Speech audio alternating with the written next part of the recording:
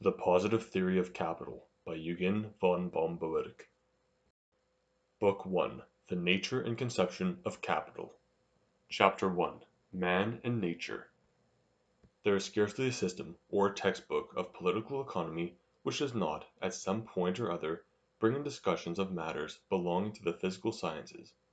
Usually these are introduced in the chapter on production.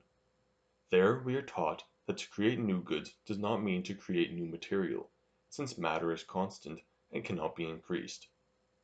We learn what nature contributes to the work of production, in the shape of materials and powers, what is done by the mechanical, what by the chemical, and what by the organic powers of nature. What importance climate, heat, moisture have on the development of production, on what physical and technical foundations the working of many machineries rests and many things of this sort. To the principle of this custom no sensible person will object. It is the form in which consciously or unconsciously we pay homage to one of the weightiest principles of our knowledge, the unity of all science. Ever since Bacon, we have recognized that no single branch of inquiry explains to the very end the facts with which it deals, but breaks off at some point or other, and passes on its facts to some sister science for further treatment, so that the total explanation is only given by the totality of all the sciences. Thus it is that if one would not set before his readers simply a collection of barren fragments, he must add to what is distinctively departmental at least so much as will connect it to the related sciences and the organic whole of human knowledge, and thus indicate the way in which the explanations begun by him may be concluded. It would, however, be rather impertinent if we theorists were to think that such terminal truths as we may properly call them, are added only for the purposes of statement and for the good of our readers. Rightly employed, they are of much greater use to ourselves as scientific inquirers. They may be an effectual means of preventing us from lightly building our whole system, or parts of it, on air and unintentionally maintaining in the name of political economy something which, in its assumptions or conclusions, is physically or psychologically speaking nonsense. I must not be misunderstood, however. It is not in the least my meaning that political economy should assume a nature foreign to it, and become natural science or psychology. What I do mean is that it must never be in contradiction with these sciences. What is false in natural science or psychology is false in all and every science, and to prevent us unwittingly running counter to certain fundamental truths, perhaps the best way is to put these truths explicitly in black and white before our eyes. Now the subject with which we have to deal in this work is of such a nature that it very specially requires to be based on sound natural principles, and a very great deal may be lost by neglect of this. I have therefore strong reasons for following the good old custom and prefacing my theory by some fundamental truths that stretch over into the neighboring sphere of the natural sciences. I shall endeavor not to abuse the opportunity by inflicting a mass of learned scientific detail on the reader. The few truths I mean to start with would indeed, in a professional classification, be put within the sphere of the natural sciences, but they are of so general a character that practically they are outside departmental limits and belong to the commonwealth of knowledge. They are known and recognized by everybody, and in one form or other they have been expressed all along in our economic literature. There is really only one thing that, I should like to think, will distinguish my use of them.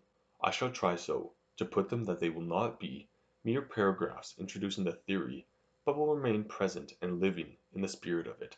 Usually these excursuses into the domains of physics are placed in some corner of economical books rather for ornament than use. In one chapter they are made much of, in the next they are forgotten and contradicted. In what follows I shall try to avoid this error, and wherever anything depends upon these fundamental truths, which will often be the case in discussion on capital, to keep unobtrusively but firmly in touch with them. In this way, while there is no fear of our economic theory obtaining the character of a theory of natural science, it will not be one that runs counter to physical facts. Men strive after happiness. This is perhaps the most general and certainly the most vague expression for a complex of strivings, all of which have for object the bringing about of such occurrences and conditions as we know and feel to be pleasant, and the averting of those we know to be unpleasant.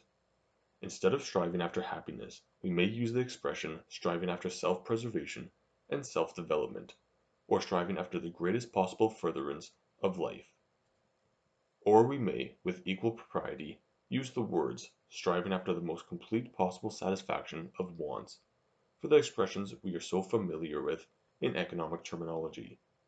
Want and satisfaction of want mean in the last resort nothing else than respectively unsatisfied craving of man, to be put under conditions he thinks desirable, or more desirable than those he has, and the successful obtaining of such conditions.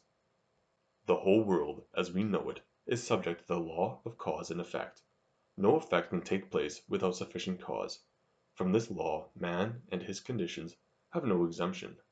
None of those beneficent changes of condition which we call satisfactions of want can come about otherwise than as the effect of sufficient cause. Every satisfaction presupposes an adequate instrument of satisfaction.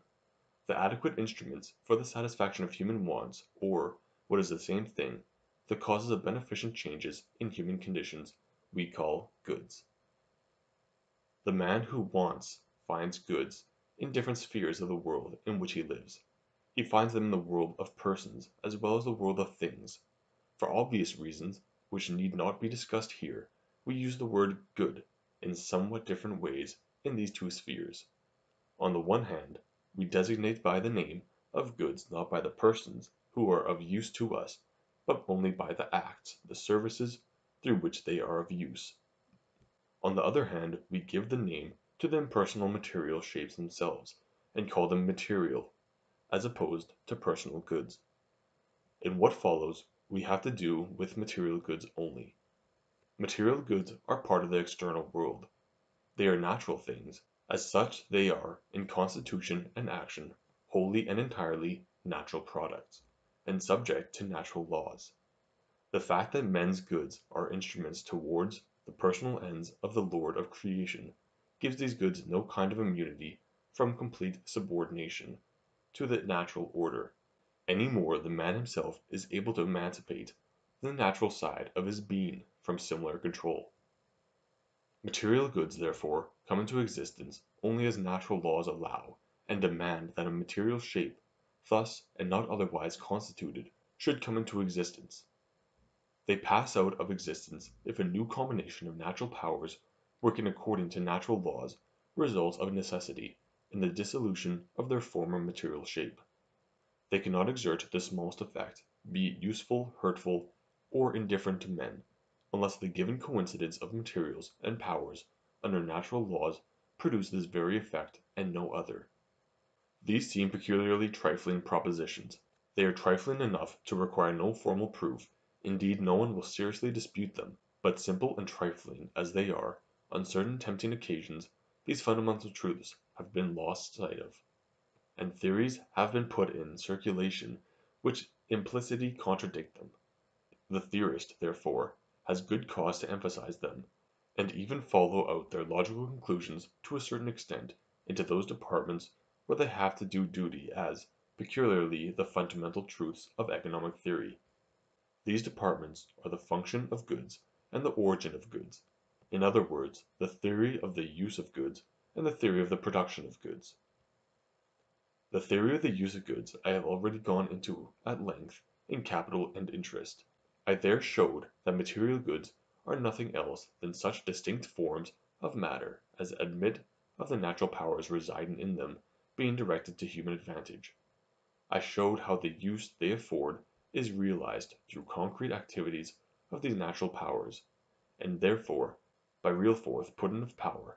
I showed how a use cannot be made of them otherwise than by taking the peculiar forms of the energy of the good at the proper moment supplying the conditions necessary to render them available where they previously existed in an unavailable form, and then bringing these forms of energy into proper connection with that object in which the useful effect is to take place. On these considerations I based the conception of the material services which I believe to be the only one that corresponds with facts, and rejected certain shadowy ideas which connected the old theory of interest with the word uses of goods. What remains for us here is on the same lines to lay down certain fundamental ideas as to the origin of material goods. We have already said that the origin of natural goods lies entirely under the control of natural laws. No material good can come into existence except when a previous coincidence of materials and powers has made it necessary in physical law that exactly this form of matter should emerge. Looked at from the point of view of nature, the formation of goods is a purely natural process. Not so, however, from the point of view of man. Man has cause to lay emphasis on a distinction which is not visible from the purely physical standpoint. One great class of useful forms of matter comes into existence without interference from man as the product of favorable coincidences of matter and force, a product which from the teleological human standpoint we should call accidental. Thus originate fruitful islands in the courses of streams, thus the grass on natural pastures and prairies, thus berries and trees of the wood, thus deposits of useful minerals. But though in this way accident does much for man, it does not do nearly enough. In nature left to herself, we have on a large scale what we should have on a small one if we wished to make a definite picture out of colored bits of stone, and instead of piecing the picture together deliberately, were to put the bits of stone into a kaleidoscope and wait till accident shook the plainest stones into the wished for picture. Among the infinite number of ways in which the working materials and powers might combine, there are, in the one case as in the other, a countless number of possible effects but only a few favorable ones, and in the natural, undisturbed course of things these few turn up too seldom for man, and all his wants to rest content with them. Accordingly he interposes another factor in the natural process, his own consciously directed energies. He begins to produce the goods he requires. To produce, what does this mean? It has been so often said by economists that the creation of goods is not the bringing into existence of materials that hitherto have not existed, is not creation in the true sense of the word, but only a fashioning of imperishable matter into more advantageous shapes; that it is quite unnecessary to say it again. More accurate but still exposed to misinterpretation is the expression that in production natural powers are the servants of man, and are directed by him to his own advantage. If this proposition be taken to mean that man in any case can impose his sovereign will in place of natural laws, can at will bully natural law into making a single exception at his bidding, it is entirely erroneous. Whether the Lord of creation will it or no, not an atom of matter can for a single moment or by a hair's breadth work otherwise than the unchangeable laws of nature demand. Man's role in production is much more modest. It consists simply in this, that he himself a part of the natural world combines his personal powers with the impersonal powers of nature, and combines them in such a way that under natural law the cooperation results in a definite desired material form. Thus notwithstanding the interference of man, the origin of goods remains purely a natural process. The natural process is not disturbed by man but completed, inasmuch as by an apt intervention of his own natural powers, he supplies a condition which has hitherto been wanting to the origination of a material good. If we look more closely at the way in which man assists natural processes, we find that his sole but ample contribution consists in the moving of things. Putting objects in motion is the idea which gives the key to all human production and its result, to all man's mastery over nature and its powers. And this is so simply because the powers reside in the objects now when man by his physical powers, the power of moving things, is able to dictate where the object shall be, he obtains control over the place at which a natural power may become effective, and this means broadly a control over the way and over the time in which it may become effective. I say control over the way in which a natural power may become effective. Of course a pound weight acts as a pound weight, and never in any other way whether it be a pound weight on a writing table or counterpoise on a scale beam, or whether it keeps down the valve of a steam engine. It never ceases to exert the force of gravitation with which its mass is endowed. But just because the expression of one and the same natural power always remains the same, results that are extraordinarily different may be obtained by getting it to work in different combinations, just as by adding like to unlike a different sum may be got every time. And so our pound weight, while in itself constantly acting with perfect uniformity, will, according to the different surroundings in which we place it, sometimes hold together a heap of papers on a writing table, sometimes indicate the weight of another object, sometimes regulate the pressure of steam in a boiler. Again I say control over the time in which a natural power may become effective. This proposition also must not be taken too literally. It must not be imagined that natural powers work intermittently, that man can sometimes bring them to a standstill sometimes set them working again. On the contrary, natural powers are always at work. A natural power not active would be a contradiction in terms, but it is possible that several powers may be so combined that their activities may for a time mutually balance each other, and the resultant be rest, if not complete rest, still some movement so slight that, as regards human purpose, it may be neglected. When this is the case, before any new resultant can emerge, that is of interest to man, there must be an entirely different combination of materials and powers. This suggests how man may get control of the point of time at which a definite resultant emerges. It is only necessary for him, by skilful use of his power, to move objects, to provide the causes of the desired effect, all but one. So long as this one is not present, the conditions are unfulfilled, and there cannot be the desired result. But when at the proper moment he adds the last condition, the movement hitherto held in leash, as it were, is suddenly set free, and the desired effect is obtained at the opportune time. Thus the sportsman moves powder and lead into the barrel of the gun. He shuts the breech, he raises the cock. Each of these things has for long possessed and expressed its peculiar powers. In the powder are present the molecular powers whose energy later on is to expel from the shot of the barrel. The barrel now, as formerly, exerts its force of cohesion and resistance. The trigger, which is to let the cock smash down, restrains and presses against the spring. Still the arrangement, the disposition, of the collective powers is such that the resultant of their mutual energies is rest. But the sportsman covers the wild fowl with the barrel. There is a slight pressure on the tongue, a little dislocation of their arrangement, and the shot flies. The same considerations which show us the kind of mastery man has over nature show us at the same time the measure and the narrow limits of his mastery. As we have seen, man has certain power to make natural forces act, where, when, and how he will, but this power he possesses only in so far as he can control the matter in which these forces reside. Now the masses of matter and therefore the masses of inert resistance, which have to be overcome before our purposes are served, are often immense, while the physical force which is at our command is very modest, and comparatively trifling.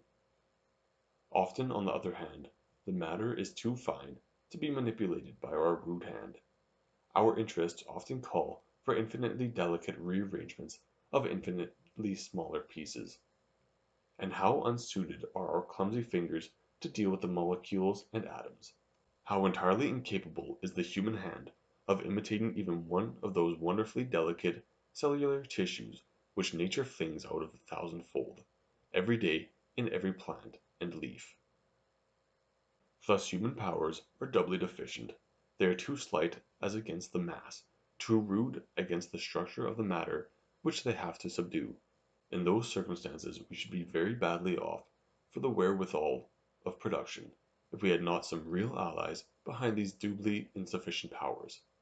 One of these allies is the human mind. In investigating the causal relation of things we come to know the natural conditions under which the desired goods come into existence, we thus come to learn where human force can be applied with advantage and where not, and thus we are taught to avoid exertions which are barren and choose those which are profitable. Human power so directed is like a small but well officered army, which makes up in mobility, cohesion, and energetic use of opportunity what it wants in numbers. Another powerful ally is the struggle against nature and nature herself. All that we are able to do in production would be wretchedly small, were it not that, in the storehouse of nature, we find the means of dividing nature against herself, and setting force against force. But here we touch on a subject which is, in itself, too important, particularly as regards our inquiry, to admit of merely a passing mention. Chapter II. The Nature of Capital. The end and aim of all production is the making of things, with which to satisfy our wants, that is to say, the making of goods for immediate consumption, or consumption goods. The method of their production we have already looked at in a general way. We combine our own natural powers and natural powers of the external world in such a way that under natural law the desired material good must come into existence. But this is a very general description indeed of the matter and looking at it closer there comes in sight an important distinction which we have not as yet considered. It has reference to the distance which lies between the expenditure of human labor and the combined production and the appearance of a desired good. We either put forth our labor just before the goal is reached, or we intentionally take a roundabout way. That is to say, we may put forth our labor in such a way that it at once completes the circle of conditions necessary for the emergence of the desired good, and thus the existence of the good immediately follows the expenditure of the labor; or we may associate our labor first with the more remote causes of the good, with the object of obtaining, not the desired good itself, but a proximate cause of the good, which cause again must be associated with other suitable materials and powers, till finally, perhaps through a considerable number of intermediate members, the finished good the instrument of human satisfaction is obtained.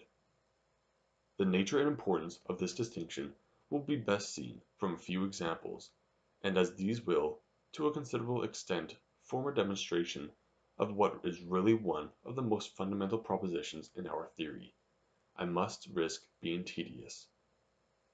A peasant requires drinking water. The spring is some distance from his house. There are various ways in which he may supply his daily wants. First, he may go to the spring each time he is thirsty and drink out of his hollowed hand. This is the most direct way. Satisfaction follows immediately on exertion. But it is an inconvenient way, for our peasant has to take his way to the well as often as he is thirsty, and it is an insufficient way, for he can never collect and store any greater quantity, such as he requires for various other purposes.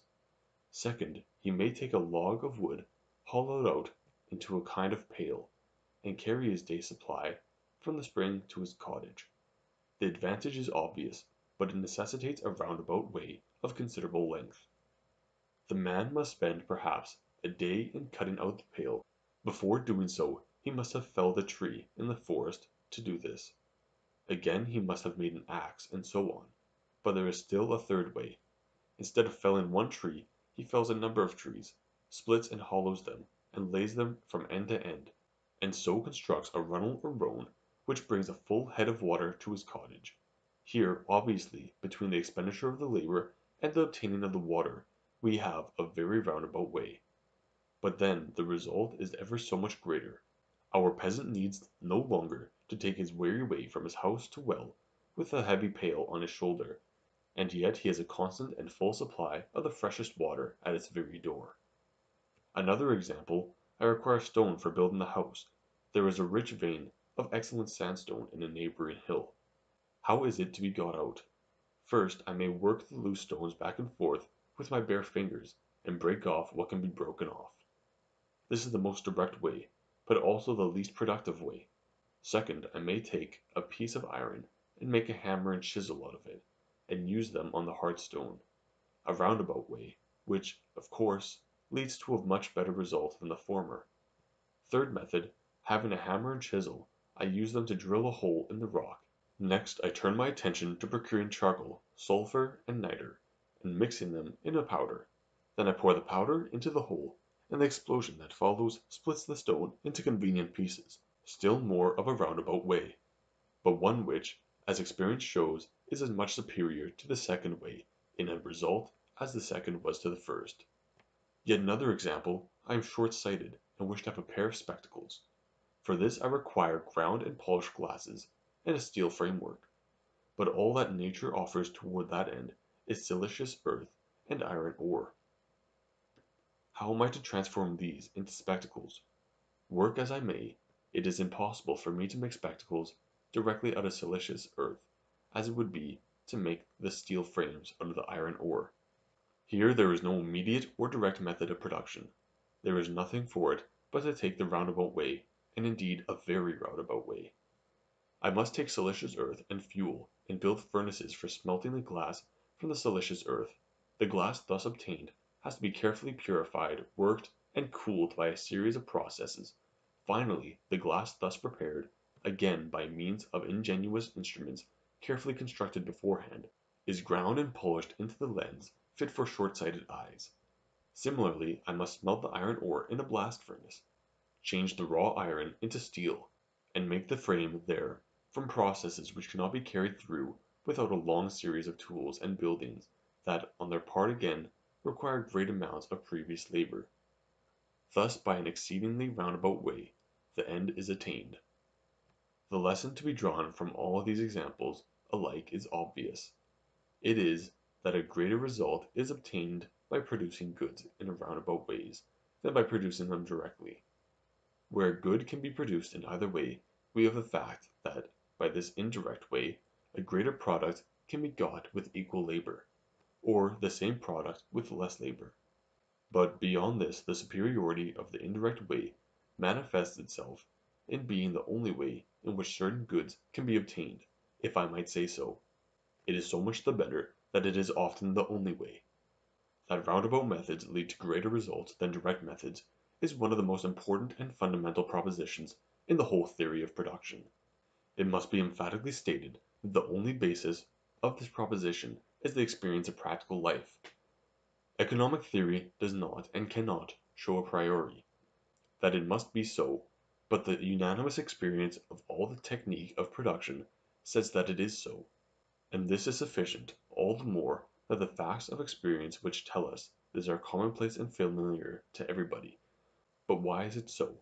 The economist might quite well decline to answer this question, for the fact that a greater product is obtained by methods of production that begin far back is essentially a purely technical fact, and to explain questions of technique does not fall within the economist's sphere; for instance that tropical lands are more fruitful than the polar zone; that the alloy of which coins is made stands more wear and tear than pure metal; that a railroad is better for transport than ordinary turnpike road. All these are matters of fact with which the economist reckons but which his science does not call on him to explain. But this is exactly one of those cases where in the economist's own interest, the interest he has in limiting and defining his own task, it is exceedingly desirable to go beyond the specific economic sphere. If the sober physical truth is once made clear, political economy cannot indulge in any fancies or fictions about it, and in such questions political economy has never been behind in the desire and the attempt to substitute its own imaginings. Although then this law is already sufficiently accredited by experience, I attach particular value to explaining its cause, and, after what has been said as to the nature of production, this should not be very difficult. In the last resort all our productive efforts amount to shiftings and combinations of matter. We must know how to bring together the right forms of matter at the right moment, in order that from those associated forces the desired result, the product wanted, may follow. But, as we saw, the natural forms of matter are often so infinitely large, often so infinitely fine, that human hands are too weak or too coarse to control them. We are as powerless to overcome the cohesion of the wall of rock when we want building stone, as we are from the carbon, nitrogen, hydrogen, oxygen phosphor, potash, etc., to put together to a single grain of wheat. But there are other powers which can easily do what is denied to us, and these are the powers of nature. There are natural powers which far exceed the possibilities of human power in greatness, and there are other natural powers in the microscopic world which can make combinations that put our clumsy fingers to shame. If we can succeed in making those forces our allies in the work of production the limits of human possibility will be infinitely extended, and this we have done. The condition of our success is, that we are able to control the materials on which the power that helps us depend more easily than the materials which are to be transformed into the desired good. Happily this condition can be very often complied with. Our weak yielding hand cannot overcome the cohesion of the rock, but the hard wedge of iron can. The wedge and the hammer to drive it we can happily master with little trouble. We cannot gather the atoms of phosphorus and potash out of the ground and the atoms of carbon and oxygen out of the atmospheric air, and put them together in the shape of the corn of wheat, but the organic chemical powers of the seed can put this magical process in motion, while we on our part can very easily bury the seed in the place of its secret working, the bosom of the earth. Often, of course, we are not able directly to master the form of matter on which the friendly power depends, but in the same way as we would like it to help us, do we help ourselves against it. We try to secure the alliance of a second natural power which brings the form of matter that bears the first power under our control. We wish to bring the well water into the house, wooden rones would force it to obey our will, and take the path we prescribe, but our hands have not the power to make the forest trees into rones. We have not far to look, however, for an expedient.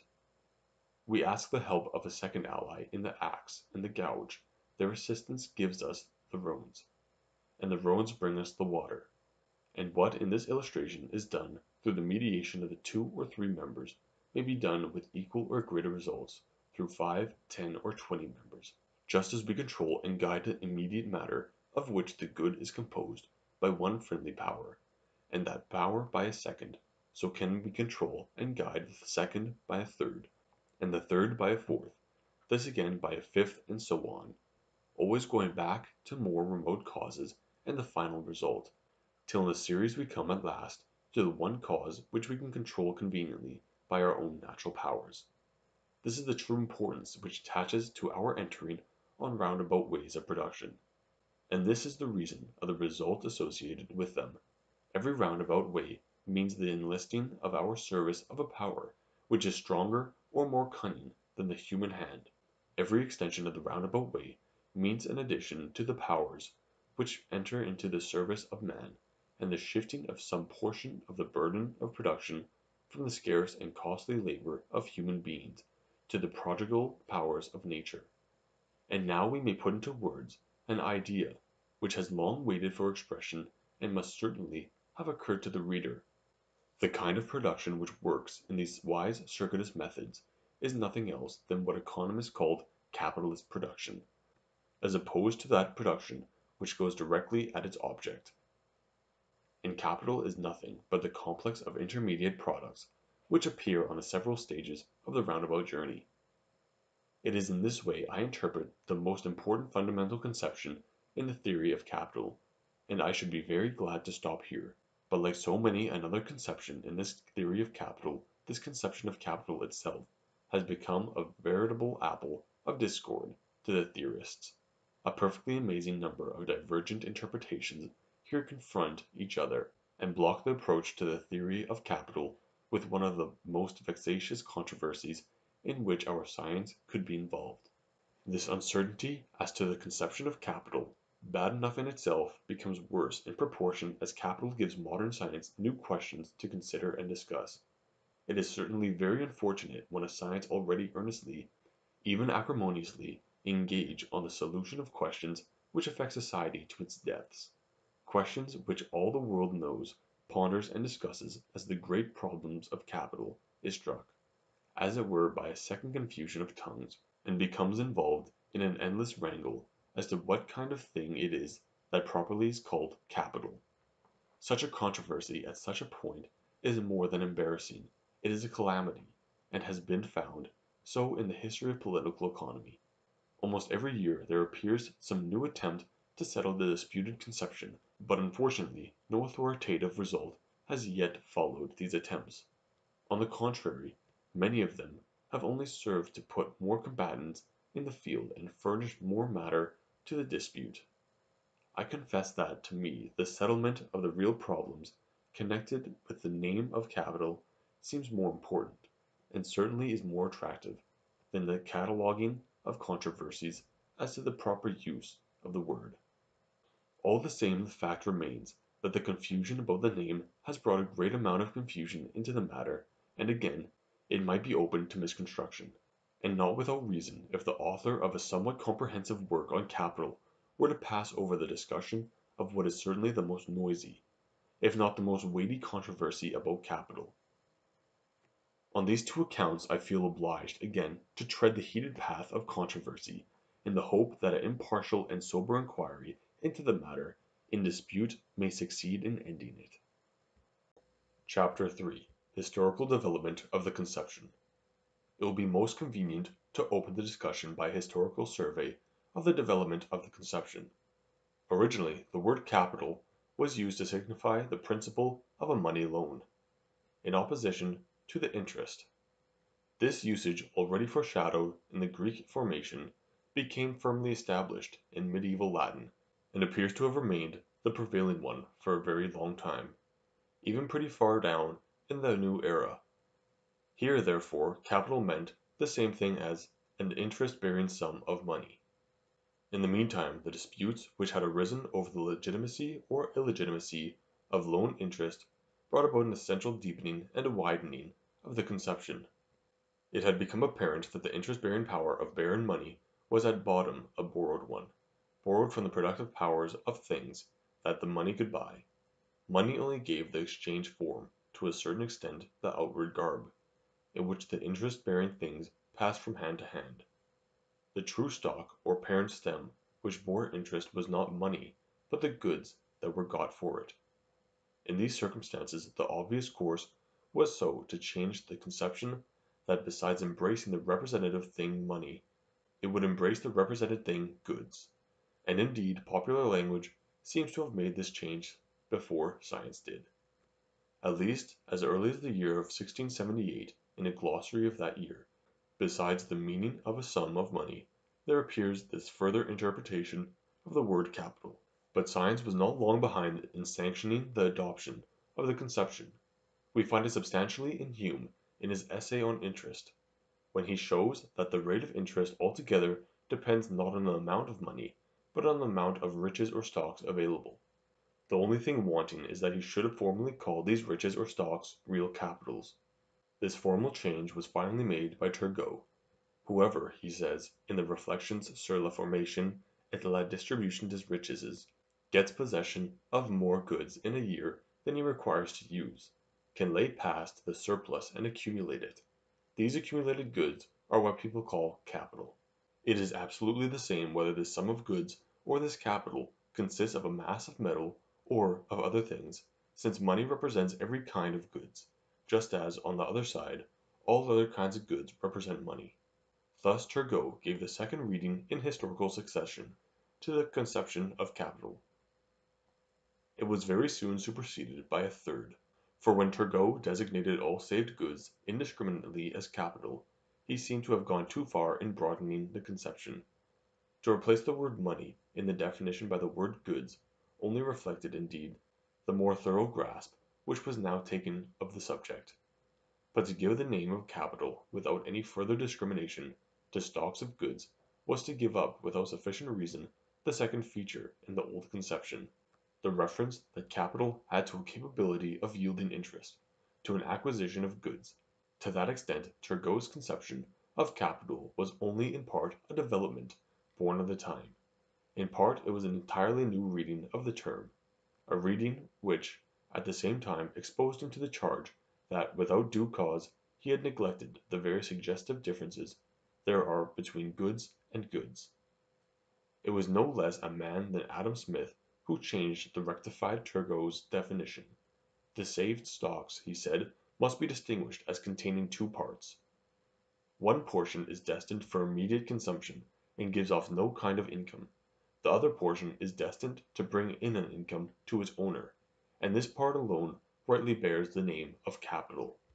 With this distinction, however, Adam Smith connected another consideration, which was destined to have very serious consequences on the development of the conception. He remarked that his use of the term was applicable as well to the case of individuals as to that of a whole community. Only with this shifting of the standpoint the group of things embraced by the conception was also somewhat changed. Individuals, that is to say, can make a gain not only by the production of goods, but also by lending to other individuals for considerable goods which are destined in themselves to immediate consumption, such as houses, masquerade dresses, furniture, etc., but the community, as a whole, cannot enrich itself otherwise than by the production of new goods. For the community, then, the conception of means of acquisition coincides with the otherwise narrower conception of means of production. In harmony with this conception of capital from the point of view of the community must be limited to a complex of the means of production. It is worth our while to put this more exactly before us the bearing of this insignificant remark, which by the way, in Adam Smith, is put more unpretentiously and much less sharply than in the abstract which I have given of his meaning. First of all, this was the beginning of the division of capital into two independent conceptions, the conceptions afterwards distinguished as national capital and individual capital, or to indicate the relation still more exactly, the parent conception of capital as a stock of goods yielding income lived on under the designation of private capital, but under the name of national capital it sent out an offshoot which quickly grew to independent importance, soon, indeed, to greater importance than the parent conception itself. It was immediately recognized that a very notable importance as regards production attached to that class of goods which people now began to call capital par excellence, and this became the occasion of a great many profitable applications of the new conception to the theory of production. Thus we find the national conception in a short time taking its place as one of the chief fundamental conceptions of that theory, and engaged in those very important problems that are now associated with its name. In the triad, land, labor, and capital, we find the new conception giving its name to one of the three great sources of wealth, or, as it was put later, to one of the three factors of production. But all the time, in virtue of the old parent conception, that known later as private capital, the term capital remained connected with the phenomena of interest, which belong to the theory of distribution or income. Thus from that time onward appeared the peculiar phenomenon which was to be the source of so many errors and complications that two series of fundamentally different phenomena and fundamentally different problems were treated under the same name. Capital as national capital became the central figure of the weightiest problems of production, as private capital of the fundamentally distinct problem of interest. In view of this it becomes of consequence to state clearly that Adam Smith's two varieties of the conception of capital are properly two entirely independent conceptions resting substantially on quite different foundations, and only connected externally by a very loose bound. As chance, however, would have it, it was just this secondary and external relation that caused the name to be given to the younger conception, and brought about the identity of name between the two. The center of gravity of the conception of private capital, as has been pointed out, lies in the acquisition of interest, in the characteristic of being a source of income. The center of gravity of the conception of national capital, on the other hand, lies in production, in the characteristic of being a tool of production, and the loose bond that connects them is the accidental circumstances that the goods of which men make use in production are the same goods as are the source of profit and interest to a people considered as a whole, and are, therefore, capital in the original sense. Now this latter reference to income gave the national conception of capital its name, but it was very far from giving it its living substance. This was found so exclusively in the relation to production that in a short time the formal definition of capital was based upon that relation alone. It was defined as a complex of produced means of production, and such like, and in the end it scarcely caused any misgiving when, on closer consideration, the produced means of production seem never to be quite identical with those stocks which constitute the income bearing capital of a people. For there can be no question that communities obtain income from consumption goods loaned to other countries against interest. When this incongruity was expressly noted, and yet notwithstanding, national capital was quietly defined as a complex of means of production, it amounted to a practical and emphatic recognition of the fact that people were interested in capital solely it amounted to practical and emphatic recognition of the fact that people were interested in capital solely on account of its relations to production, and not at all on account of its accidental characteristic of being the source of interest to the community. To put it shortly, in national capital the characteristic of being the national source of interest came to the front only for a moment, but this moment was long enough to attach the name of capital to it. Scarcely was this done, when the center of gravity was shifted and placed in its relation to production, and since then national capital has been looked on as an independent conception, substantially quite foreign to its namesake, private capital. Clearly as the historian of economic theory may now distinguish between these conceptions as developed, the distinction was not seen at the time, nor for long afterwards. With Adam Smith himself the whole matter lies, I might say, in embryo. His ideas were so far from being fixed that he could occasionally ascribe to them meanings which were quite distinct from and did not at all fit in with the fundamental conception.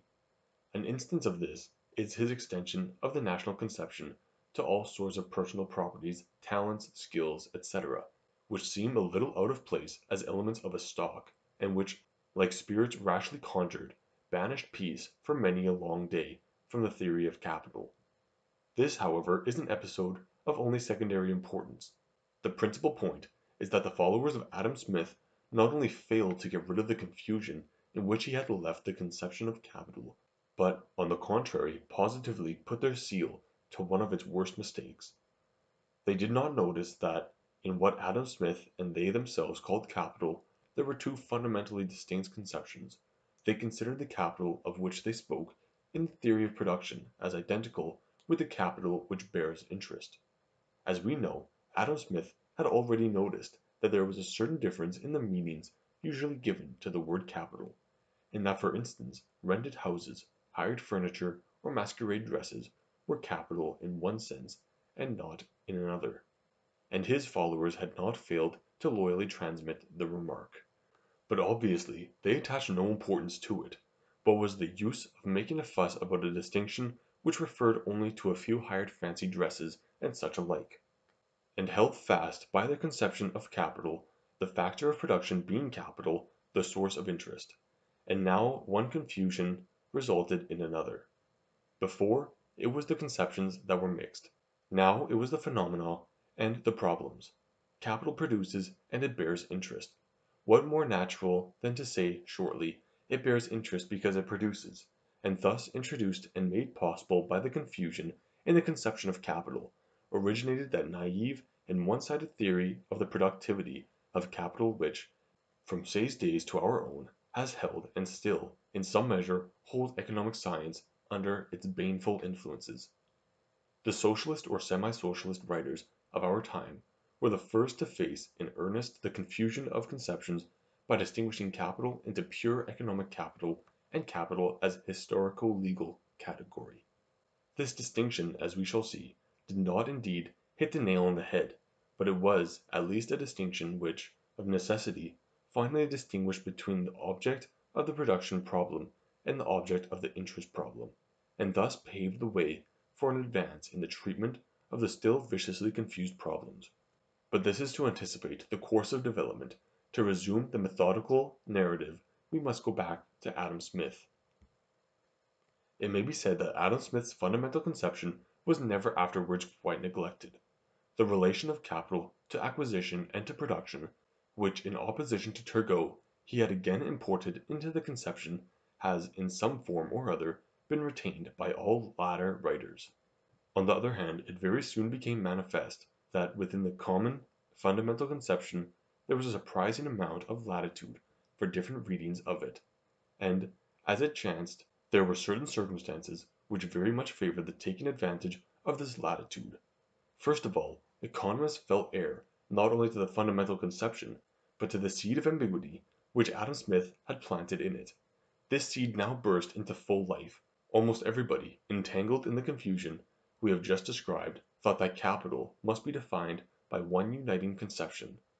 But the one party, and indeed the majority, thought more about the instruments of production, while the other thought more about the source of income, and thus they attached to capital and characteristics of two different conceptions.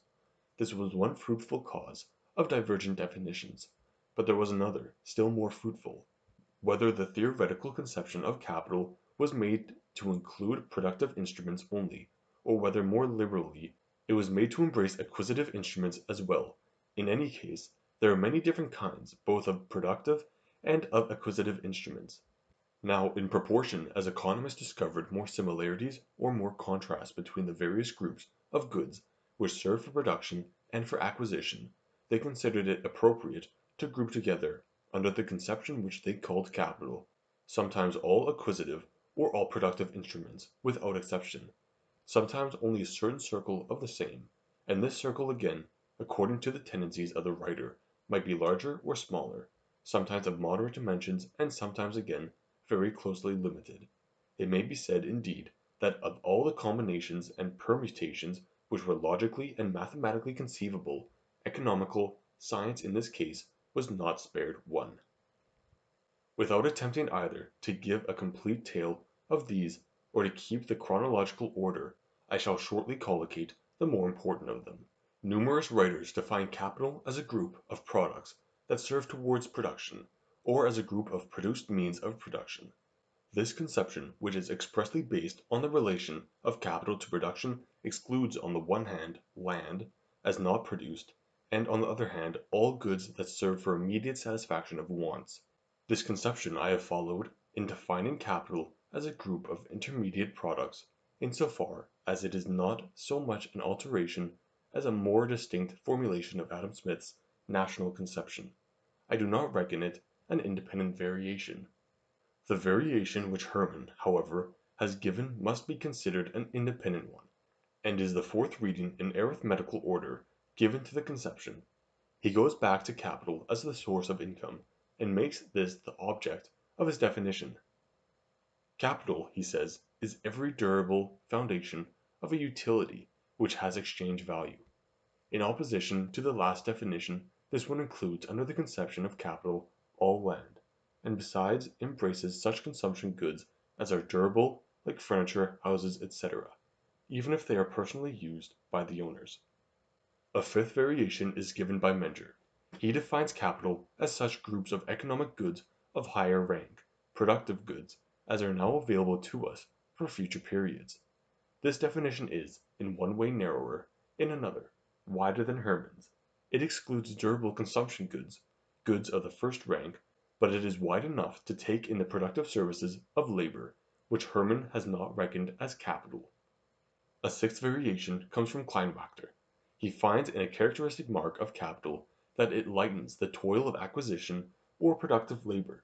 Now this characteristic appears to him not to belong to all means of production, but only to one category of these, the tools of production, while the matter or materials of production are absolutely passive during the whole production process. They are worked up or used up, but give no assistance in working.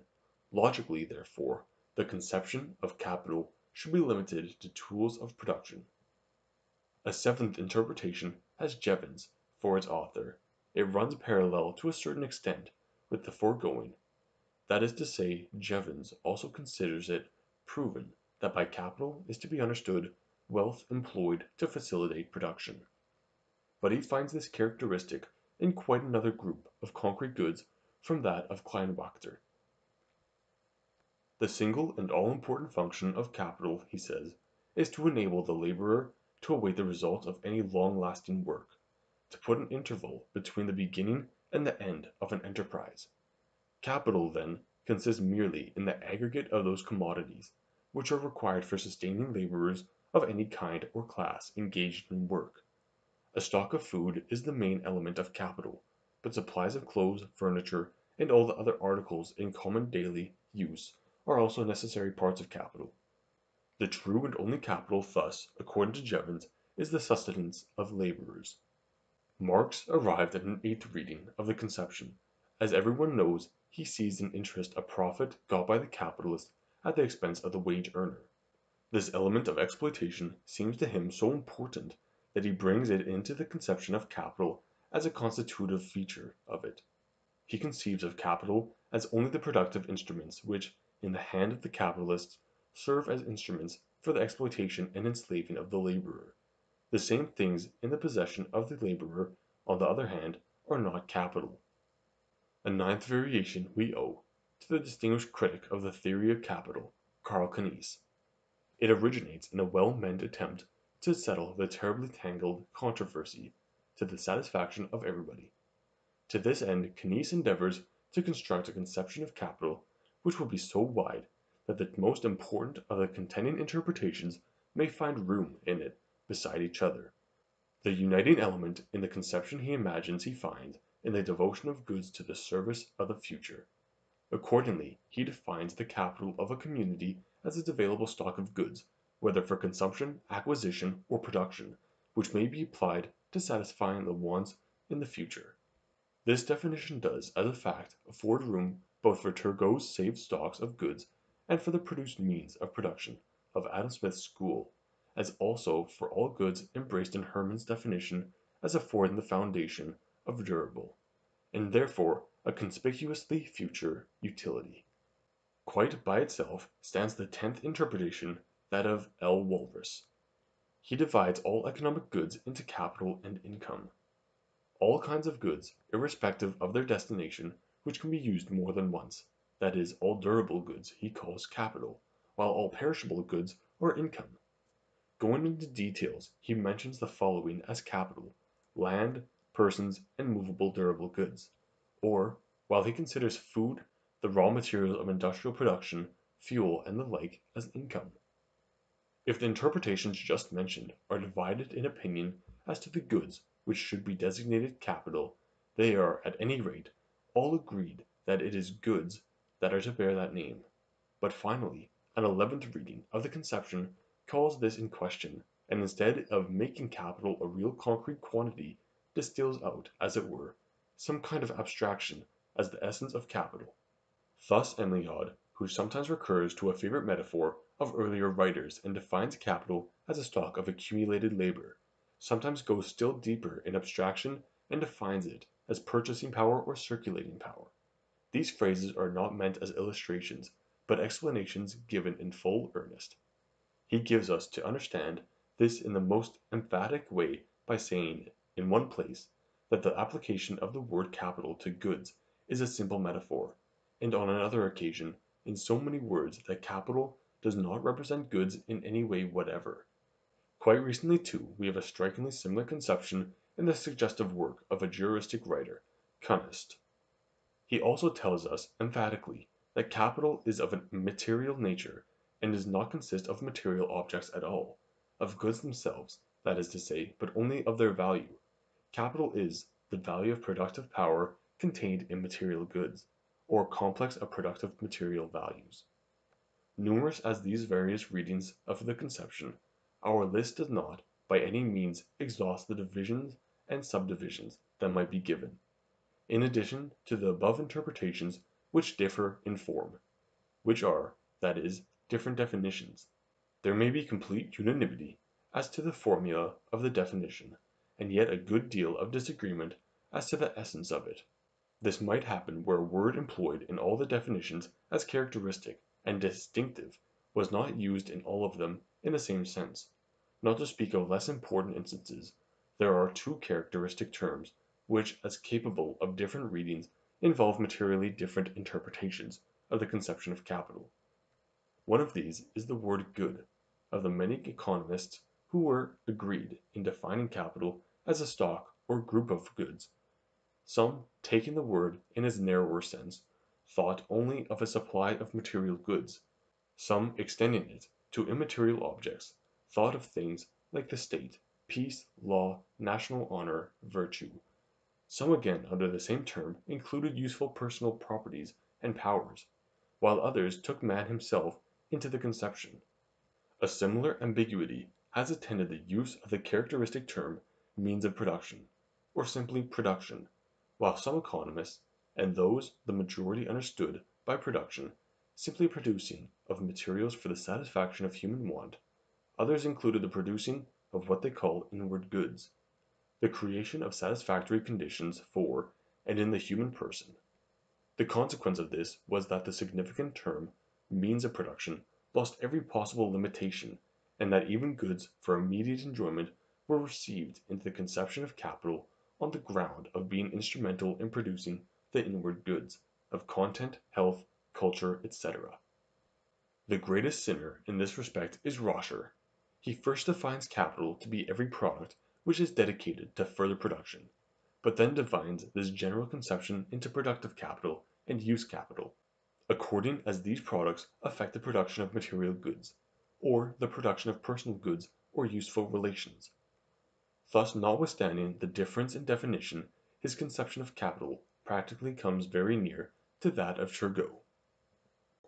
Chapter 4 The True Conception of Capital Political economists have not, as a rule, been noted for the unanimity of their definitions, but here the differences in the interpretation of the conception are so excessive as to suggest that there may be something quite peculiar about the objects of dispute.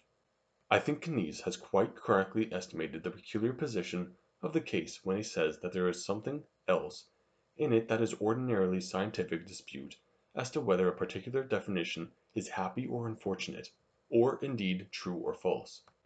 It is not the definition that is the matter of dispute, but the thing defined, or, as I should prefer to say, the terminology.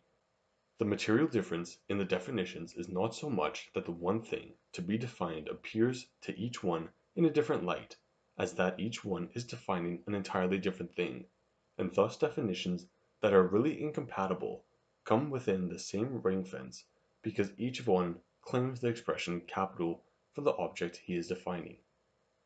It is clear that, while this circumstance may explain the striking divergence of opinions, it makes it, unfortunately, more difficult to decide between them. For in questions of nomenclature there is, strictly speaking, neither right nor wrong. There is, therefore, nothing to compel conviction; there is only an appeal to a greater or less appropriateness, and people may to a considerable extent, remain of different opinions as to the appropriateness. All the same it is clear that our controversy must be settled. It is impossible that economic science can for all time allow its representatives liberty to call ten or eleven fundamentally different things by the same name. Political economy requires clear thinking, and for that the prerequisites are clear ideas and clear speech. We must come to an agreement, and it will become to exactly as men have agreed and continue to agree over the innumerable disputes to which the nomenclature of the descriptive natural sciences, zoology, botany, mineralogy, geography, continually give rise. The majority unite and slowly but surely leave the dissensions and pass to the order of the day. But on which of the numerous readings of our conception of capital can we hope to unite unprejudiced persons? To my mind if we have once realized the nature of the controversy as pre-eminently one of terminology, we shall not find it so difficult to decide as the amount of confusion up till now might lead one to suppose. Happily there cannot be much doubt as to certain leading principles that have to be observed in questions of terminology. If these are impartially acted upon, the great majority of the competing definitions will be definitely thrown out and there will not remain more than two or three between which there need be any real hesitation; and even in this short lead the arguments of appropriateness which must decide are so unequally distributed, that, though we may not be able actually to force a universal acceptance of one definite conception, as it is, after all, only appropriateness that must guide us, yet we may confidently look for the voluntary adhesion of a vast majority. The leading principles we have to observe seem to me to be as follows: First and chiefly, it is quite clear that our readings of the conception must be logically unassailable; that is to say, it must not contradict itself, and it must apply to the object which it possesses to define. Then we must not be spendthrift in our terminology; that is to say, we must not attach the name capital to and make it synonymous with a conception that already has a name while other suggestive conceptions to which naturally the word would equally well apply, have to do without any name. Thirdly, the conception we adopt must be scientifically important and scientifically useful. Lastly and not least, unless an alteration be urgently demanded on some grounds of logic or appropriateness, the name of capital must be left to that conception for which it has been longest and most generally used. Or, to put it in a more roundabout way, as things are at present, everybody treats of the most weighty theoretical and social problems under the general names of problems of capital; that being so, the word capital, wherever possible, should be so used as to spare us the aggravated difficulties that will attend the greatest controverted questions of the day, if we rebaptize their terms. In view of these rules I would suggest the following as the most adequate solution of the controversy. Capital in general we shall call a group of products, which serve as means to the acquisition of goods. Under this general conception we shall put that of social capital as narrower conception. Social capital we shall call a group of products which serve as means to the socio-economical acquisition of goods, or as this acquisition is only possible through production. We shall call it a group of products destined to serve towards further production, or, briefly, a group of intermediate products. Synonymous with the wider of the two conceptions, the term acquisitive capital may be very suitably used, or less suitably but more in accordance with usage the term private capital. Social capital, again, the narrower of the two conceptions, may be well and concisely called productive capital. The following are my reasons for this classification. Capital in its wider sense and capital in its narrower sense both mark out categories which, economically, are of the highest importance.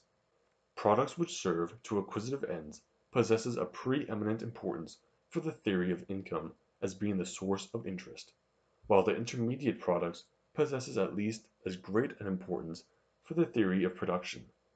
The distinction between production from hand to mouth and production which employs roundabout and fruitful methods is so fundamental that it is eminently desirable that a special conception should be coined for the latter. This is done, if not, as we shall see, in the only possible way, yet in a way that is not inappropriate, in grouping together under the conception of capital the intermediate products, which come into existence in the course of this roundabout production. Again the solution suggested is the most conservative one, without laying any particular weight on the fact that the historical origin of the word capital indicates a relation to the acquisition or gain, and that our reading remains true to this. It preserves the double relation, the relation to acquisition of interest on the one side and to production on the other, which was imported into the conception of capital by Adam Smith, and since his time has been adopted into scientific usage. It is no inconsiderable advantage, then, that we do not require to create a majority in its favor by a revolution in terminology. The majority is already with us, and the conception may easily be carried unanimously, if we add some new unbiased members.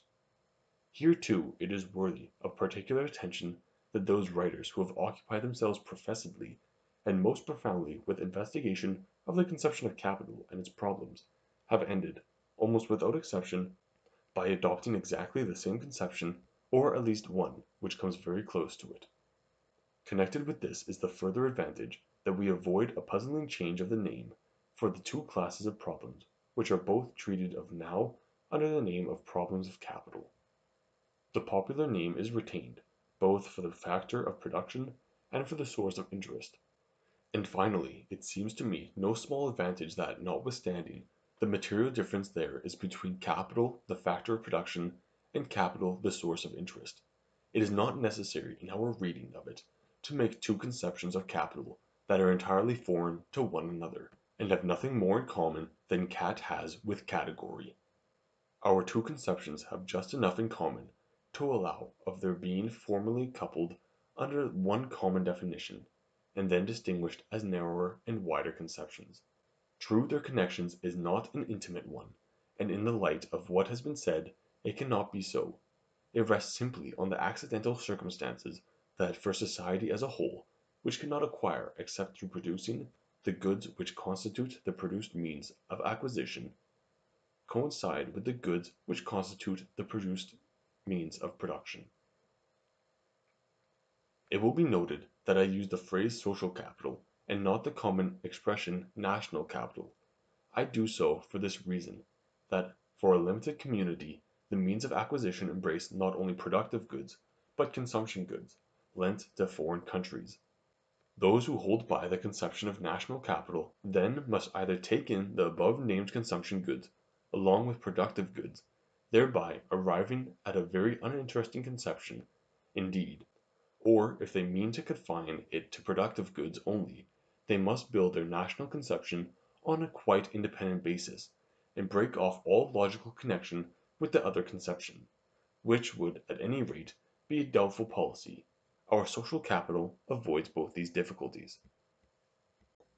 Chapter 5 The Competing Conceptions of Capital And now we may review the other conceptions of capital already mentioned, and see if any of them can better satisfy scientific requirements.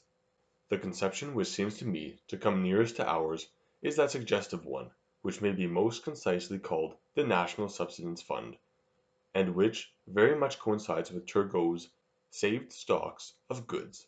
This conception embraces all material goods with the exception of land.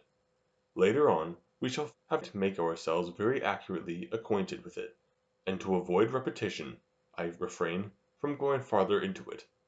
I shall only say this much: the conception of the National Subsistence Fund is, like our own, a conception of great scientific suggestiveness and is so regards those very problems which connect themselves with the word capital, in particular as being so much in touch with the phenomenon of capitalist production, production carried on in lengthy processes and roundabout methods.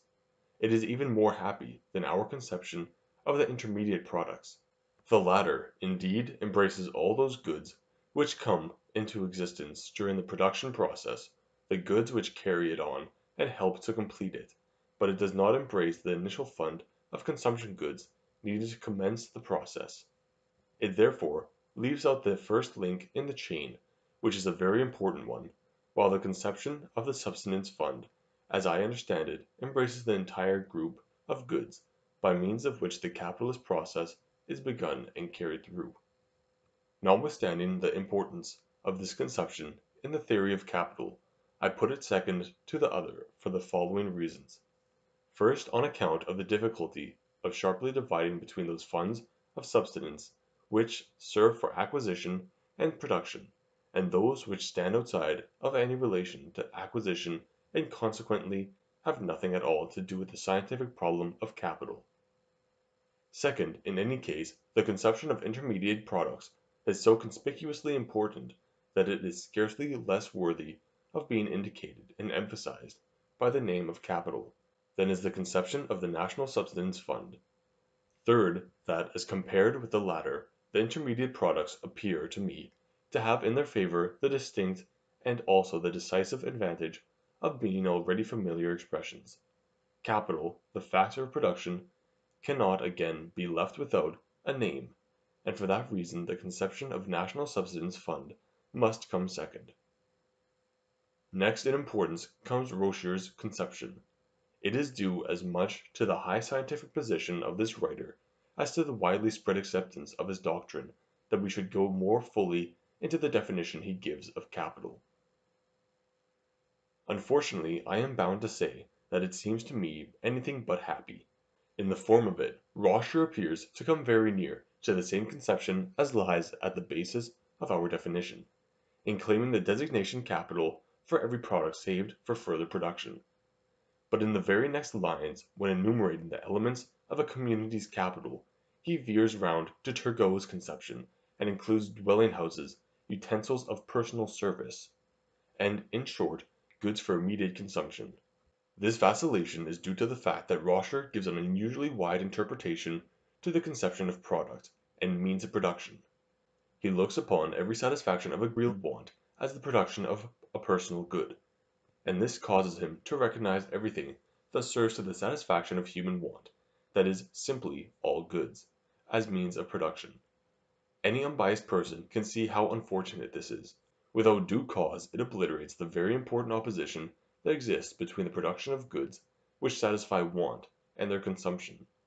It christens, for example, the idler as a zealous producer, always thinking how he may produce the personal goods of satiety, of ease, of contentment, and so on. It leads moreover to a lamentable waste of terminology. When the conception means of production is made synonymous with the conception good, there is no name left for the true instrument of production. But the latter, as a highly important economic category, must be kept prominent and distinct from goods for immediate consumption, and so we fall from one confusion and ambiguity of terminology into another. This shows itself most significantly in Roscher's own conception.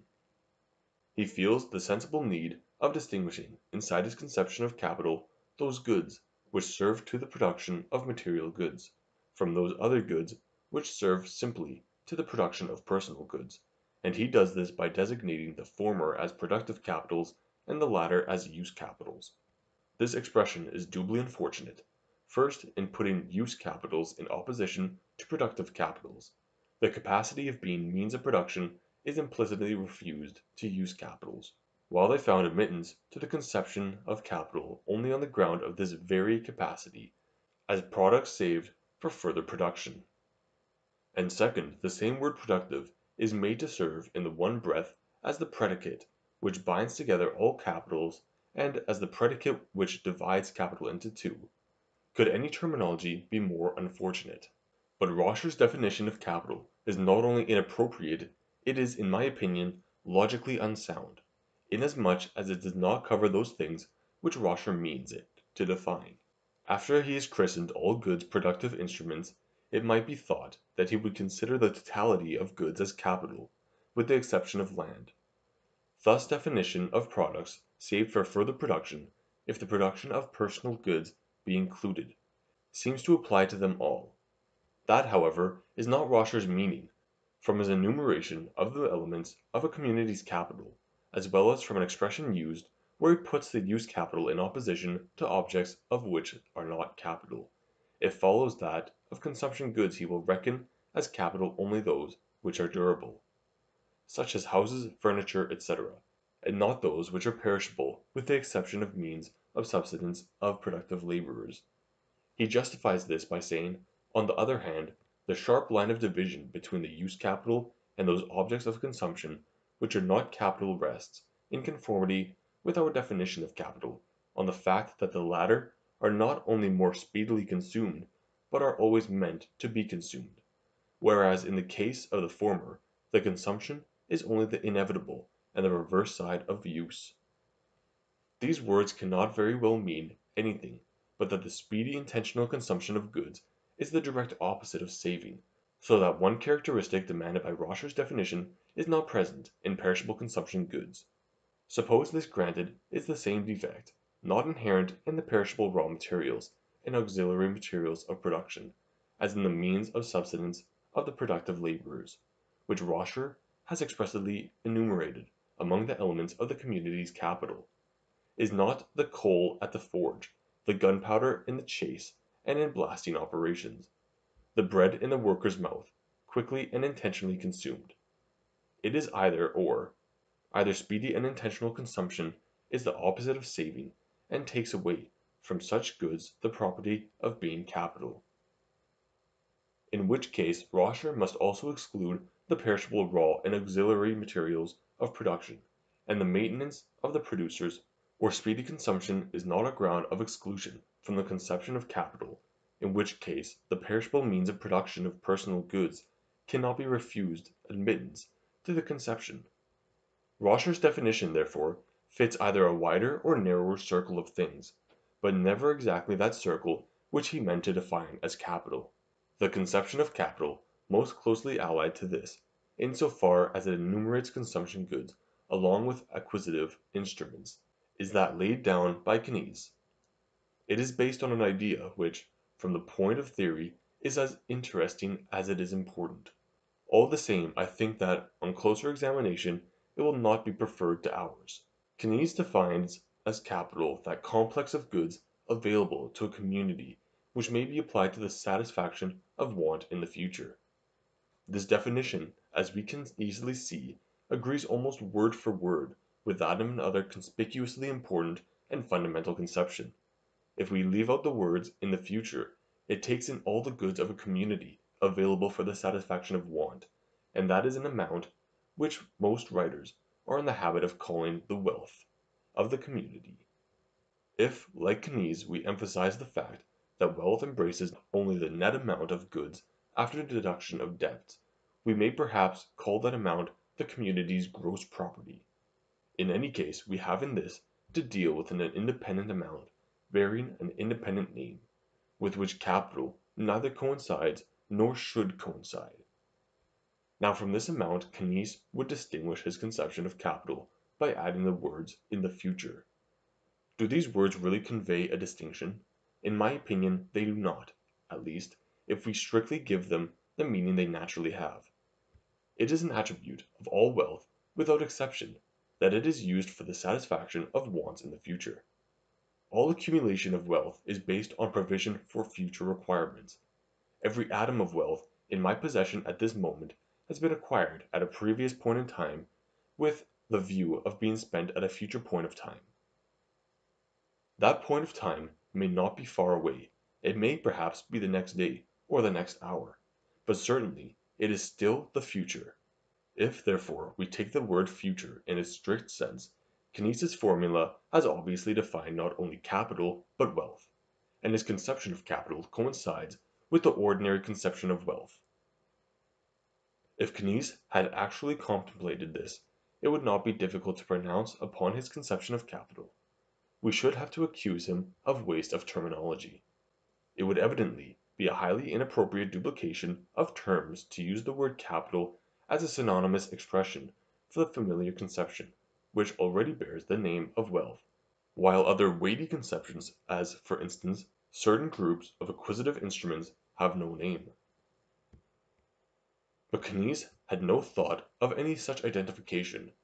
Indeed he repeatedly and emphatically says that his conception embraces only a part of the total possession of goods and he opposes to it, as the second member of his division, those goods that serve for the satisfaction of current present want. This classification obviously assumes that the word present is not to be taken altogether literally, for if by the present were to be understood strictly that point of time which divides the past from the future, the goods which entered into employment in that moment of time would, of course, represent so insignificant an amount that it would not be worth while to speak of them, to say nothing of basing a scientific classification and a new conception on their short lease of life. If the second member of Knies's classification is to be anything at all, the present must be extended from a point of time to a period of time, and this, naturally, can only be done at the expense of the future. By the present we must understand a period of time which goes beyond the narrow limits of the fleeting moment, and takes in some part large or small of the immediate or near future. Now while it would be pedantic to say that such a deviation from strict literal exactness is inadmissible, it seems to me unfortunate if a scientific conception can only hold its own by allowing its most important, indeed its only characteristic feature to be used in a loose sense. All the more so that Knies, in order to guard his conception of capital from merging into that of wealth, should have made the distinction between the present and future into a sharp opposition. It is not too much to say that his conception of capital lives by the opposition between present and future, and this opposition must lose its strength whenever, and so far as, goods devoted to the service of a near future but all the same future, find their place not on the side of capital devoted to the future, but on the other. But to look further, if we add a portion of the future to the present, how far is this addition to go? Is it to be the next hour, or the next day? Is it to be a longer period, say the current month, or the economic year? This seems to me rather an important point to determine, but Knies himself has not said anything about it. If in his place we consider the different possibilities, it is easy to see that the addition of a short period, an hour or a day, does not secure the end contemplated. The amount of goods that a people consumes in a day is one 365th of its income, and is a much smaller fraction of its wealth. Now, very few people would think it appropriate to separate off a thousandth part of the total amount of goods which form the total wealth of a community in order to put the remaining 999 of a thousandth together under one independent conception, particularly when that thousandth part is not divided off from the principal sum by a clear and well marked opposition, but only a conventional and somewhat metaphorical reading of the word present. To put it shortly, a conception of capital which embraces roughly 999 of one thousandth of the conception of wealth comes too close to the conception of wealth to have any scientific significance. But if we add a longer period of time, say a month, we encounter new difficulties. Owing to this altered reading, we shall now deduct from the conception of capital all goods that are destined to be consumed in the ordinary purposes of life during the current month. Good. But it is possible that I may make a profit out of these very goods previous to their consumption and without prejudice to it. For instance, a sum of money which I intend to dispose of finally on the 15th of the current month, I may lodge with a bank as an interest bearing deposit, from the 1st to the 15th, against a deposit receipt, or I may put it into an open account. What then? Does this interest bearing money belong to capital, or does it not? Whatever the answer, we do not avoid serious difficulties. If we answer it in the affirmative, we lay ourselves open to the charge of being illogical. For, by hypothesis, the whole of the current month is a widened present. But if we answer it in the negative, we first put ourselves in a position of flagrant contradiction with firmly established usage. Then we commit ourselves to the strange doctrine that a thing which undoubtedly bears interest is not capital. And finally we give up what form the strongest recommendation of Knies's conception, its purpose of reconciliation. This conception of capital has been put forward by Knies with the express intention of uniting, under it, as a higher and broader unity, all former and competing conceptions. In Turgot's stocks of goods and Adam Smith's complex of acquisitive instruments and Hermann's goods of durable use were to find ample room beside each other. But this mission of reconciliation, and with it raison d'etre of Knies's theory disappears the moment that any one acquisitive instrument is denied recognition as capital, especially interest bearing money, the first parent of the conception. In whatever way, then, it is looked at, we get no clear satisfaction from Knies's conception. But to be just to Knies, I must recognize emphatically that there is a deep and significant idea at the root of it, and that if his conception fails of its end it is only because of external defects, or, if I might say so, defects that belong to the technique of conception. As a fact their destination to the service of the future is a peculiarly important characteristic of the goods we call capital; indeed, a characteristic which gives us the key to the most important problems connected with the subject. Only it is not exactly the distinguishing character, but one that capital shares with several other classes of goods which we have good reasons for not reckoning as capital, and for that reason but only for that reason, it is not fitted to act as the constitutive and distinctive feature on which to base our definition. The conceptions of capital hitherto mentioned are distinguished, as a whole, from our conception in that they include consumption goods as well as acquisitive instruments. We come now to certain conceptions that agree with ours in reserving the name of capital for a complex of acquisitive instruments, but differ from it and from each other as to what this complex includes. The widest of these would simply include the under capital, all acquisitive instruments, not only material but personal. Under different names it counts labor as capital. Many conceive of the work of the laborers as capital, others of his labor power, others, again, of the entire person of the laborer. In itself, of course, there is nothing in the world to prevent the totality of things which serve in acquisition from being grouped together under one uniting conception, and called by one common name. This has already been done substantially in the conception and under the title of acquisitive instruments, or productive goods, or goods of higher rank. But it is an entirely different question whether one is justified in claiming the name of capital for such a conception. I should say with all possible emphasis that one is not. First of all, if the title is given to the totality of all acquisitive instruments it can only be at the cost of refusing it to any narrower group of acquisitive instruments which likewise claims it. Now the former conception is already sufficiently known by the above mentioned name, while the narrower and rival conception is very important, and has no other name but capital. Even were the question, then, in other respects an entirely open one, we should, on the ground of economy of terms, decide against the use of the word capital for the totality of acquisitive instruments; but it is not an open question, it is already prejudiced by universal usage. In political economy and in practical life generally we have long been accustomed to treat of certain great social problems as problems of capital, and in doing so we have had in our minds not a conception which embraced labor, but a conception that opposed capital to labor.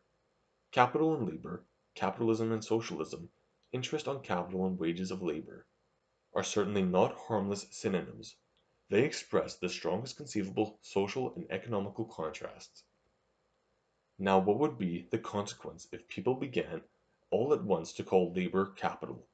In the most favorable circumstances it would be an innovation in terminology with little to recommend it.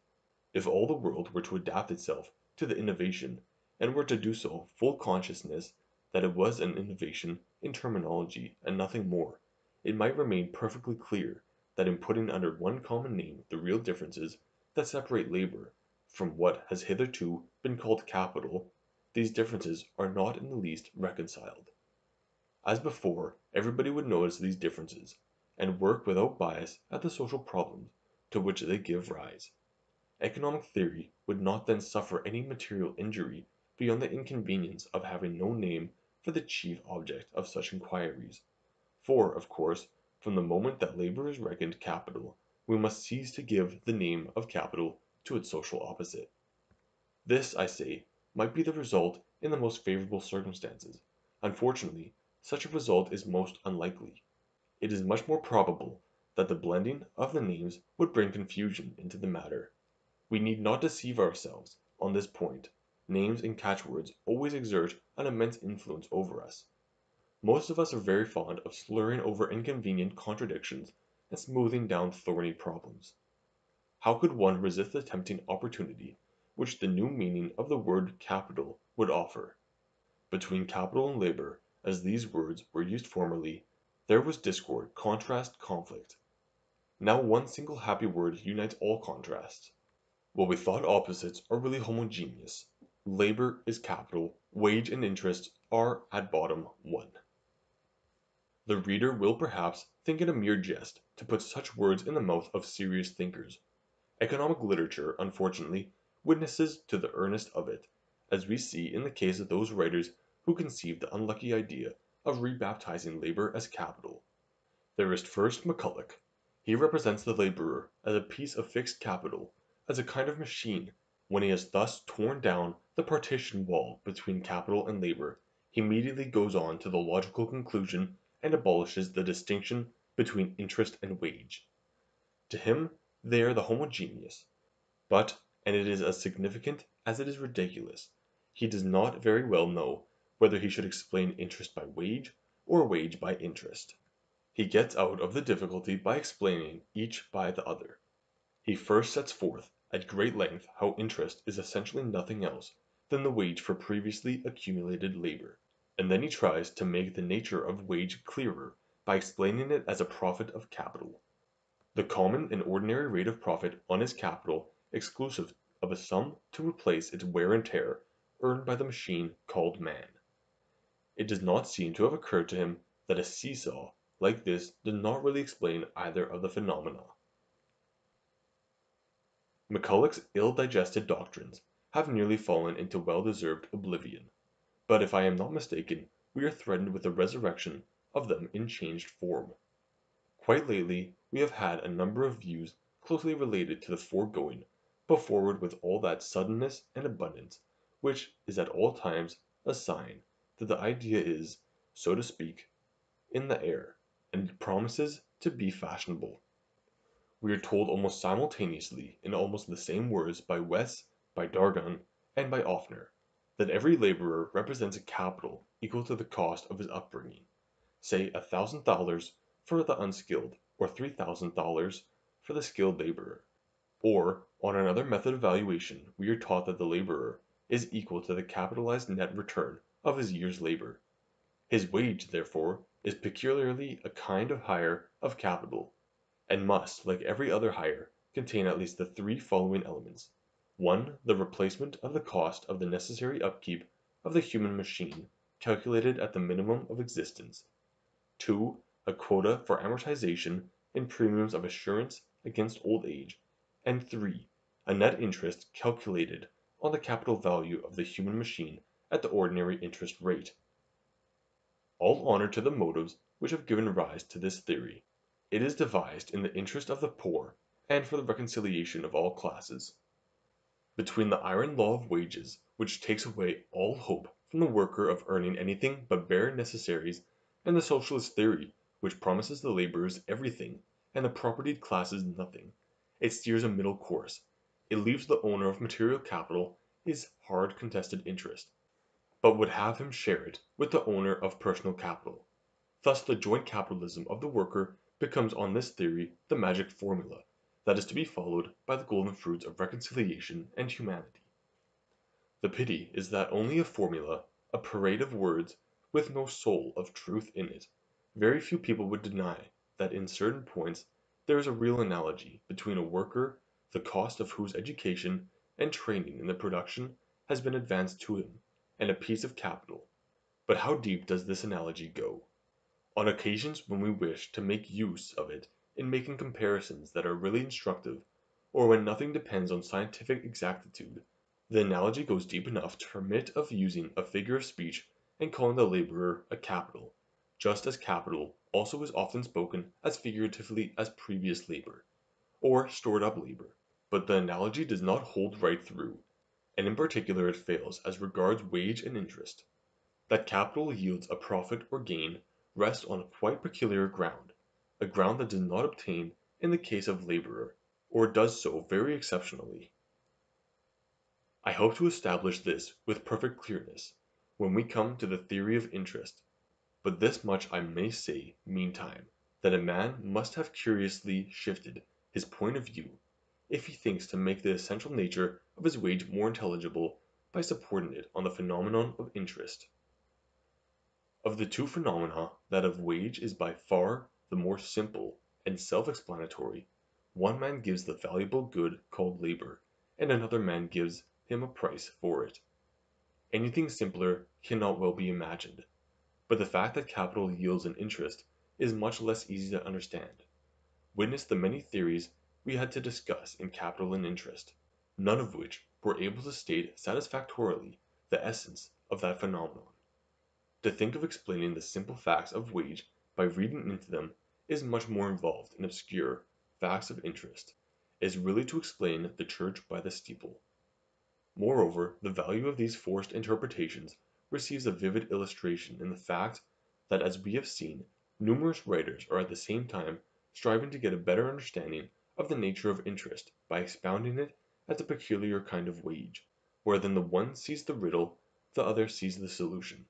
What an amount of vagueness as to the nature of the problems waiting solution is involuntarily betrayed in all this. To sum up, the conclusion of labor in the conception of capital would be, in the most favorable circumstances, inappropriate; in the more unfavorable, which unfortunately has been the real circumstances, it has been pernicious, calculated to perpetuate the confusion of terminology, to open door after door of false analogies, and to obscure and prevent clearness of thought in those very questions which are at once the most difficult and the most important in the social science of to day. We shall therefore decide very emphatically, and I hope unanimously, to exclude personal means of acquisition from the conception of capital. The next stage of the controversy brings us to the question whether we are to give the name of capital only to the products of labor, that serve for acquisition the previous stored up labor, or are to include land. Both views claim for the name of capital a really important and fruitful conception. As contrasted with labor, land has so much in common with the produced acquisitive instruments of material nature, that a union of them under one conception has good justification. So too the income which flows from the two kinds of acquisitive instruments has in many essential respects the same nature, and this likewise favors the uniting of them in one conception. On the other hand, in many essential respects, land and capital take different ways. The former is immovable, the latter for the most part movable. The former is a gift of nature, the latter a result of labor. The former cannot be increased, the latter can be. The landowner has a social and economical position essentially different from that of the capitalist. Property in land is justified on essentially different grounds from property in movables. Land is the special object of a kind of production which is economically distinguished by many important peculiarities. Income from land, while subject to many laws in common with income from capital, obeys many distinct laws of its own. Land rent, for instance, rising with economical development, while interest falls. On all these considerations, the number of which might easily be increased, it is most convenient to keep land quite distinct from the other kinds of productive wealth. Thus the two competing conceptions are fairly well balanced in importance and suggestiveness and if these properties were the only things to look to in deciding our controversy the decision might really be left very much to individual choice. If, however, we go on to compare the two in the light of other rules we have laid down as regulating appropriate terminology, we find several points in which the complex of produced acquisitive instruments has a definite advantage over its competitor. The first is that of economy of terms. If we apply the word capital to all the material means of acquisition, then the narrower of the competing conceptions and the branch of income that corresponds to it remain notwithstanding their importance, without any name at all. When we have disposed of the words capital and rent of capital otherwise, we have no correspondingly simple name, either for the group of produced acquisitive instruments or for the income that comes from them. On the other hand, we avoid any such confusion of terminology by giving the name capital to the produced acquisitive instruments. The totality of all material acquisitive instruments may then, well and simple, be called acquisitive wealth, and all income flowing from it may, on Rodbertus's precedent, be called rent with its convenient subdivisions of land rent and capital rent. The limitation of capital to produced means of acquisition has another advantage in being in accord with popular usage. Both scientific and popular language tell us unmistakably that they do not put land under capital, but oppose the two. The genius of our language plainly distinguishes between land owner and capitalist. No one will say that a nation that has an abundance of fruitful soil is possessed of great capital on that account. The name of interest is never applied by people generally to the income from land and in scientific literature it is so applied only by an insignificant minority. And in the discussion of the great social problems, property in land and property in capital are generally attacked and defended by quite distinct people and by quite distinct methods. If we sum up all that has been said, the conclusion seems to be that while, for reasons repeatedly given, there can be no idea of an absolutely convincing argument there is still a considerable balance in favor of defining capital as the produced means of acquisition, and against the inclusion of land. Finally, such conceptions as would limit capital still more severely may, I think, be easily and decidedly refuted. Kleinwachter would distinguish between the materials and the tools of production, and reckon only the latter as capital, on the ground that in production it is only the tools that actively cooperate and assist us, the materials of production being purely passive. But this assumption is not correct. The function of materials of production is not simply to serve as a dead and plastic mass. By means of the natural powers residing in them these materials take a share in the work of production which is, indeed, less prominent, but is essentially no less active. Kleinwachter's view is by his own confession incorrect from the point of physical science, and as we have here to do with a question of productive technique, where political economy must take its stand on natural science, it is incorrect from the point of economics.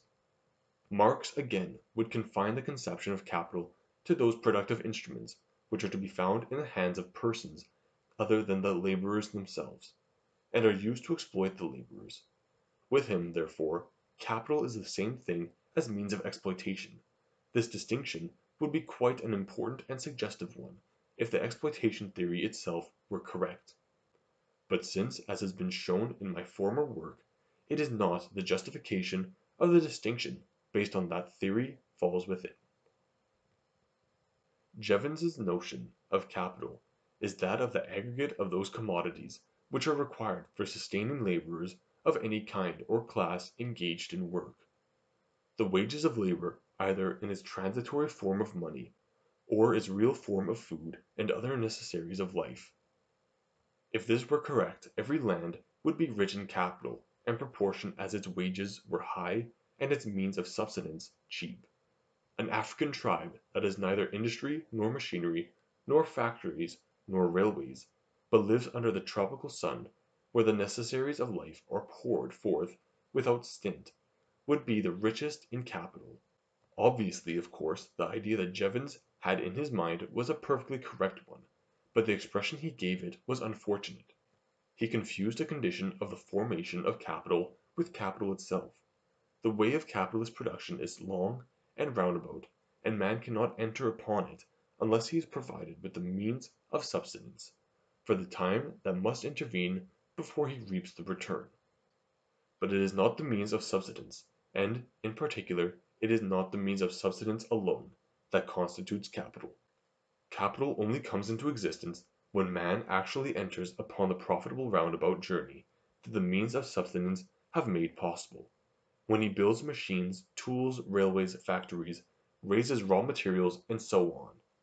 However abundant the means of subsistence were, if the workers were to consume them in living from hand to mouth, the community would evidently never accumulate capital at all. Finally, there remain those conceptions which see in capital not a complex of goods, but an abstract quantity hovering over goods as it were, as, for instance, Kunst's sum of value, or Emily's circulating power. I have, generally speaking, a very poor opinion of the idealizations of economic conceptions. They are usually cheap expedients for getting round difficulties. If in any difficult subject there occurs some troublesome angular kind of conception that corresponds with real life, and will not fit to the particular line of explanation, there are always certain theorists ready to disembody it whereby of course it loses its unmannerly angles and edges, but at the same time its strength and truth. It becomes a phrase, and leads to phrases. We have an instance of this here, if we were to take the sponsors of those definitions at their word, and ask them whether they would seriously say that an immaterial sum of value or circulating power can grind corn, or spin yarn, or plough up land, or carry a load, or whether it is not the case that these goods are done by the common material goods, called mills, looms, ploughs, locomotives, they would be very much perplexed. For asking at their own consciousness, they could scarcely deny that under the name of capital they have always and peculiarly thought of that something which helps man to work in his production, and the rude materiality of this sometimes agrees but ill with the high sounding abstract definitions of sum of value or circulating power. It is very significant as regards this group of definitions of capital that their origin may be traced to a slipshod expression of a writer who was always too careless about the way in which he stated his conceptions. J. B. Say. Say first, and quite correctly, gives the name of capital to certain results of labor that serves as tools to further production, such as seed, dyestuff, wool, tools, machines, buildings, cattle, etc and calls their total value capital value. Later on he makes the remark that a capital value may take very different forms, such as money, houses, utensils, commodities, etc., and gives him occasion to call this value a capital, so soon as it is contained in objects, whatever they be, which are destined to productive activity. Evidently a careless and contradictory expression, which, however, his economic disciples made the basis of a serious theory. Thus of all many readings of the conception of capital there is only one left on the field, only one, of which it can be said that it stood all the tests. It is that which by capital understands an aggregate of products destined, not for immediate consumption or use, but to serve as means of acquisition. It is a conception which meets all our logical and terminological requirements. Logically it is unassailable and it is suggestive, so suggestive that it distances the most of its competitors and is distanced by none of them. And terminologically, its investiture with the title of capital best economizes our terms and agrees with that usage which has taken most general and firm root in economics and in popular speech. Finally, it is the conception which most exactly coincides with the object of those great social problems of our time, which people are in the habit of discussing as problems of capital. In its one division as social capital it indicates the third instrument of economical production in the triad of nature, labor, and capital; and in its other division as private capital it indicates the third source of the economical acquisition of goods by individuals in the triad rent of land, wage of labor, interest on capital. If then unbiased people were to ever agree on a conception of capital we may expect that this will be the one chosen. Chapter 6 Social and Private Capital A few remarks still remain to be made on the relation in which the two divisions of our conception, social or productive capital, and private or acquisitive capital, stand to one another. When enumerating and reviewing the various theories, I have already expressed my views, generally, on this point, and may here shortly sum them up.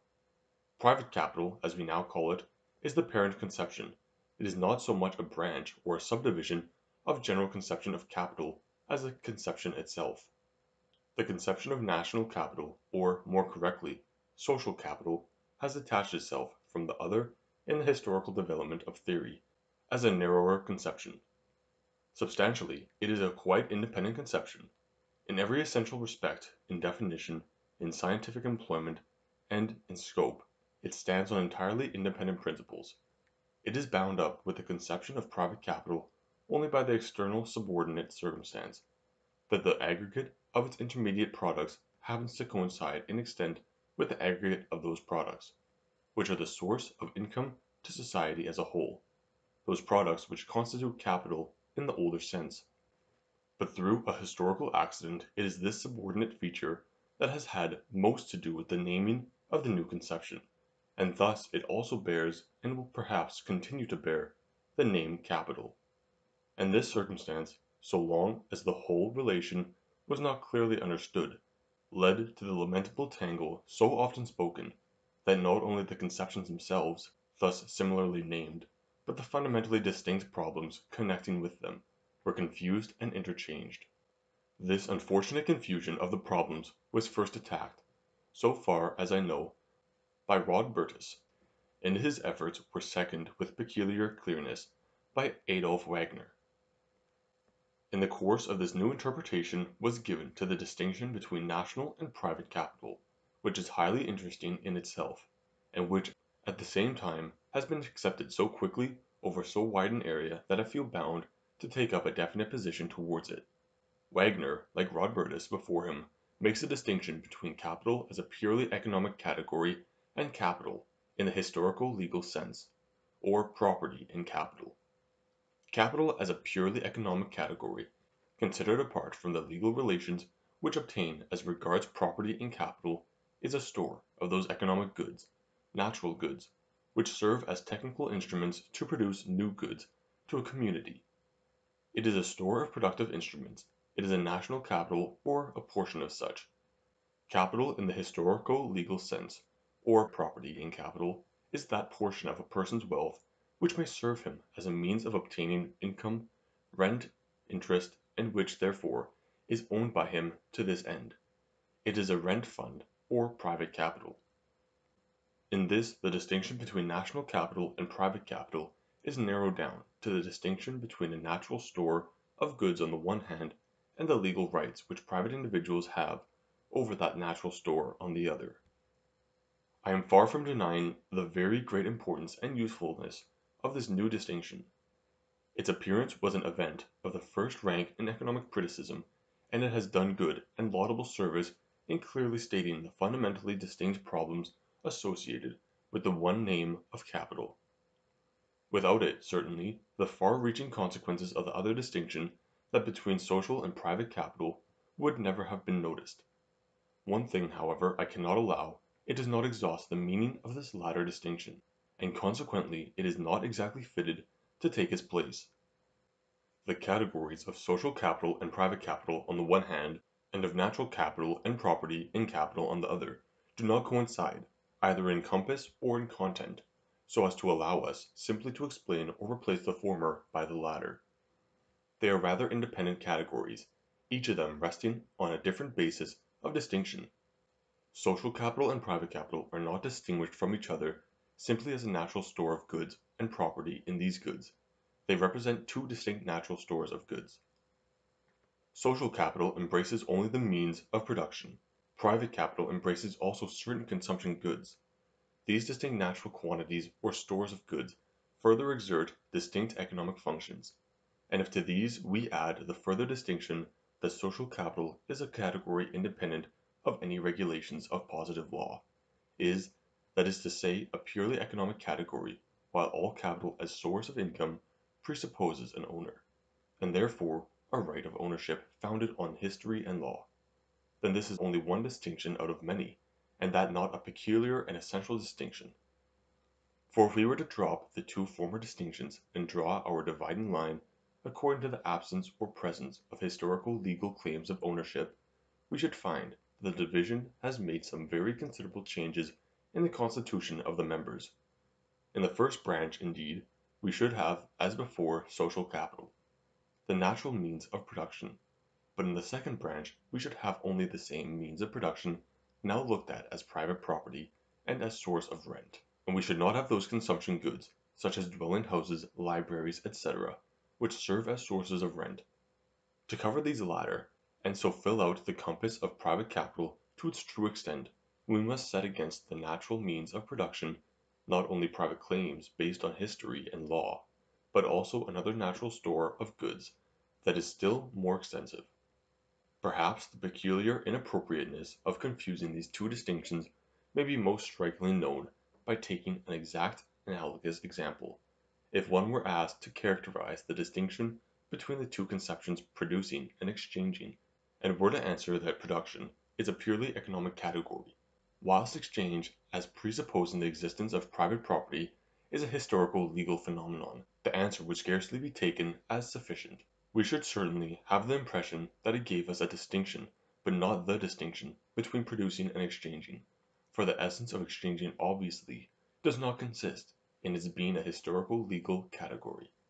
It is also a very important economic category, indeed it is just such another as producing, and one who would explain both conceptions must, at once and before anything else, establish the distinction between the economic nature of the two, and similarly in this opposition be purely economic and historical legal categories.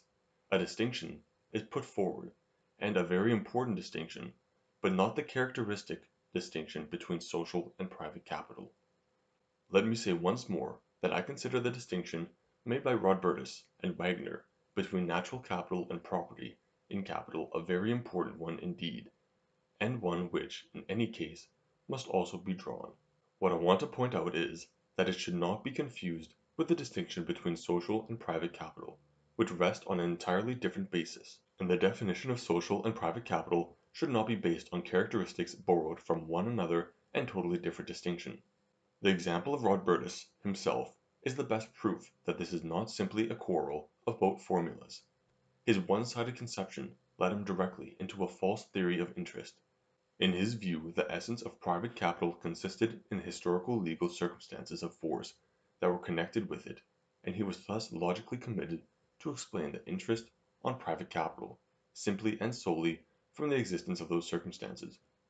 Interest to him was robbery, a profit which the owners of capital squeezed out of the laborers in virtue of the brute strength which their exclusive property in the means of production gave them. If, on the other hand, Rodbertus had attended the peculiarly economic side of the matter, he would have found that the other natural complex of goods, called private capital, has exerted and continues to exert a peculiar economic function, quite equally with social capital. And further, he would have found that it is simply as the natural fruit of this economical element that interest originates. Thus he would have found that interest is not purely a growth of history and law, but an original economic growth the emergence of which is to a certain extent independent of the form which history and law have given it. This will be shown with sufficient clearness, I trust, in the investigations into the origin of interest which follow. Before concluding this chapter there is still one question to be put. What in the concrete are the groups of goods that constitute social capital and what private capital? The answer to this should, by rights, follow from the very definition of the two conceptions, but peculiar circumstances have led to disputes, not only as to the correct definition, but even as to the compass which was allowed to each conception in conformity with the accepted definition. It is well, therefore, to be quite clear on this point. Social capital as an aggregate of products destined to serve for further production covers 1. Productive improvements, arrangements, and dispositions of land, so far as these preserve an independent character such as dams, drains, fences, etc. So far, however, as they are completely incorporated with the land, they are to be kept separate from capital for the same reasons which made us keep land itself separate from capital. 2. Productive buildings of all sorts, workshops, factories, sheds, steadings, shops, streets, railways, and so on. Dwelling houses, however, and other kinds of buildings, such as serve immediately for any purpose of enjoyment or education or culture, like theatres, schools, churches, law courts, do not come under capital. 3. Tools, machines, and other kinds of productive utensils. 4. Useful animals and beasts of burden employed in production. 5. The raw and auxiliary materials of production. 6. Finished consumption goods in the hands of producers and merchants as warehouse stock. And 7. Money. At the first glance at the two categories may be called in question. Consumption goods found in warehouses are, to all appearance, no longer intermediate products, but finished goods, and money is not a tool of production, but a tool of exchange. Still I think it correct to put both conceptions under capital; they serve both to complete a roundabout way of production. When, in order to take advantage of more favorable conditions, goods are produced, or caused to be produced, at a different place from where they are demanded, it is nothing else than a peculiar kind of roundabout process. The consequence, then, is, and it is here, that the roundaboutness, which is to be understood literally in this case, comes in that, after the product is technically finished, it must be conveyed to the place where it is demanded. All this is done very often inside the narrow limits of an isolated economy. The peasant must bring his harvested grain from the field, his felled wood from the forest, but it is done on an immensely greater scale in the wider field of social production and divided labor. Just as the peasant may raise his crop a quarter of an hour distance from his house, or cut his wood an hour's distance off, because in this way he can best utilize the conditions of production, so for good reasons it is quite common in organized and divided industry to obtain the objects of our demand from other people's workshops, indeed often from other places, other lands, other continents, and then naturally, in the end we have to provide their means of conveyance. In the one case as in the other the conveyance forms the last act of production, and before this last act is finished we cannot properly say that the products are ready for human consumption. So just as everybody would include among instruments of production and capital the horse and cart which assist the peasant in carrying his grain and wood, must we reckon as capital the objects and apparatus of that more extensive leading in of the national harvest, the conveyed products the streets, rails, ships, and the commercial tool money. It may be noted, besides, that those commercial roundabout ways arising out of the division and organization of labor rank as regard the advantage they confer, along with the other technical roundabout ways. They are as profitable as, or even more profitable than, any of the capitalist methods of production to which the most famous technical inventions have led. These seven categories exhaust, in my opinion, the group of things, which constitute social capital. It goes without saying that economists who take another view of the conception of capital add other categories, such as land, durable consumption goods, the person of the laborer, and so on, and this needs no further elucidation here. It is surprising, however, to find writers who take exactly the same view of the conception as we do, proposing to add certain other categories. Most surprising of all in this connection is the unanimity which the economists from the earlier English writers down to Adolf Wagner put the maintenance of the productive laborers under social capital. Certainly the real wages of the laborers the articles of food, clothing, fuel, lighting, etc., which the laborers use are from the standpoint of the undertaker who advances them his private capital. But it is just as clear in my opinion that, from the standpoint of the whole community, these objects cannot be counted as capital if capital is defined as a complex of means of production. The conception of means of production should and does form an antithesis to the conception means of consumption. There cannot be the slightest doubt as to the meaning of this antithesis, and just as little can there be as to the fact that the worker's subsistence in the immediate instrument to the satisfaction of their wants, and that laborers are men and members of society. But if this is so, it seems to me absolutely proved that the maintenance of the laborer must be classed along with wealth destined for consumption and for the immediate satisfaction of the wants of society, and not with the means of production or capital. It could only be otherwise if the laborers were to be looked upon, not as members of the civil society in whose interest industry and commerce are carried on, but as material machines of labor. Then, but only then, the maintenance of the laborers would, as a matter of course, fall under the same category as the feeding of beasts of burden and the stoking of furnaces. It would be a means of production, or capital. The idea, however, scarcely needs refutation. It may be pointed out, however, that productive laborers are not simply consuming subjects, but are also active economical instruments, and that consequently the subsistence which does not directly serve for the maintenance and furtherance of their life indirectly serves towards the further production of goods. But in this case a simple indirect relation to production is not sufficient, for it is easy to see that the distinction between means of production and means of consumption has a meaning only if it refers to the immediate destination of goods. If we were to take notice of their indirect or mediate destination, we should require to put all goods without exception under the category of means of consumption since even the means of production serve indirectly to the satisfaction of human wants. Then this raises another difficulty. The division of goods into goods for consumption and goods for production is intended to be a real division. It should be based on an opposition. Now it is impossible to deny the food which the laborer consumes serves for the immediate satisfaction of the wants of a member of the community. That is, it corresponds entirely to the definition of a consumption good. How then could we class a thing which has all the properties of one category under the category opposed to it? Thus, as is so often the case, the labored explanation leads us into a net of confusion, and the simplest is the truest. The goods with which the working members of the community feed, heat, and clothe themselves are goods for immediate consumption, not means of production.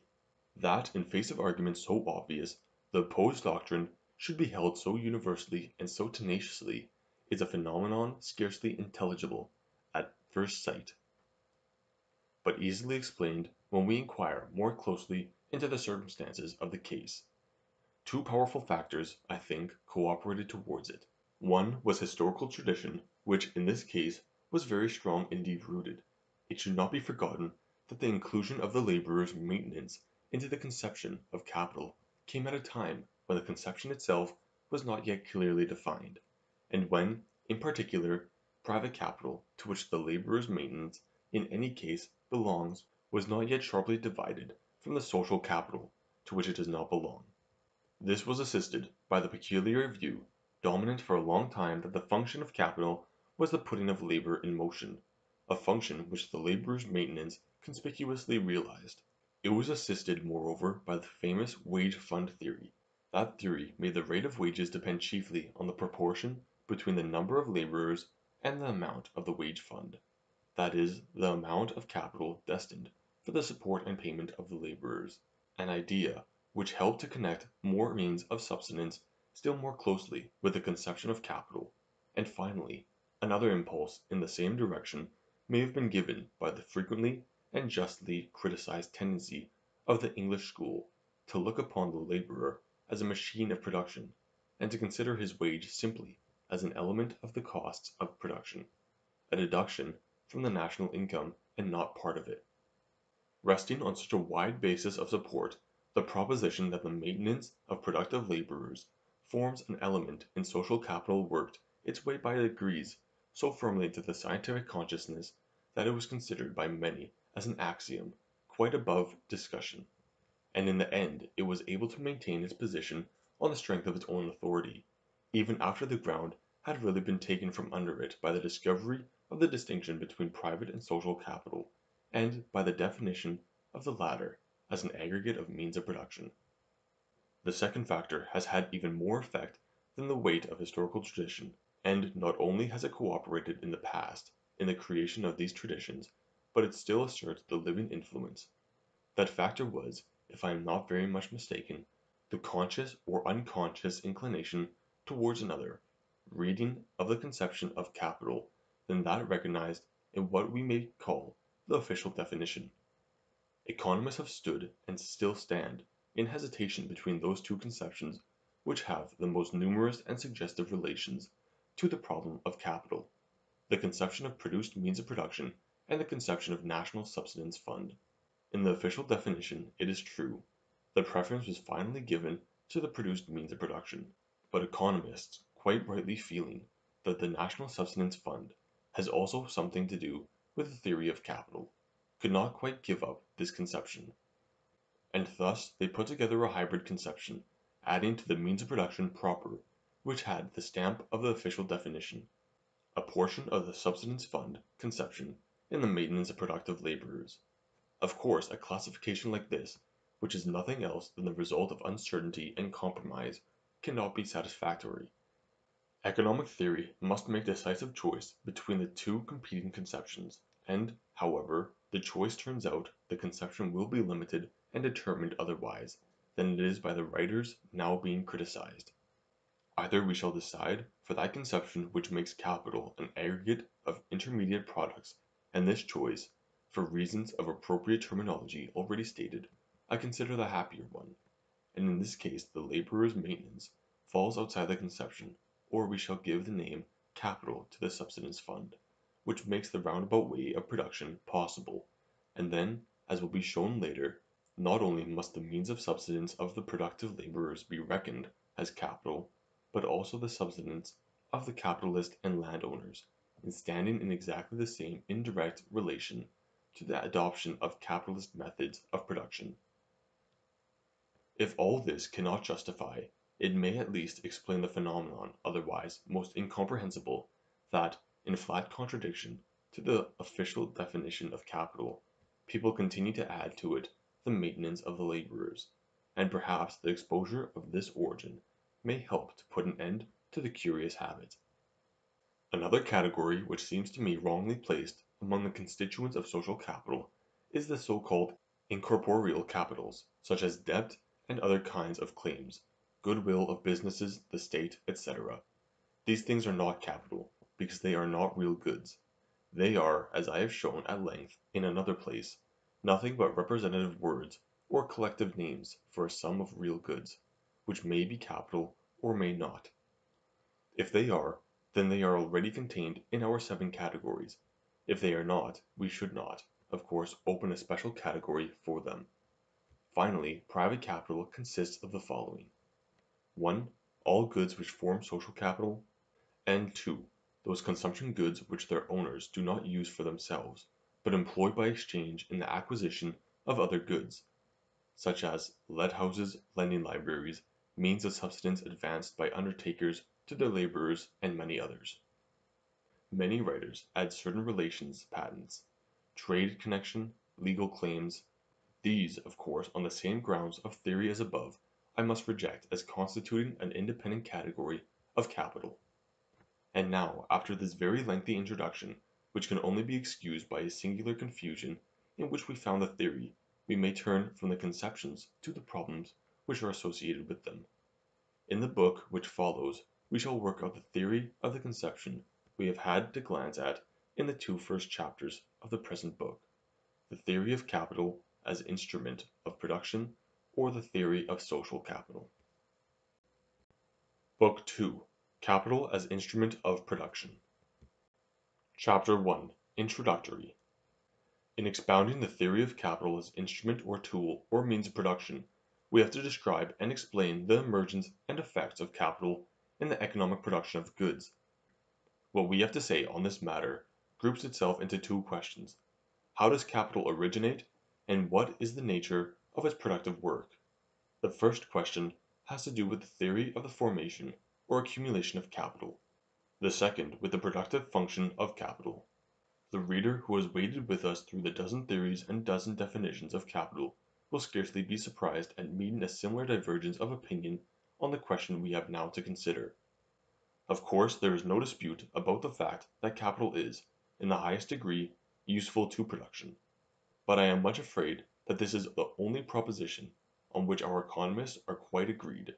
So soon as the further question is asked, in what does this usefulness consist, or what character does the cooperation of capital in itself bear, agreement is at an end.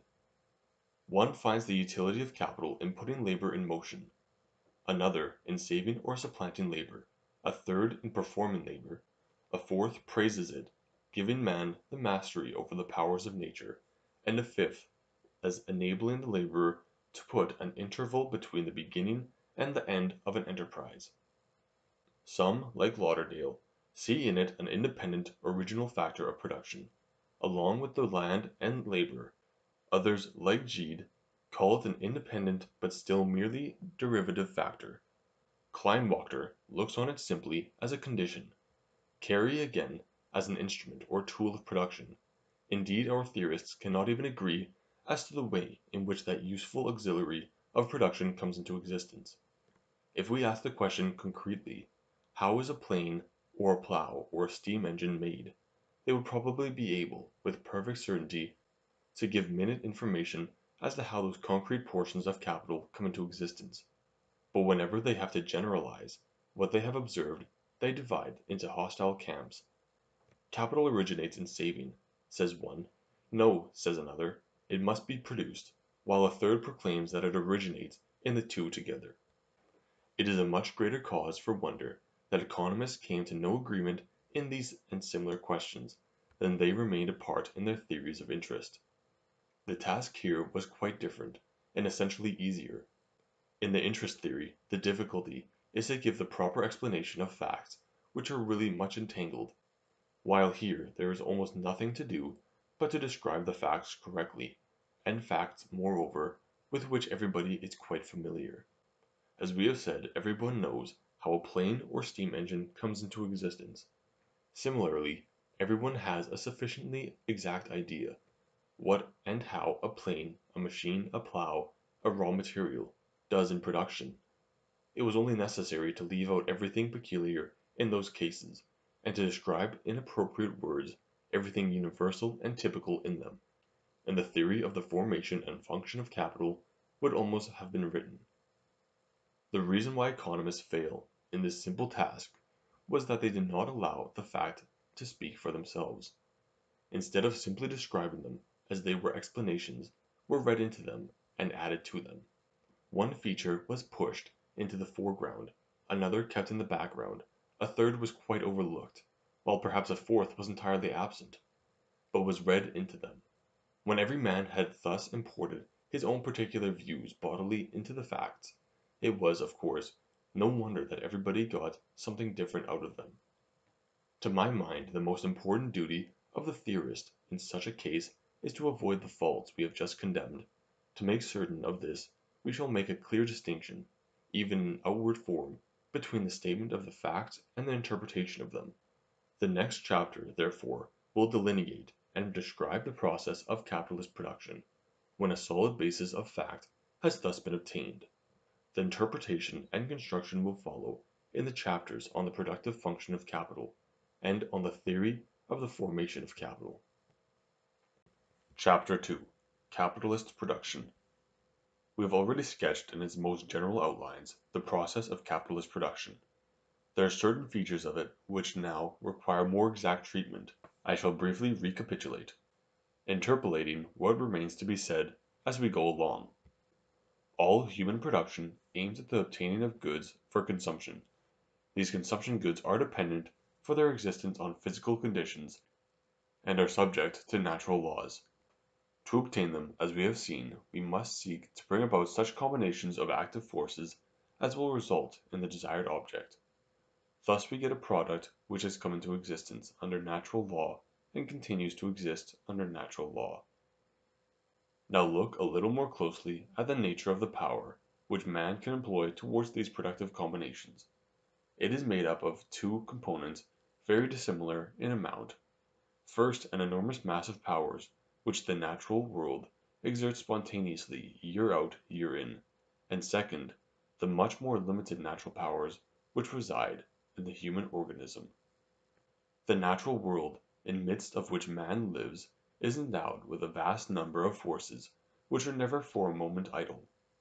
Gravitation holds this ball of earth together, keeps all things fast to its surface, makes the rain fall to earth, and rolls streams and rivers to the sea, governs the ebb and flood of the tides, works unceasingly at every point of the earth's crust as stress, weight, pressure. The sun sends our earth light and heat and thereby develops an infinity of mechanical and chemical processes of which vegetation particularly attracts our attention, both by its mysterious magic and by its enormous importance for the human race. Uncounted and countless again, there are molecular, electric, and chemical effects and counter effects which every atom of matter exerts without intermission on its neighbors. The total of those energies which nature pours forth in ceaseless stream without help from man we may look upon as one branch of the productive endowment of humanity, and this extremely valuable branch we shall call man's natural endowment. It is in an infinite treasure house from which the producing man may draw as much as he will and can; as yet it is only the very smallest part of this treasure that has been touched; as yet by the far greater portion of the energies of nature pass away in combinations which, from the human teleological standpoint, seem useless or even harmful. The resistless rise and fall of the tide, the rush of rivers and waterfalls, the atmospheric movements, the giant forces of electricity, magnetism, and gravitation slumbering on our earth, are powers turned to human account only to a very small extent. Others again, such as the vegetative powers of land, have been utilized to a greater, but still very far from complete extent. The steady advancement in agricultural science not only leads us to expect a constantly increasing amount of utility from the land, but makes us suspect that the possibility of such advance is still far from being exhausted. Now, as we have seen, the way in which we get command of these natural treasures is through the other branch of our productive endowment, our own personal powers. We put forth our labor in all kinds of wise combinations with natural processes. Thus all that we get in production is the result of two, and only two, elementary productive powers, nature and labor. This is one of the most certain ideas in the theory of production. Man finds ready to hand an abundance of natural processes and allies his own powers with them. What nature by herself does and what man does along with her, these form the double source from which all our goods come, and the only source from which they can come. There is no place for any third primary source. These two elements, then, technically do everything in the work of production, but economically a further and very suggestive limitation must be drawn. Of the vast natural endowment which serves as foundation for man's productive combinations, one portion particularly claims the interest of economics, and that is those useful things offered by nature only in limited amount. In nature, indeed, there is no lack either of materials or powers; carbon and nitrogen, oxygen and hydrogen, generally speaking, most of the elements are, per se, not more scarce than our electrical, magnetic, chemical, and gravitation forces; but certain spontaneous combinations of these elements that are peculiarly well adapted to human want may be relatively scarce, such for example as useful plants and minerals water for driving power, fertile land, etc. These limited gifts and energies of the natural world obtain for us a peculiar economic importance. It would be foolish not to economize them. Technical elements of production which we may have in any quantity, like atmospheric air or water or sunlight, we may employ or waste as we please without suffering loss in our productive returns. But the limited technical elements must be treated with consideration, must be saved, must be fully utilized. In a word, within the technical natural endowment, as a wider circle, they form a specifically economic natural endowment of man. Since all, or at least almost all, limited sifts and energies of nature are connected with land, we may without much danger take land with its activities or uses as the representative of this economic natural endowment. To the uses of land, the exertions of labor form the counterpart. Labor has almost entirely an economical character. This is due partly to the fact that physical strength is given us in such scanty measure as compared with the very extensive claims put forward by human needs, that even the most assiduous exertions of labor power cannot fully satisfy our desire for goods, not to speak of supplying them in superfluity, partly to the fact that the exercise of our powers is usually attended by the painful feeling of distress and fatigue, at least when carried beyond a certain point, and the feeling warns us to economize our labor. Nature and labor are, then, the technical elements of production. Uses of land and labor are the economic elements. These latter are the talents which the producing man puts out at usury with nature, with her great fruitful soil and infinite store of force. They are the only powers that require economic treatment, inasmuch as the cooperation of the free natural powers, which technically is also indispensable, is given without question and without cost. It is only the man who has command over the requisite uses of land and services of labor, who receives the desired economic product. The man who has not these must do without the product. The man who owns a double allowance or half allowance of them will, if the technique of production remains the same, receive double or half the product. In production, therefore, they are the only powers with which the economic community has any concern, and with which it has to reckon. In short, land and labor, or more accurately, uses of land, and services of labor, are the primary economic productive powers. Now in what way does man use these original productive powers? In answering this question we turn back for a little into familiar paths. To construct goods for human consumption out of these productive elements man may take one of two ways.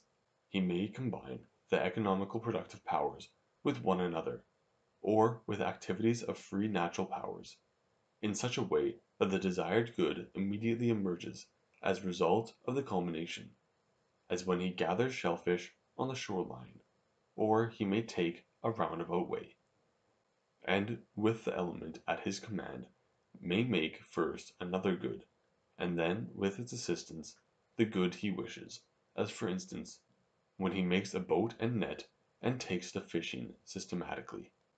We already know that the former method is identical with what the Germans call capitalist production, the latter with capitalist production and that the intermediate products which come into existence in the course of the indirect methods represent economic social capital. The adoption of capitalist methods of production is followed by two consequences, equally characteristic and significant. One is an advantage, the other a disadvantage. The advantage we have already looked at; it consists in the greater technical productiveness of those methods. With an equal expenditure of primary productive powers that is to say labor and valuable natural powers, more or better goods can be produced by a wisely chosen capitalist process than could be by directed unassisted production. This proposition, which is quite convincingly accredited by daily experience, we illustrated and tried to explain in the second chapter of Book I by a number of examples. We found the explanation to be that, when roundabout methods are skilfully chosen, new allies are obtained from the immense stores of natural powers, and their activity is enlisted in the work of production. It is this well known fact that is usually indicated by the term productivity of capital. This name, however, imports into the fact a particular interpretation, the correctness of which has yet to be examined in the next chapter. The disadvantage connected with the capitalist method of production is its sacrifice of time. The roundabout ways of capital are fruitful but long. They procure us more or better consumption goods, but only at a later period of time. This proposition, no less than the former, is one of the ground pillars of the theory of capital. We shall see later on that the very function of capital as a means of appropriation or source of interest to a great extent rests upon it. I must, therefore, guard it against any misunderstanding by the two following remarks. In the first place, it may very well happen, in an exceptional case, that an indirect method of production is not only better, but speedier. A man wishing to gather apples from a high tree will evidently attain his purpose sooner, first by cutting a stick down from another tree and using it to knock down the apples, than by climbing the tree and trying to break off the apples one by one with his hands. But this is not the rule. In the overwhelming majority of cases we must tread the roundabout ways of capitalist production under technical conditions of such a nature that we have to wait, and often for a very long time, before we get the ripe final product. Instead of giving examples which must occur of themselves to every reader, I would rather draw attention to the fact that in the loss of time which is, as a rule, bound up with the capitalist process, lies the sole ground of that much talked of and much deplored dependence of laborer on capitalist. If capitalist production led as quickly from the hand to the mouth as unskilled direct production does, there would be nothing to hinder the workers carrying on such roundabout methods from beginning to end on their own account. They would still be dependent on the landowners, who could prevent them from access to the land which at the outset they require, but they would not be dependent on the capitalists. It is only because the laborers cannot wait till the roundabout process, which begins with the obtaining of raw materials and making of tools, delivers up its products ready for consumption, that they become economically dependent on the capitalists who already hold in their possession what we have called intermediate products.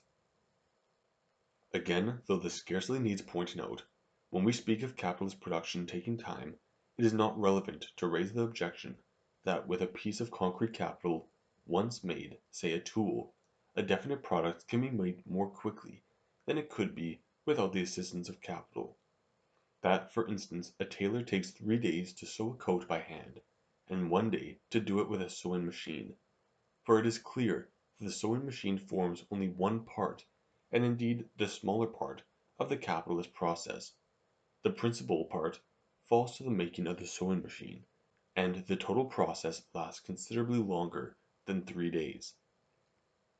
Thus far we have considered capitalist production as an undivided whole, and have contrasted it carried on entirely without capital. But here we are reminded of a fact that has to be reckoned with, which is that in capitalist production there are stages and degrees; to speak accurately there are innumerable degrees of capitalism. In the making of a consumption good the possible roundabout methods are of very varying length. We may make intermediate products, from which the final good will be obtained in a month, or a year, or ten years, or a hundred years. The question now is what influence such differences of degree have on product. On the whole it may be said that not only are the first steps more productive, but that every lengthening of the roundabout process is accompanied by a further increase in the technical result. As the process, however, is lengthened, the amount of product as a rule increases in a smaller proportion. This proposition, also, is based on experience, and only on experience. What it says must be simply taken as a fact of technique of production. The reader, moreover, will easily be able to check its accuracy if he follows in thought the steps which lead to the production of any consumption good. For instance, firewood can be got quite directly so long as we limit ourselves to the gathering of dry branches or breaking off weak twigs. We take a short roundabout path in making and using a stone axe. A longer process involves digging ore out of the ground, getting the fuel and necessary tools and smelting iron out of the ore, working up the iron into steel, and finally turning out a finished steel axe. Beginning farther back, we may construct cunning machinery for mining and raising the ore, elaborate blast furnaces for smelting it, special machines for making and sharpening the axe. Going farther back still, we may put up engineering shops and machinery for constructing each kind of appliance, and so on. It will scarcely be doubted that every additional step increases the productiveness of the total process, that is, results in the obtaining of the unit, say the cubic foot of wood, at a smaller total expenditure of labor, mediate and immediate, but just as little will it be doubted that the first two productive methods, the use of the stone axe and then of the steel axe, must have caused a much greater revolution in the productiveness of wood cutting than the later improvements, although absolutely these may be by no means inconsiderable. If necessary, this may easily be proved to demonstration by a little calculation. Assume for example that a laborer, working with his hands can cut in one day two cubic feet of wood, and working with a stone axe which has taken three days to make can cut ten cubic feet. The three days capitalist process is rewarded by a surplus return of eight cubic feet per labor day. Now possibly the doubling of the process, say that the more careful fashioning of the stone axe takes six days, may also double the surplus return, and give sixteen cubic feet. But it is scarcely likely that troubling the roundabout process can trouble the surplus return, and it is quite certain that extending the roundabout process a thousandfold, say by sinking of pits, from which the ores for the axe may be got after years have collapsed, will not be able to increase the surplus return a thousandfold. Otherwise we should have the all but inconceivable possibility that a worker in one day could cut 8,000 feet of wood. From some one point, probably a point not far off, the surplus, though still increasing, will increase in a less ratio than the production period. Of course in such cases no definite figure can be named either for the point from which the productiveness of further extensions of the process begins to decrease, or, speaking generally, for the amount of surplus result connected with any definite length of process. These data vary according to the technical circumstances of each branch of production and at each stage of productive skill. Every new invention alters them. The discovery of gunpowder, for example, opened up at a flash the possibility which did not exist the moment before, of increasing the productiveness of the chase by perhaps one half, and the productiveness of stone quarrying by perhaps a hundredfold. We may, however, with sufficient confidence repeat the proposition already formulated, that every extension of the production process, so far as it is wisely chosen of course, leads, generally speaking, to some surplus result. It may be confidently maintained that there is not one branch of production the returns of which may not be considerably increased in this way, as against the method of production prevailing at the time, and that without any new invention, but simply by the intercalation of intermediate members long familiar to capitalist production, whether it be by adoption of a steam motor, or an apt transmitter, or some ingenious gearing, blast, lever, regulator, or the like. How far behind, indeed, in capitalist equipment are the most of our agricultural and industrial businesses compared with the most advanced typical businesses, and certainly these latter are no less far behind an ideally perfect equipment. The fact that the prolongation of production processes leads to surplus results, and the fact that these surplus results usually decrease from a certain point onwards, have long been noticed and acknowledged in our science, mostly I must say in another form and one borrowed from the jargon of the productive theory. It has been many years since Thunen put them in the most impartial manner, and showed that, in the case of progressive increase of capital, the capital that comes last does lead to an increase in the product of labor, but in a constantly decreasing proportion. On this foundation of fact, he himself framed the well known doctrine that the rate of interest adjusts itself to the productiveness of the last dose of capital applied in the least productive employment, and in the wake of this doctrine the facts were recognized and received in the widest circles.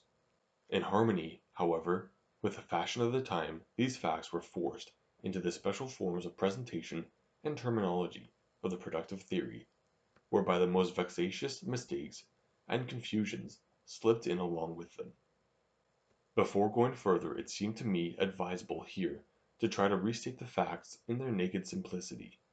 It scarcely, perhaps, requires to be proven that the capitalist production of consumption goods, although carried out in roundabout ways and by many stages, does not on that account cease to exhibit an intimately connected and united work of production. The labor which produces the intermediate products, the mediate labor, as we shall call it with Rodbertus, and the labor which, out of and with the intermediate products, produces the desired good. The mediate labor both form a part of the production of the consumption good. The production of timber is more than the labor of felling wood in the forest. It embraces the labor of the smith who makes the axe, of the carpenter who cuts the haft, of the miner who raises the ore, of the iron workers and the steel workers who prepare it, and so on. True, our modern division of employment to outward appearance breaks up the unity of the process into a number of independent parts, but it is the theorist's business to understand economic processes in their living connection, and he dare not, of course, let himself be deceived by appearances, but must reproduce in his own mind the real unity of the work of production thus obscured. The masterly manner in which Rodbertus has done this is one of his best services to economics. But this very consideration essentially economic as it is, raises a doubt we must fairly meet. According to what has been said, the production period of a consumption good is, strictly speaking, to be reckoned from the moment on which the first hand was laid to the making of its first intermediate product, right down to the completion of the good itself. In our times, when unassisted production has almost entirely disappeared, and one generation builds on the intermediate products laid down by the earlier generations, the production period of almost any consumption good could, in any strict calculation, trace its beginning back to earlier centuries. The boy who cuts a stick with his knife is strictly speaking only continuing the work of the miner who, centuries ago, thrust the first spade into the ground to sink the shaft from which the ore was brought to make the blade. Of course the finished product of today owes a quite infinitesimal fraction, not worth calculation, even if that were possible, to the firstlings of labor in these far off centuries, and it would therefore give a very false view of the degree of capitalism expended in the cutting of the stick, if we were to estimate it by the absolute period of time intervening between the atom of labor first put forth and the completion of the work. It is more important and more correct to look at the period of time which elapses on the average between the expenditure of the original productive powers, labor, and uses of land, as successively employed in any work, and the turning out of the finished consumption goods. Production is more or less capitalistic according to the average remoteness of the period at which the original productive powers exerted during the process are paid. Say, for example, that the production of a commodity costs in all hundred days of labor for the sake of simplification we shall leave out the cooperating uses of land, and that of these hundred, one day was expended ten years before the completion of the work, another nine years, others respectively eight, seven, six, five, four, three, two, and one year, while remaining ninety days were expended immediately before the completion. Then the first day of labor is paid ten years later, the second nine years later, the third eight years later and so on while the last 90 days are paid immediately. The calculation is as follows. To say that on average the 100 days of labor are paid in about half a year, say that the production of another good were also to demand in all a 100 days of labor, likewise spent in the course of a 10 years period, but spread over it in such a way that 20 days' work was expended 10 years before other 20 days' work 9 years before five days' work in each year from the eighth to the first, successively, while that last twenty days were spent immediately before the completion of the work, the average would come out quite differently and much higher. Or more than five and a half years. It is highly probable, moreover, that in both cases some fraction of a day's work will have been spent centuries before, but such a small element will scarcely influence the average, and may in most cases be simply neglected. Where I have spoken above of extension or prolongation of the roundabout process of production and of degrees of capitalism, I must be understood in the sense just explained. The length or the shortness of the process, its extension or curtailment, is not to be measured by the absolute duration of the period that lies between the expenditure of the first atom of labor and the last; otherwise the cracking of nuts with a hammer, which might chance to be made of iron brought from a mine opened by the Romans, would perhaps be the most capitalistic kind of production; nor is it to be measured by the number of independent intermediate members which the production process embraces; otherwise, when by means of the three intermediate products, twig lime and bird lime, a boy catches birds on the same day as he commences making these three forms of capital, his bird catching would be more capitalistic than the far back labor of the miner who devotes years to the sinking of a shaft; but it is to be measured by the average period which lies between the successive expenditure in labor and uses of land and the obtaining of the final good. It is only in methods of production where the expenditure in the original powers is distributed equally over the whole production period that the absolute length of the process affords at the same time the proper measure for the degree of capitalism. Let us now apply what has been said of single acts of production to the circumstances of an entire community. Every year a community comes anew into possession and gets the disposal of a certain quantum of original productive powers, the powers represented by its labor and land. The farther away its production is from capitalist production there is no production, of course, absolutely without capital the greater will be the proportion of the year's productive powers that is changed into consumption goods during the same year.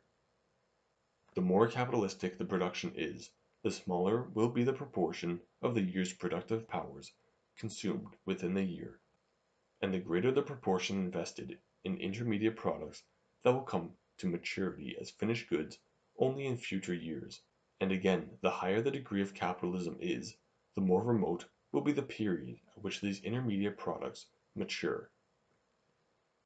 Thus a community producing from hand to mouth consumes in each year the fruits of the productive powers of that same year.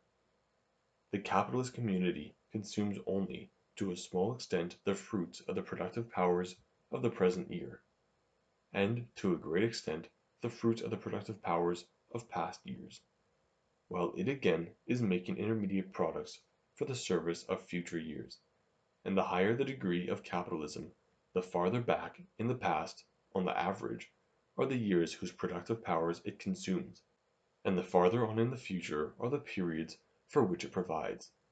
And now I trust the following proposition, which puts together the chief features of the capitalist production process, will be understood beyond possibility of mistake. All consumption goods which man produces come into existence through cooperation of human power with natural powers, which latter are partly economic, partly free. By means of these primary productive powers, man may make the consumption goods he desires, either immediately or through the medium of intermediate products called capital. The latter method demands a sacrifice of time, but it has an advantage in the quantity of product, and this advantage, although perhaps in decreasing ratio, is associated with every prolongation of the roundabout way of production. Chapter 3 The Function of Capital in Production After what has been said in the preceding chapter, it should not be difficult accurately to indicate the role which capital plays in economic production. Capital has, first, a systematic importance.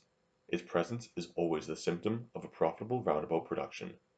I say deliberately symptom, and not cause or condition of profitable methods of production, for as a fact its presence is rather the result than the cause. If men today are fishing with boats and nets instead of picking the fish out of pools on the shore with their hands, it cannot be said that they have adopted those more fruitful methods because they possess boats and nets. Obviously they possess boats and nets because they have adopted these methods. They must have already chosen the roundabout way of production before these goods, generally speaking, come into existence. This, however, does not exhaust the importance of capital.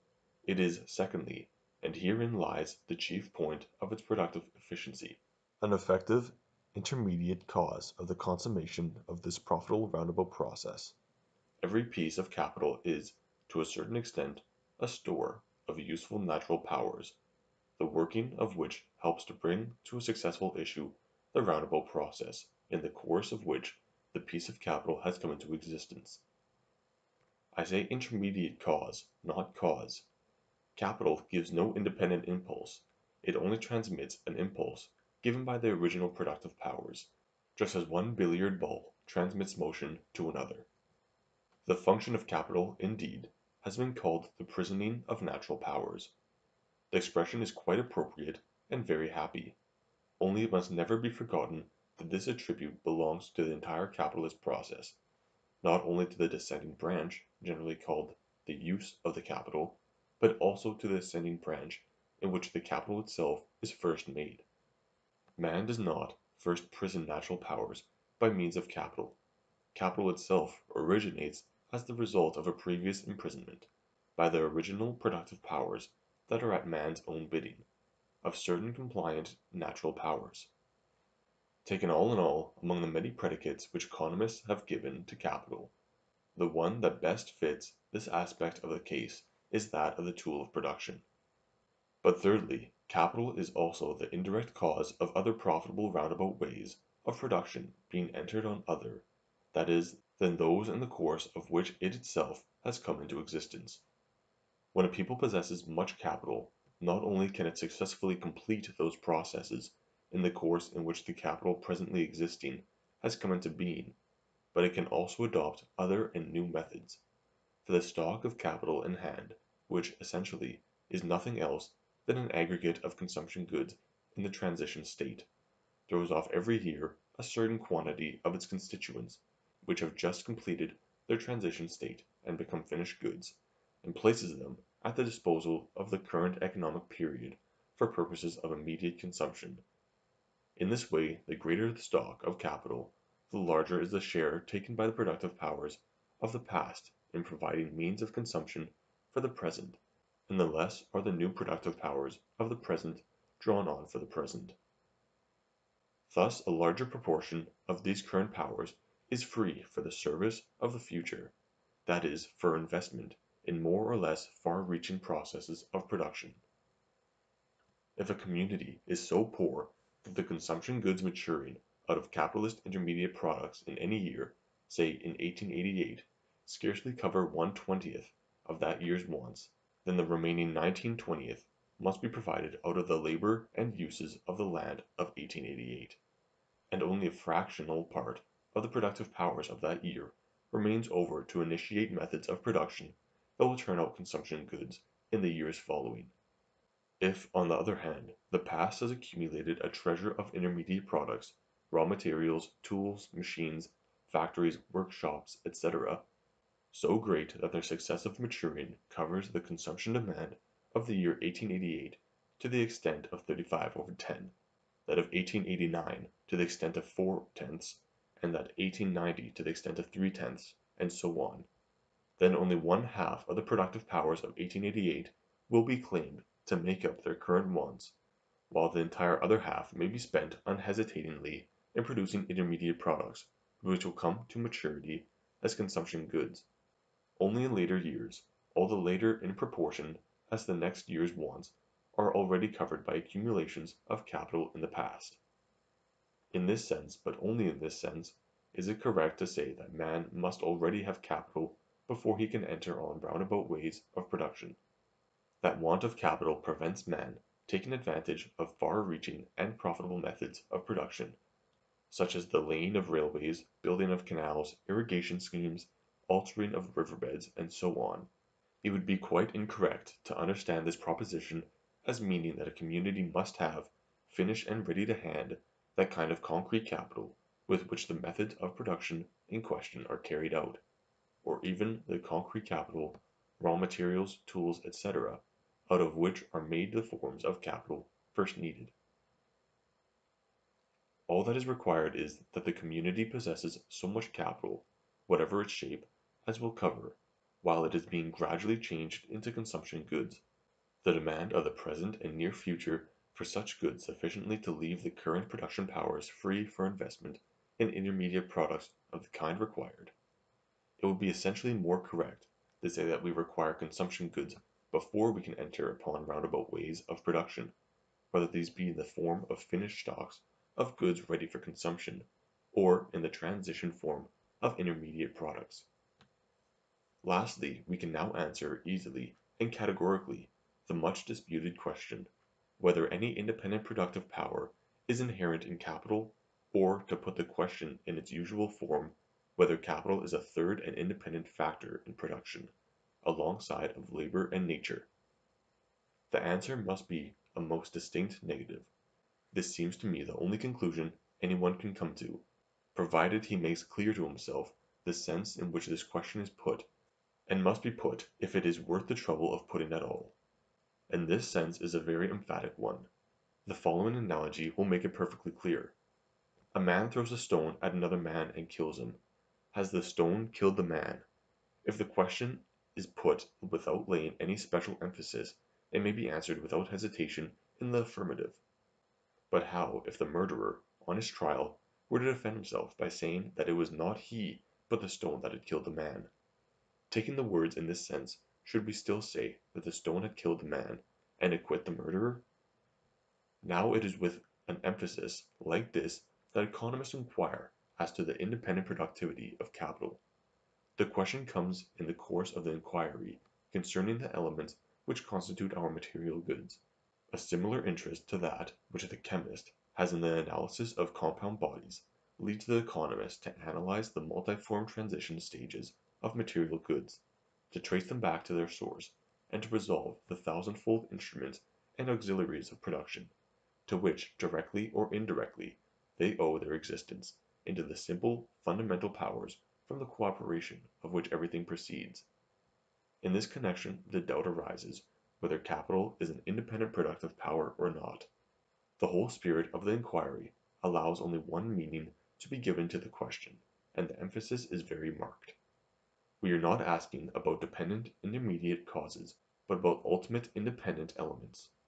The question is not whether capital plays a part in the bringing about of a productive result, such as the stone does in the killing of the man, but whether, granted the productive result, some part is due to capital so entirely and peculiarly that it simply cannot be put to the credit of the two other recognized elementary factors, nature and labor. Now can this question be answered in the affirmative? Emphatically it cannot. Capital is an intermediate product of nature and labor, nothing more. Its own origin, its existence, its subsequent action, are nothing but stages in the continuous working of the true elements, nature and labor. They, and they alone, do everything from beginning to end, in bringing consumption goods into existence. The only distinction is, that sometimes they do it all at once, sometimes by several stages. In the latter case, the completion of each stage is marked outwardly by the appearance of a fore product or intermediate product, and capital has emerged. But, let me ask, is a thing any the less the work of its author that it is not produced all at once? but in installments. If today, by allying my labor with natural powers, I can make bricks out of clay, and tomorrow, by allying my labor with natural gifts, I obtain lime, and the day after that make mortar, and so construct a wall, can it be said that any part of the wall, that I and the natural powers have not made it? Again, before a lengthy piece of work, such as the building of a house, is quite finished, it naturally must be at one time a fourth finished, then a half finished, then three quarters finished. What now would be said if one were to describe these inevitable stages of the work as independent requisites of house building, and maintain that, for the building of a house, we require, besides building materials and labor, a quarter finished house, a half finished house, a three quarters finished house? In form perhaps it is less striking, but in effect it is not a whit more correct to elevate those intermediate steps in the progress of the work, which outwardly take the shape of capital, into an independent agent of production by the side of nature and labor. This would never have been called in question had it not been that the introduction of division of vocations and labor had split up the united work of producing consumption goods into a number of apparently independent acts of production. It was this that made economists forget to look at it as a whole, and made them with a singular modesty bow before the dependent intermediate creations of previous human activity, as if they represented an independent power. But even as it was, it was scarcely possible for any acute theorist to make this confusion if another circumstance had not conspired to assist it.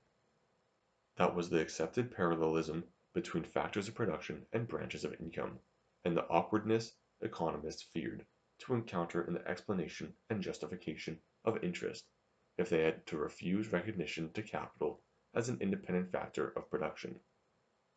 All natural income, it was taught, is based on participation in the production of goods. The various branches of income are nothing else than the forms in which the different contributories to production are paid.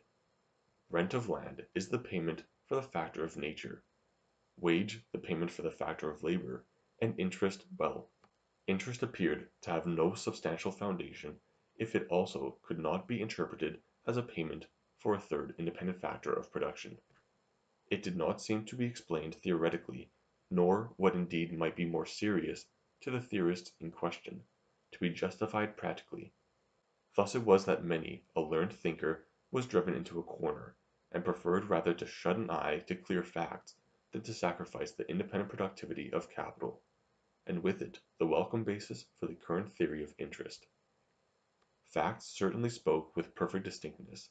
It was impossible to deny that capital is no element in the proper sense of the word inasmuch as it itself springs from the cooperation of nature and labor.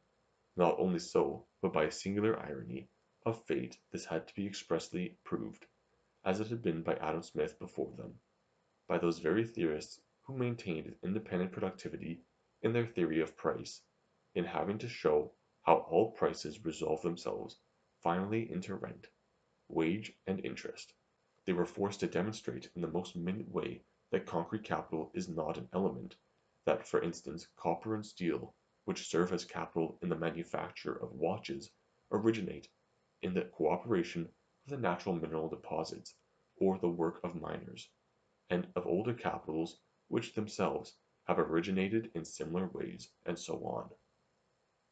In the face of this, to maintain the independent productivity of what they had just demonstrated to be a dependent and intermediate product they were driven to adopt very singular expedients. The favorite ones were obscurity and brevity. Instead of making an earnest effort to bridge the yawning contradiction, they either did not suggest the doubt at all, or if a doubt had already been raised, they dismissed it with some laconic phrase or other. A long series of writers makes no scruple about expounding capital on one page as a factor of production derived from nature and labor and on the next as a third-party independent factor of production, along with nature and labor. Mill has so far yielded to the pressure of facts as to admit that capital is itself the product of labor, and that its instrumentality in production is therefore, in reality, that of labor in an indirect shape. But with a quick turn he saves its independence; not the less, he continues, does it require to be specified separately a previous application of labor to produce the capital required for consumption during the work is no less essential than the application of labor to the work itself. Therefore, because labor must be applied twice in two different stages of production, something else besides labor must be recognized as the independent condition of production. Some writers, of course, treat the matter more seriously; they do not evade the difficulty, but try to get a real solution of it. They cannot overlook the fact that capital first comes into existence through combination of similar factors; quite correctly, therefore, they do not attempt to claim for capital itself the character of an element, but they still require an independent support for interest. This they obtain by resolving capital into its elements and finding that, besides nature and labor, there is still a third independent element. Senior calls it abstinence; Hermann calls it the use of capital. These attempts at solution which I went into in detail and pronounced upon in my former book, Capital and Interest, were certainly not very happy. Hermann's in particular is singularly unfortunate in being obliged to explain the use which capital gives as more elementary than capital itself, as if the egg which the hen lays is antecedent to the hen. Nevertheless as regards our present question these theories are very instructive. They show that several of our most clear sighted thinkers preferred to take refuge in the most hazardous and artificial constructions rather than agree in the current doctrine that capital itself while originating in the cooperation of nature and labor is all the same an independent factor of production along with them. We may confidently, then, strike capital out of the list of independent productive powers, as a portion of the English school did long ago and as the Socialists have done more recently. I may say, however, that the manner in which they have done so is not quite appropriate. In the instrumentality of capital they see only the instrumentality of the labor expended in producing it. They explain it as previous stored up labor. This is not correct. Capital, to keep the same form of expression, is stored up labor, but it is something more. It is also stored up valuable natural power. It is the medium through which the two original productive powers exert their instrumentality. To the instrumentality of gold, which is employed as capital in gilding the lightning rod, the labor of the miner, who finds the ore and refines it, is not the only contributory; nature also has contributed her share in depositing the valuable vein or placer. Although then we have traced its instrumentality in production to nature and labor is capital itself not productive at all?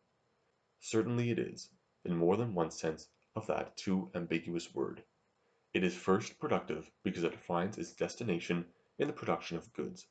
It is further productive because it is an effectual tool in completing the roundabout and profitable methods of production once they are entered on.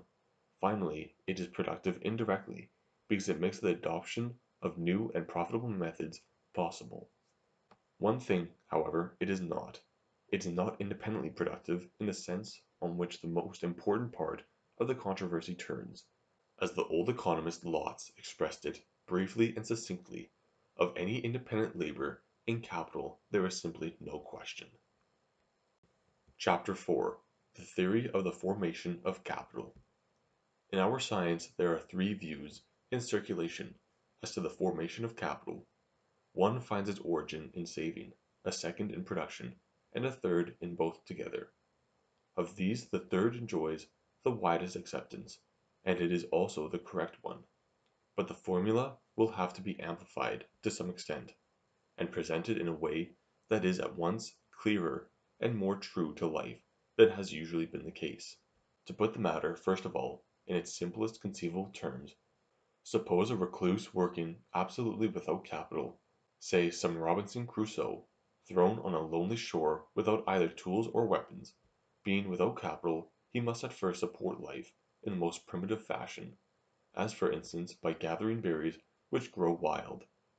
Now what must happen before he can get possession of his first capital, say a bow and arrow? Let us put the first theory to the test. Is saving by itself sufficient to call capital into existence? Certainly not. With the one possession that he has his wild fruits, our Crusoe may save and stint as much as he please. He will accumulate a store of berries, goods for consumption, but that will never give him a single bow or arrow. As we can easily see, these must be positively produced. Is it sufficient, then, for the origination of capital that it be produced? Again certainly not. Of course once Crusoe has the length of commencing to produce capital the formation of capital is as good as accomplished. But before he gets that length there is something else to be done, and that something is by no means self evident. Productive powers are to be set free for the proposed formation of capital, and this can only be done, as we shall see, through saving. The amount of original productive powers which our Crusoe has daily at his command is equivalent, leaving natural gifts out of account, to one day's labor which we shall assume to be ten hours of labor. Suppose now that the berries within reach of his hut are so scarce that a full day's labor of ten hours is necessary to provide as much food as will just support him in bare life. Obviously no formation of capital is possible. There is no use advising him to produce a bow and arrow. Producing requires strength and time, and all the time and strength our Crusoe has is fully claimed already to keep him in life. To produce capital, then, may be difficult enough without something else, and what that is will appear immediately on our varying a little the assumed facts of the illustration. Suppose there is such wealth of berries that the result of nine hours gathering is sufficient to support bare life, while ten hours gathering gives a return such as to guarantee a subsistence amply sufficient to maintain Crusoe in health and strength. Obviously, he has now a choice between two lines of conduct. Either he may take advantage of the opportunity thus offered to complete his provision, and consume each day the fruits of an entire ten hours' day of labor, in which case it is perfectly clear that he has now no time and strength left to make a bow and arrows, or although the productive power at his disposal would enable him to live better, he may content himself with the barest living, which, as we said, can be provided by the nine hours' labor of gathering, then, and only then, has he a tenth hour free to which to make weapons for future use. This amounts to saying, in other words, that before capital can actually be formed, the productive powers necessary to its making must be saved by encroaching on the moment's enjoyment. To anticipate and avoid a mistake very apt to be made, it must be said distinctly that this encroaching on the moment's enjoyment need by no means involve downright privation. With more productive labor, Crusoe's choice would not lie, as in the above illustration, between bare living and comfortable living, but perhaps between comfortable and ample living. It is not a question of the absolute insignificance of these claims on the movement's enjoyment, but on their relation to that amount which I may indicate in the shortest and most generally intelligible way by the word income an expression, unfortunately, not yet strictly enough defined in scientific usage. The essential thing is that the current endowment of productive powers should not be entirely claimed for the immediate consumption of the current period, but that a portion of this endowment should be retained for the service of a future period. But such a retention will undoubtedly be called a real saving of productive powers. A saving of productive powers, be it noted, for productive powers and not for the goods which constitute capital, or the immediate objective of saving. This is an important point which must be strongly emphasized, because in the current view too little consideration is given to it. Man saves consumption goods, his means of enjoyment he thus saves productive powers, and with these finally he can produce capital. It is only exceptionally that capital itself is the immediate object of savings. It may happen in the case of those goods which by nature admit of being used either for consumption or for production, such as grain. To the extent that a man withdraws such goods from immediate use in consumption, his saving directly lays the foundation of capital. To build on that foundation, of course, the negative element of saving must have added to it the positive element of devoting the saved goods to production as intermediate products. It is easy to show that every further increase of the existing stock of capital is limited by the same conditions as the first formation. Assume that for a month our Crusoe consumes daily only so much fruit as he can gather in nine hours' labor, and devotes the tenth hour to making weapons. As a result of this thirty hours' work he now owns a bow and arrow, and in them he has the possibility of making his living much more easily and amply than before. Naturally his desires widen. He wishes decent clothes, a house, all sorts of things that minister to comfort. But for these he requires the suitable intermediate products, axes, nails, braces, etc. Now we ask further what kind of conditions must be fulfilled that Crusoe may obtain this new capital. This is very easily answered if he makes use of the improved circumstances which he owes to the possession of the bow and arrows simply to increase his immediate consumption; that is if he spends the whole labor time at his disposal in the service of the moment, hunting, gathering fruits, and sleeping, not only is it impossible for him to acquire new capital, but he will lose the old. bows and arrows do not last forever. In a month's time we shall say his arrows will be spent, and his bow will be worn out. If, therefore, his capital is to remain in existence, he must obviously employ at least one of the ten hours in renewing his weapons, and, at the most, he can employ nine only in gathering and hunting. To put it in the propositional form, to retain capital in existence, man must make over and devote to the service of the future at least so much of the productive powers of the current period as he has consumed during the current period of the produce of former productive powers.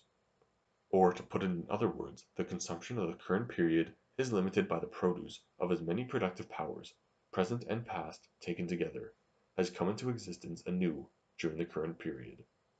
Finally, if an increase of capital is to become possible, obviously a still greater proportion of the current productive powers must be withdrawn from the consumption of the present and transferred to the service of the future.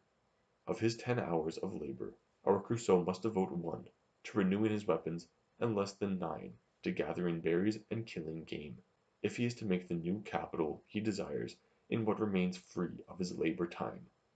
To put it generally, he must curtail the immediate consumption of the current period to such a point that it uses up the produce of fewer past and present productive powers than come into existence anew in the same period. He must, in a word, save productive powers. All this is quite clear and simple. Indeed, it is even a little too simple for our purpose. Robinsonades and pictures of primitive circumstances are very good when the object is to present clearly the simplest typical principles, to give a kind of skeleton of economical procedure, and to that extent, I trust, our Robinsonade also has done good service. But naturally they cannot give us an adequate picture of those peculiar and developed forms in which this skeleton clothes itself in the living actuality of a modern economic community. And it is just at this point that it becomes important to fill out the abstract formula with explanation to the illustration taken from life. We shall, therefore, leave the lonely shore of our Crusoe and come to the industrial conduct of a great nation with its millions of people. Chapter 5 Formation of Capital in a Community Let us take the case of a community embracing ten millions of able-bodied persons, leaving out of account the current uses of land, so as not to cumber the statement unnecessarily. The annual endowment of such a nation, its original productive powers, thus amounts to ten million years of labor. Its accumulated stock of capital, we shall suppose, represents the fruit of thirty million labor years, and a corresponding amount of uses of land, invested during previous economic years in intermediate products. Now look at the constitution of this stock of capital more closely. Every capital is, by its nature, composed of a mass of intermediate products, and the common goal of all these products is to ripen the consumption goods or means of enjoyment. They reach this goal through the continuation of that production process in the course of which they themselves have come into existence. They are all, as it were, on the way towards the goal of human consumption, but the length of the road which they have had to travel is different. This is partly because the various branches of production adopt roundabout ways of various length. Mining, for instance, or railway building, takes a much more roundabout and lengthy method than wood cutting but it is partly, also, because those goods which constitute the community's capital at the moment are at various points on their respective roads. Many an intermediate product has just entered on a very lengthy roundabout road, as, for instance, a boring machine, whose life work it will be to drive a gallery in a mine. Some are midway, others, again, like clothing stuffs, ready for making into coats and mantles are near the end of the journey their particular production process has to take.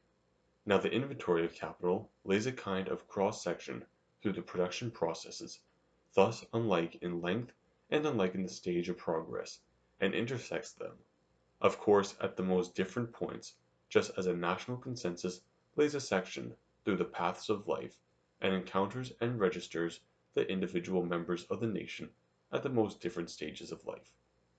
Considered with reference to the varying distance at which intermediate products lie from the goal of consumption, the total mass of capital divides itself into a number of annual classes or stages of maturity, which may be very appropriately pictured by a diagram of concentric annual circles.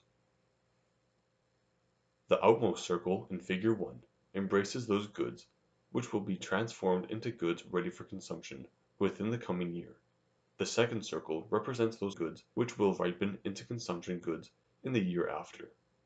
The third circle in those which will be ready the year after that, and so on. In a community where production is not yet strongly capitalistic, the inner circles will rapidly contract, because in such a way a community very lengthy roundabout ways of production, such as turn out their finished goods only after many years, will be rare. In rich and well developed communities again, there will be a considerable number of comprehensive circles, and of these the inner ones will have a content that, although relatively smaller, is not inconsiderable.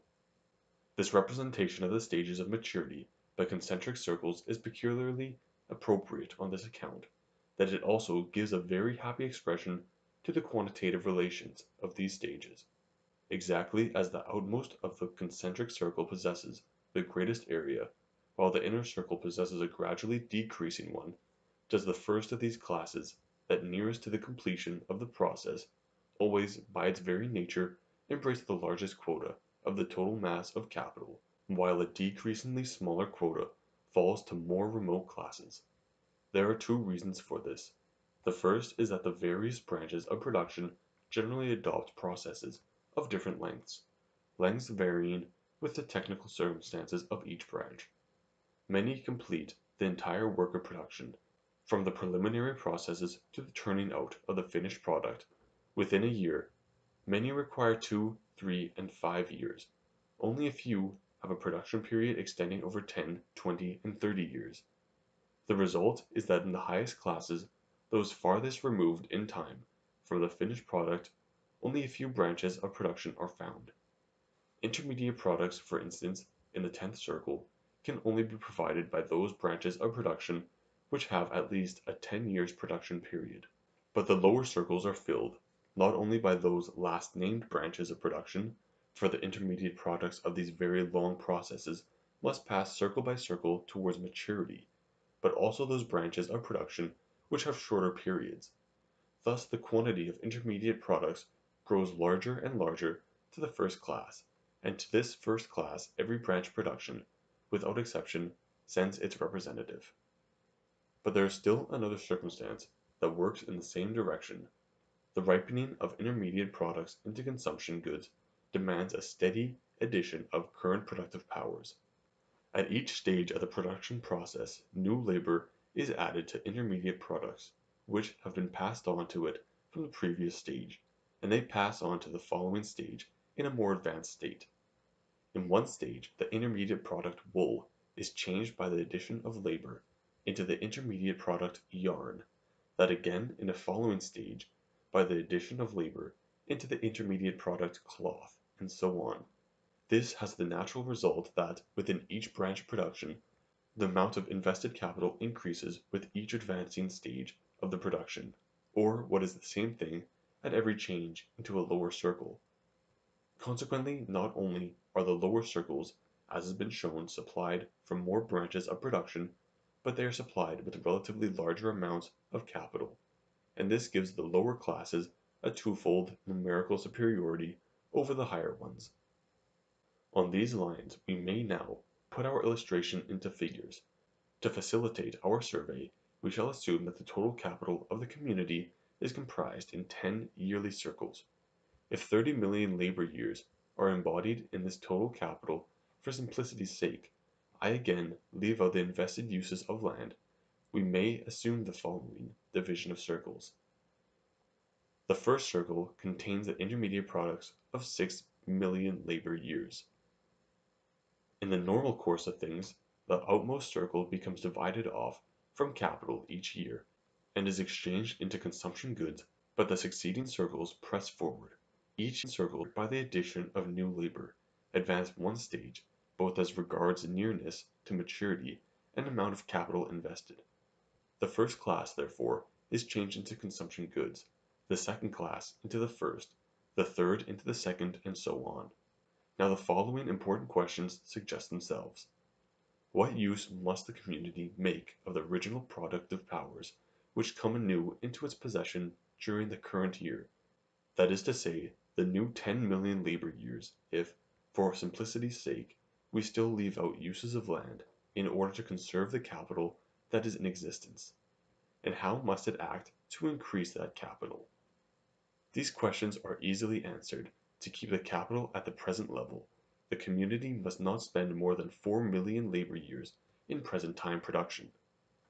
With the remaining 6 million labor years, the stock of capital reduced by separating off of the first year's circle must be brought up in quantity and quality to its former level.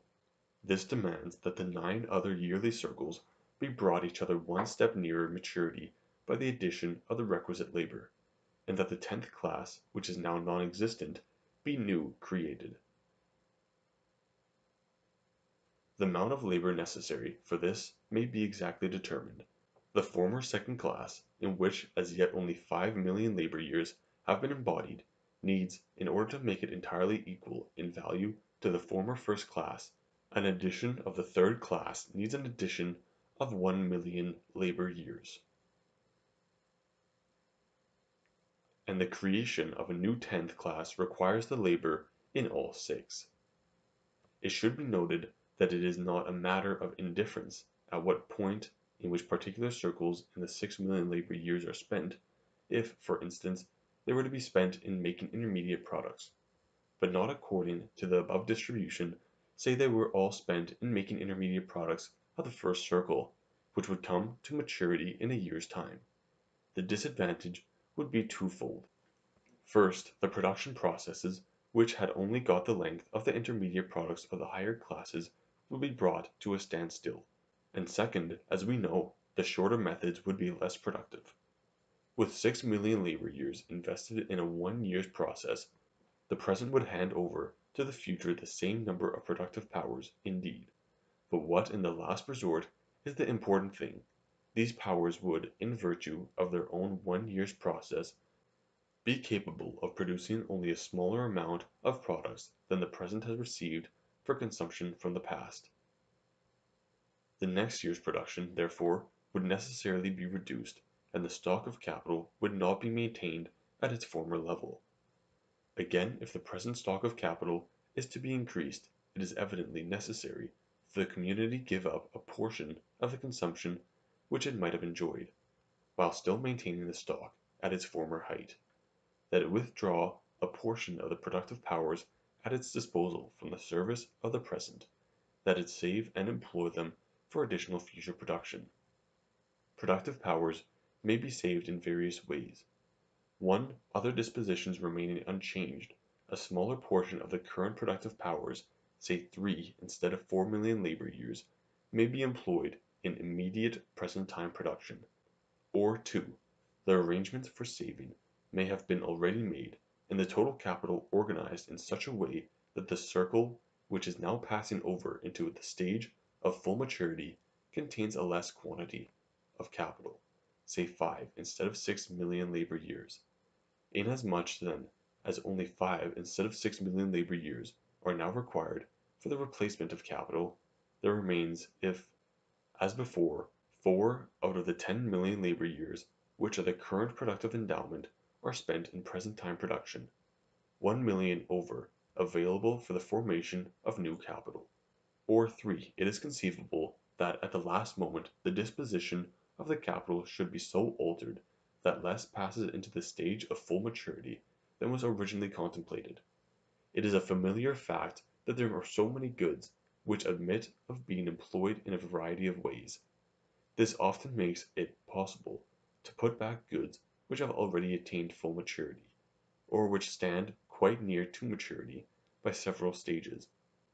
Grain, for instance, instead of being ground for food purposes, may be stored for seed, or used in distilling. Coal may heat the blast furnace instead of the domestic oven. Iron may build machinery instead of parking rails, and so on.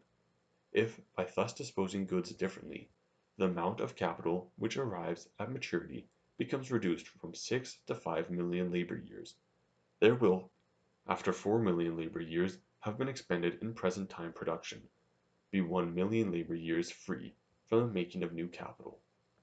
All three methods, then, of which, in practical life, the second is the most common and the first is the least so, agree in one essential point, that during the current year the produce of nine million labor years only is consumed, while ten million labor years come forward; that accordingly, in other words, one million labor years of the current productive endowment are saved.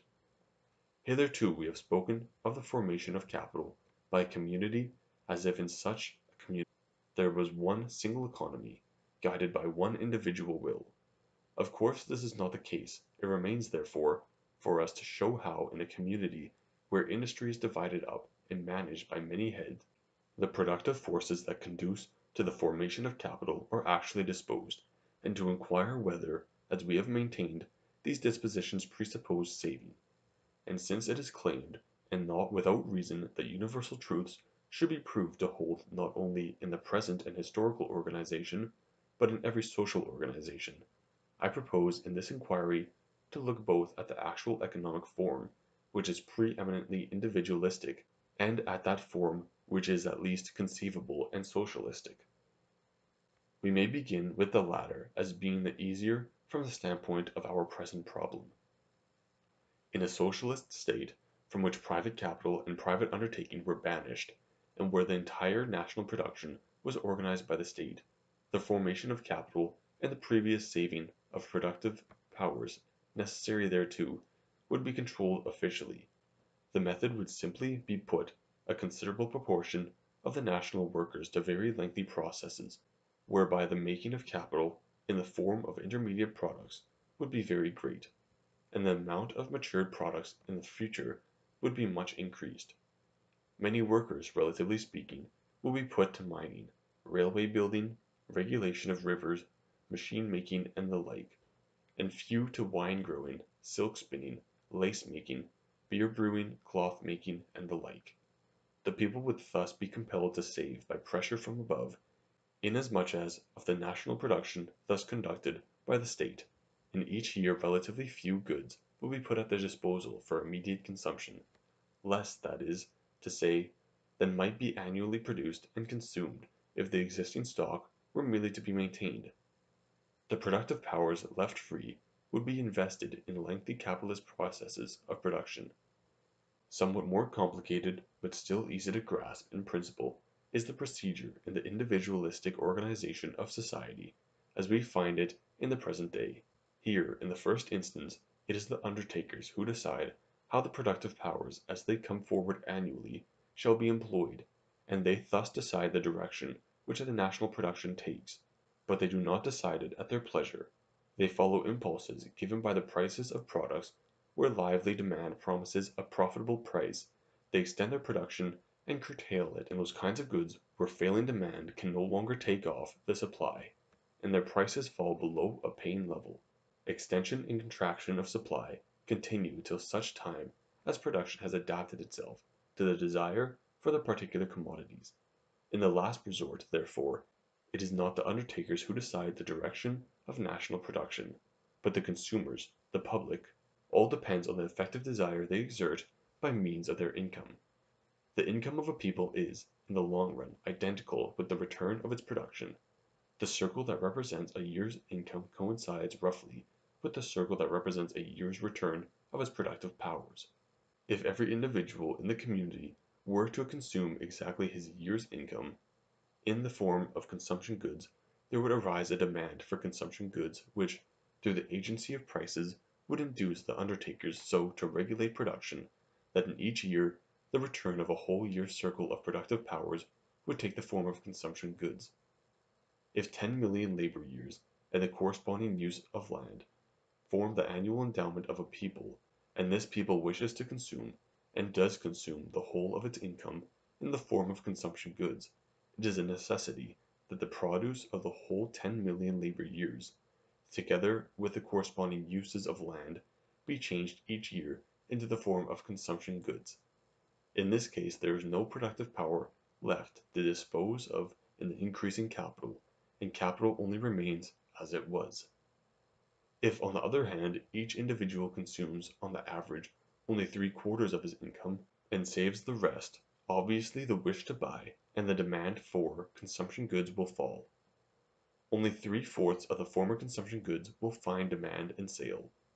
If the undertakers, however, were for some time to continue the old dispositions of production and bring to market consumption goods to the amount of 10 million labor years, the oversupply would very soon press down the price, business would become unremunerative, and the pressure of loss would compel the undertakers to adapt their production to the changed circumstances of demand. They will now provide that in one year only the produce of seven and a half million labor years is transformed into consumption goods, whether it be by the maturing of the first class or by adding to present time production, and the two and a half millions which remain of the current year's endowment may and will be spent in the increasing of capital. I say will be spent, for an economically advanced people does not hoard but puts out what it saves. In the purchase of valuable paper it deposits in a bank or savings bank, in loan securities, etc. In these ways the amount saved becomes part of the productive credit. It increases the purchasing power of producers for productive purposes.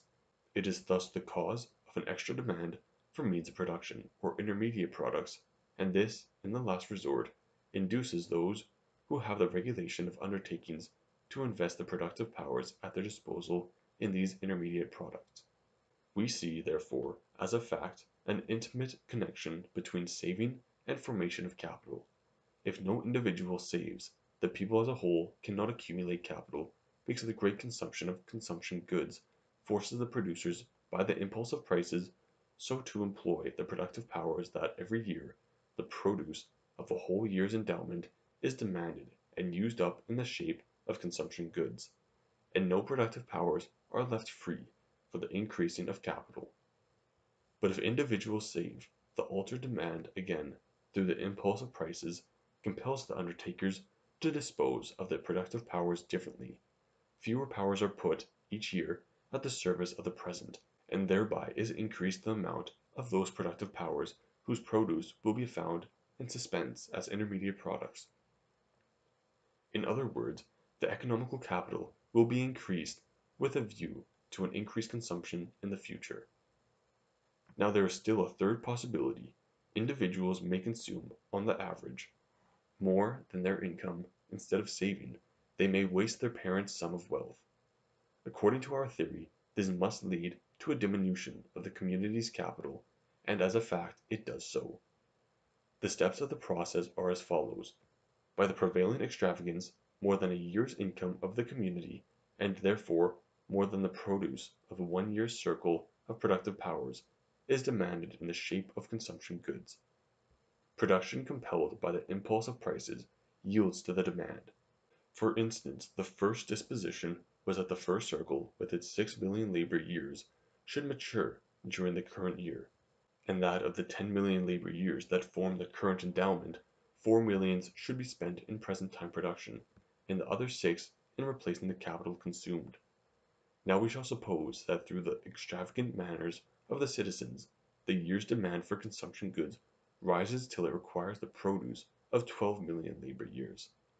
The undertakers will act in something like the following manner: Of the current labor endowment they will invest perhaps not four but five million labor years in present production, and in correspondence with this the amount devoted to the replacement of capital will shrink from six to five millions. This will cover one million of the extra amount required. At the same time, by differently disposing of such goods as allow of more than one employment, they will perhaps divert the produce of another million of labor years from a more remote class into the first class, and thus add it to the consumption of the current year. This will cover the second million of the extra demand. The community now receives and consumes what it desires the produce of twelve million labor years in the form of consumption goods, but it does so at the expense of the stock of capital, which is insufficiently replaced and so diminished by two million labor years. Possibly I have wasted too many words in providing a truth so obvious that no thinking man unskilled in science would ever doubt it. Every child knows that a piece of capital, say a hammer, must be produced, if it is to come into existence. and to every simple man it is obvious that no stock of capital can be made or can increase if men regularly consume their whole available income. If, in other words, they do not save, it was reserved for the sharp and subtle wits of learned theorists to suggest the first doubt about it. This, however, it would have been difficult to do, if instead of dogmatizing on the formation of capital, they had attempted to give a complete and faithful representation of the process by which capital is formed. Here lies the entire, but almost the only, difficulty of these and many other economical doctrines, and this suggests, it might add, the reason why so many abstract deductions are discredited and fail of result. It is not the deductive method that deserves the distrust, but the persons who misapply it. Vulgar errors in thought indeed are quite exceptional among capable thinkers, and here the fault lies mostly in this, that the economists in question could not put a sufficiently clear and lifelike picture before their minds of the circumstances and processes which they introduced into their deductive arguments as assumptions, or, at least, did not keep it persistently enough before them through all stages of the deduction. Hence, losing touch with life, they began to make deductions not from truth of facts, but from words of formulas, and so fell, without knowing it, into the emptiest dialectic. It is because so many economists, as it seems to me, have made this mistake that I risk being tedious rather than being suspected of sophistry. Chapter 6 Possible Objections It is perhaps advisable to supplement our positive statement by a brief critical consideration of the most important objections that might be urged. Two of these appear to me particularly worth noting. The first is that the majority of goods which constitute capital are, by nature, quite unfitted to immediate consumption. There is, therefore, no sacrifice in withdrawing them from a use which they could never serve. Indeed, it is ridiculous to speak of the non consumption of steam engines and land improvements, of roofing tiles and bars of metal, as an act of saving or abstinence. To me this seems a somewhat cheap, but still perfectly good argument against those who formulate the theory of saving superficially or falsely. But as against the essence of the theory, it proves nothing. If any one is stupid enough to interpret the theory of saving as meaning that finished capital, in its form as concrete capital, must be saved, he must submit to the retort that man cannot eat iron machines. But this is not at all the meaning of any thoughtful representative of the theory. What is maintained is only that, without saving, capital cannot be made or increased; that saving is as indispensable a condition of the formation of capital as is labor, and this is literally correct. The machines themselves have not been saved, but built; but in order to build them, men had previously to withdraw the productive powers necessary to build them from the service of their present. They had, therefore, in the strictest sense of the term, to save them. It may serve towards the settling of this controversy to remark that the idea of sacrifice, of renunciation, and thus of moral desert, need not be associated with the conception of saving. There may be sacrifice in saving, and it may be praiseworthy, but not at all necessarily. A man with a small income will, of course feel it a sensible privation, and it will require strong self denial in him to lay past anything, while one has an income of a hundred thousand, and is content to consume one half of it, has little claim to be considered a hero of asceticism, because he saves the other half as capital. It is simply the fact of a saving that is indispensable to the formation of capital. Whether there is sacrifice and moral desert in it or not, is all the same to the result and it follows from this that the theoretical truth that saving is necessary to the formation of capital cannot and must not be used to justify, either morally or socio politically, all and every taking of interest. This is another instance of that confusing of the theoretical with the socio political problem of interest which I adverted to in another place, as having done so much harm. One side mixed up the theoretical doctrine that the formation of capital must be preceded by saving, with the moral judgment that interest is justified as the reward of abstinence; and the other side, which saw quite correctly that interest could not be justified in such general terms, was misled by the same confusion of the problems into denying not only the false socio-political deduction, but the true theoretical premise. If these two problems are kept distinct, it will help us to give both parties their due. To Rodbertus and Lassalle we may grant at once that saving need not be moral heroism, and therefore is no sufficient socio-political justification of interest, but we must stand for the recognition of the theoretical truth that the fact of saving is in any case required to the formation of capital. A second objection lays emphasis on the fact that for a man to be able to accumulate capital he must acquire more than he uses, and draws the conclusion that it is essentially the productivity of labor, industriousness and not abstinence, to which the formation of capital is due. Thus Rodbertus says in so many words that if in the beginnings of economic development an isolated worker has no time to make a tool because he must always live from hand to mouth, the blame lies simply in the productivity of labor being too small. If later this productivity increases so much that say eight hours labor is sufficient to produce a day's maintenance, and then from the labor time which up till now he had to devote entirely to make what was absolutely necessary, he has a portion over for other labor, and it is this spare labor which he is now able to devote to the making of a tool. And from this quite correct consideration Rodbertus draws the conclusion that it is only the increasing of the productivity of labor and not saving makes the existence of such a primary capital possible. And still more briefly does Kleinwachter give expression to the same idea, when he says, "He who transfers a portion, say a half, of his revenue to the bank is merely industrious.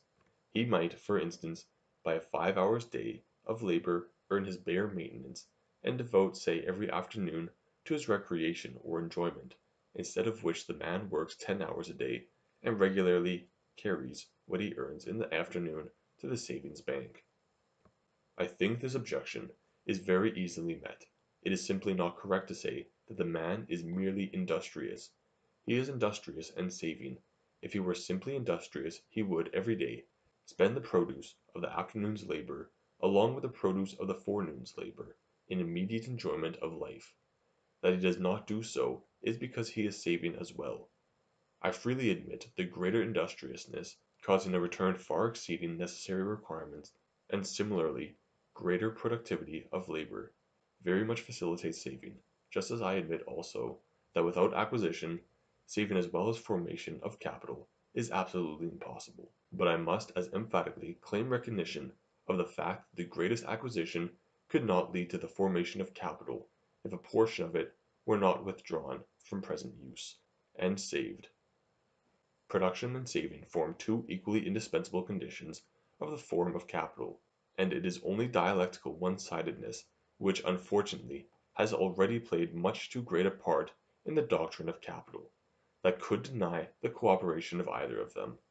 But does not this involve me in contradiction with the proposition so earnestly contended for in last chapter, that all goods and consequently all capital proceed from two elements, of which saving is not one, from nature and labor.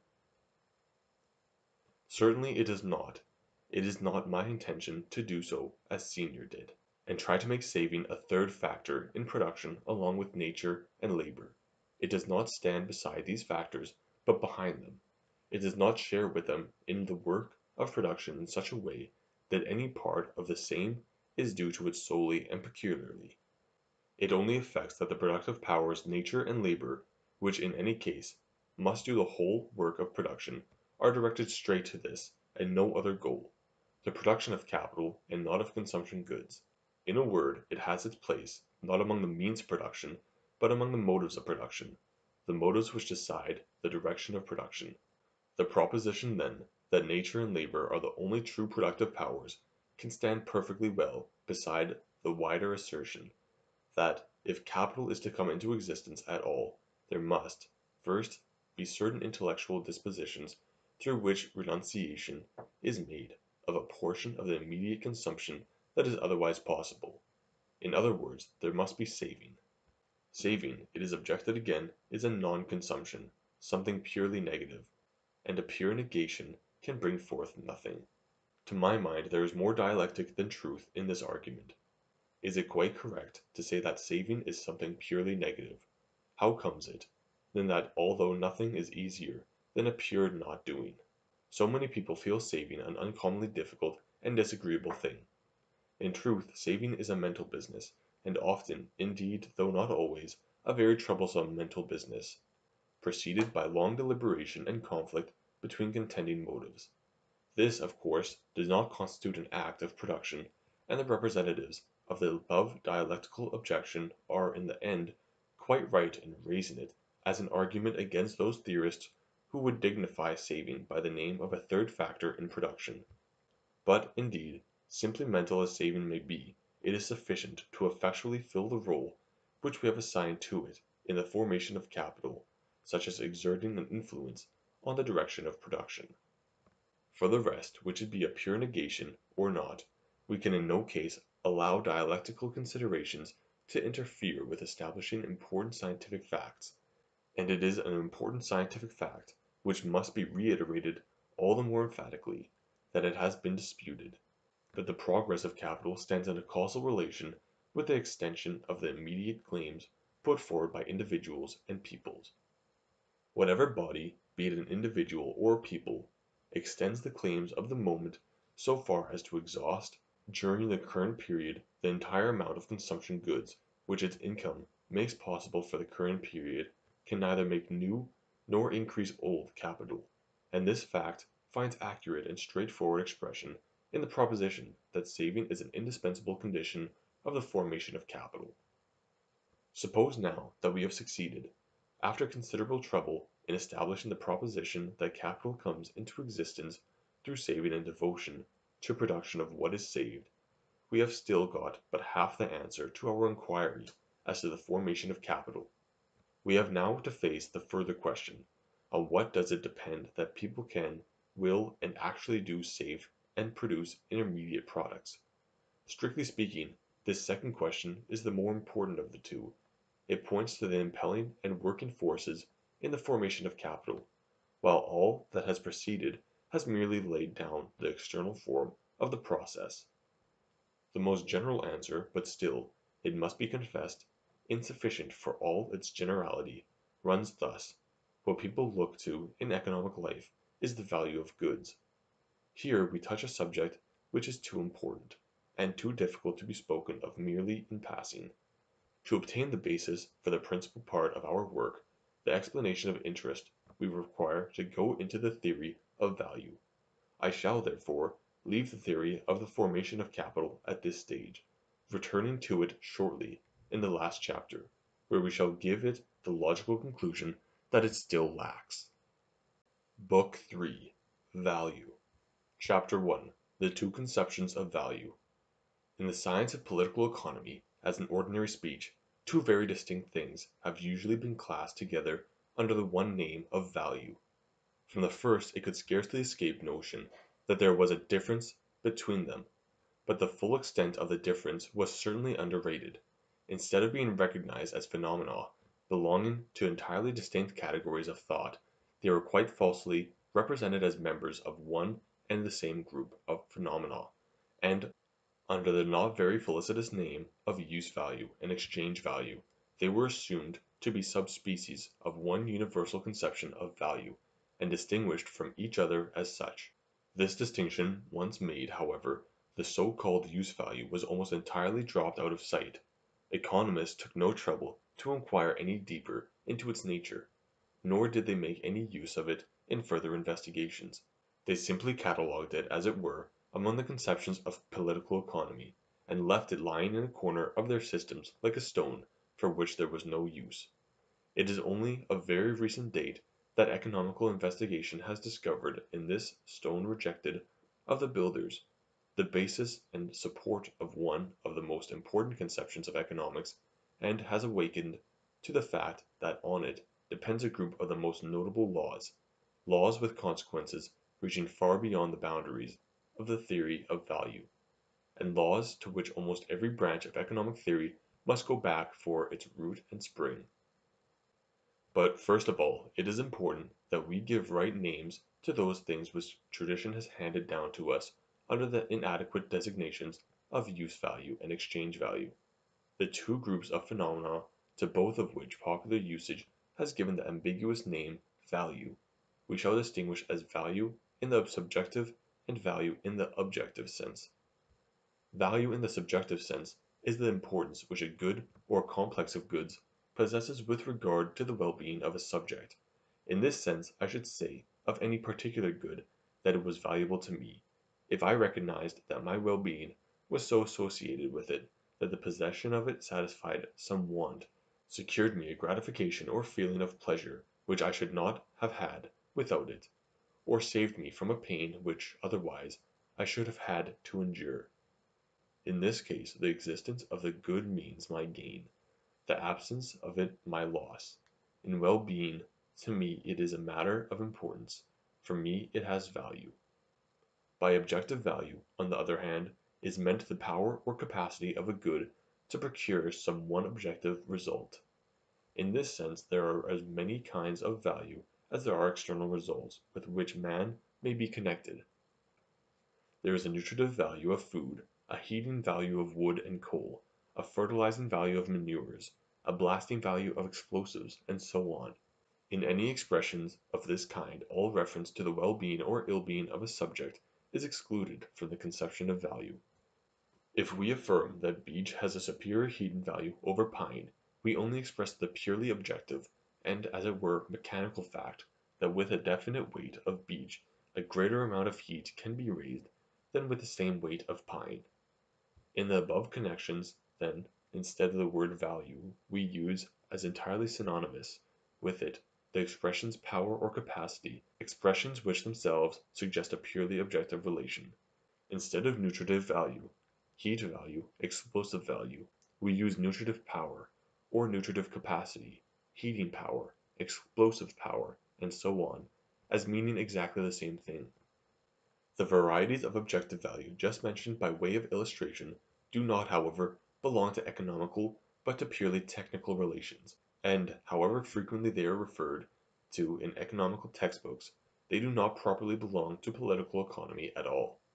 It does not fall within the province of our science to expound the heating value of wood, nor in explaining the econo nor in explaining other economical phenomena has it occasion to lay stress on this heating value any more than it does on any other physical or technical fact.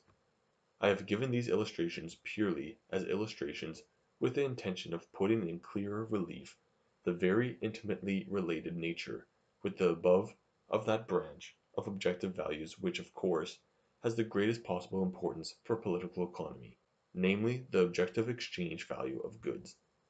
By this expression I mean the objective worth of goods in exchange, or in other words the possibility of obtaining in exchange for them a quantity of other economical goods, this possibility being looked upon as a power or a property of the former goods.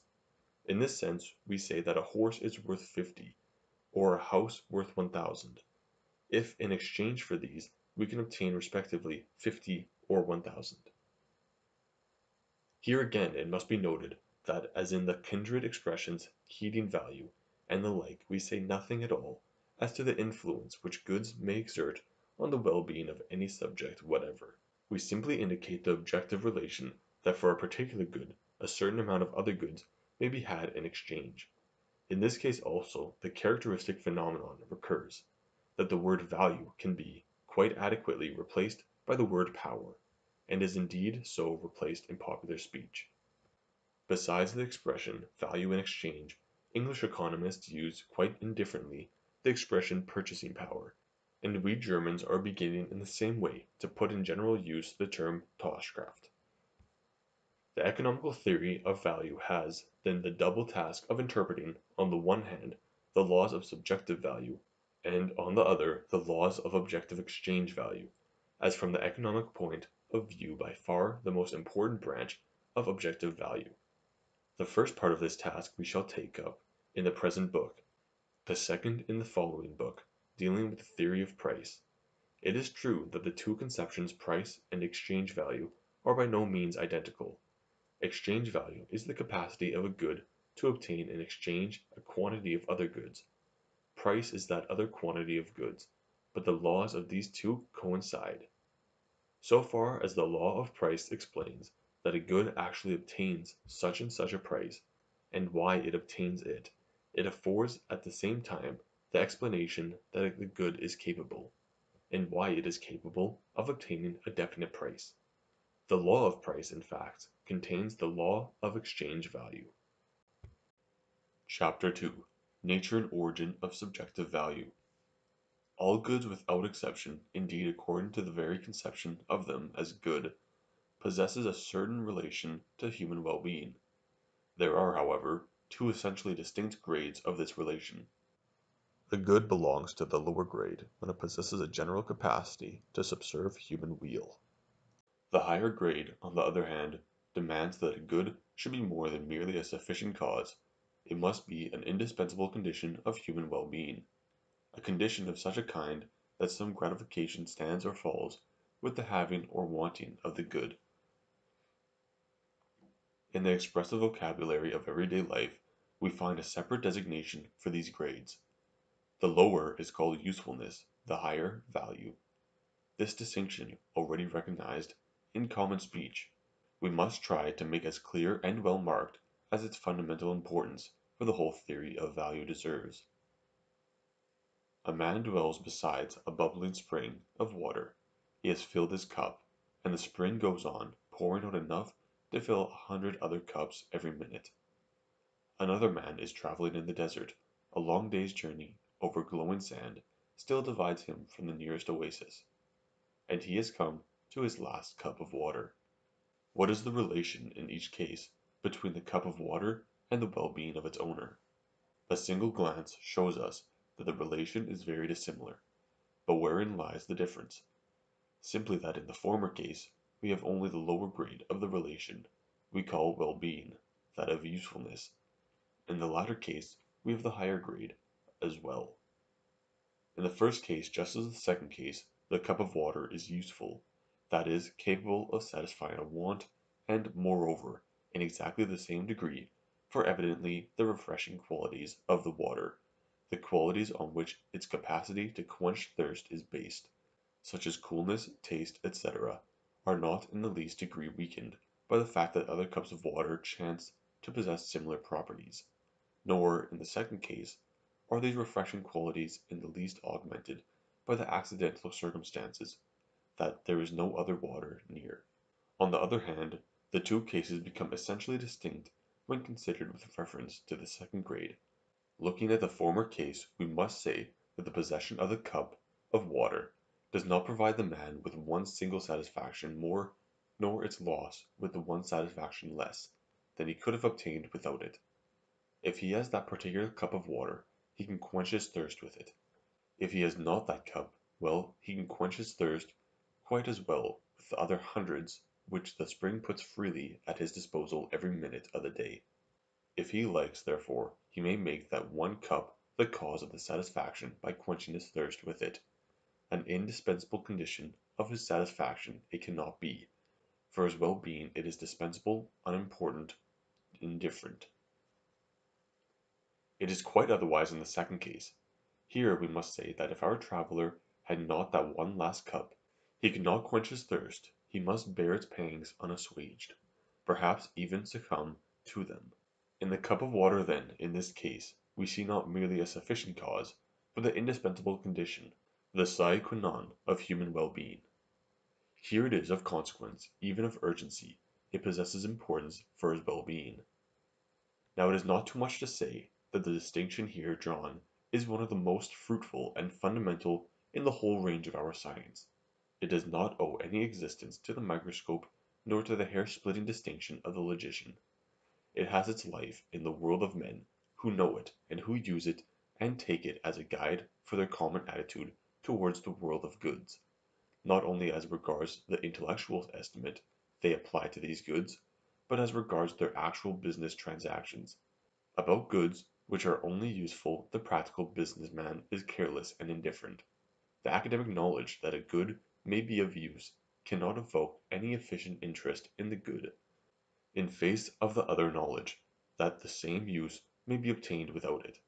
Such goods are practically not as regards our well-being, and we treat them as such.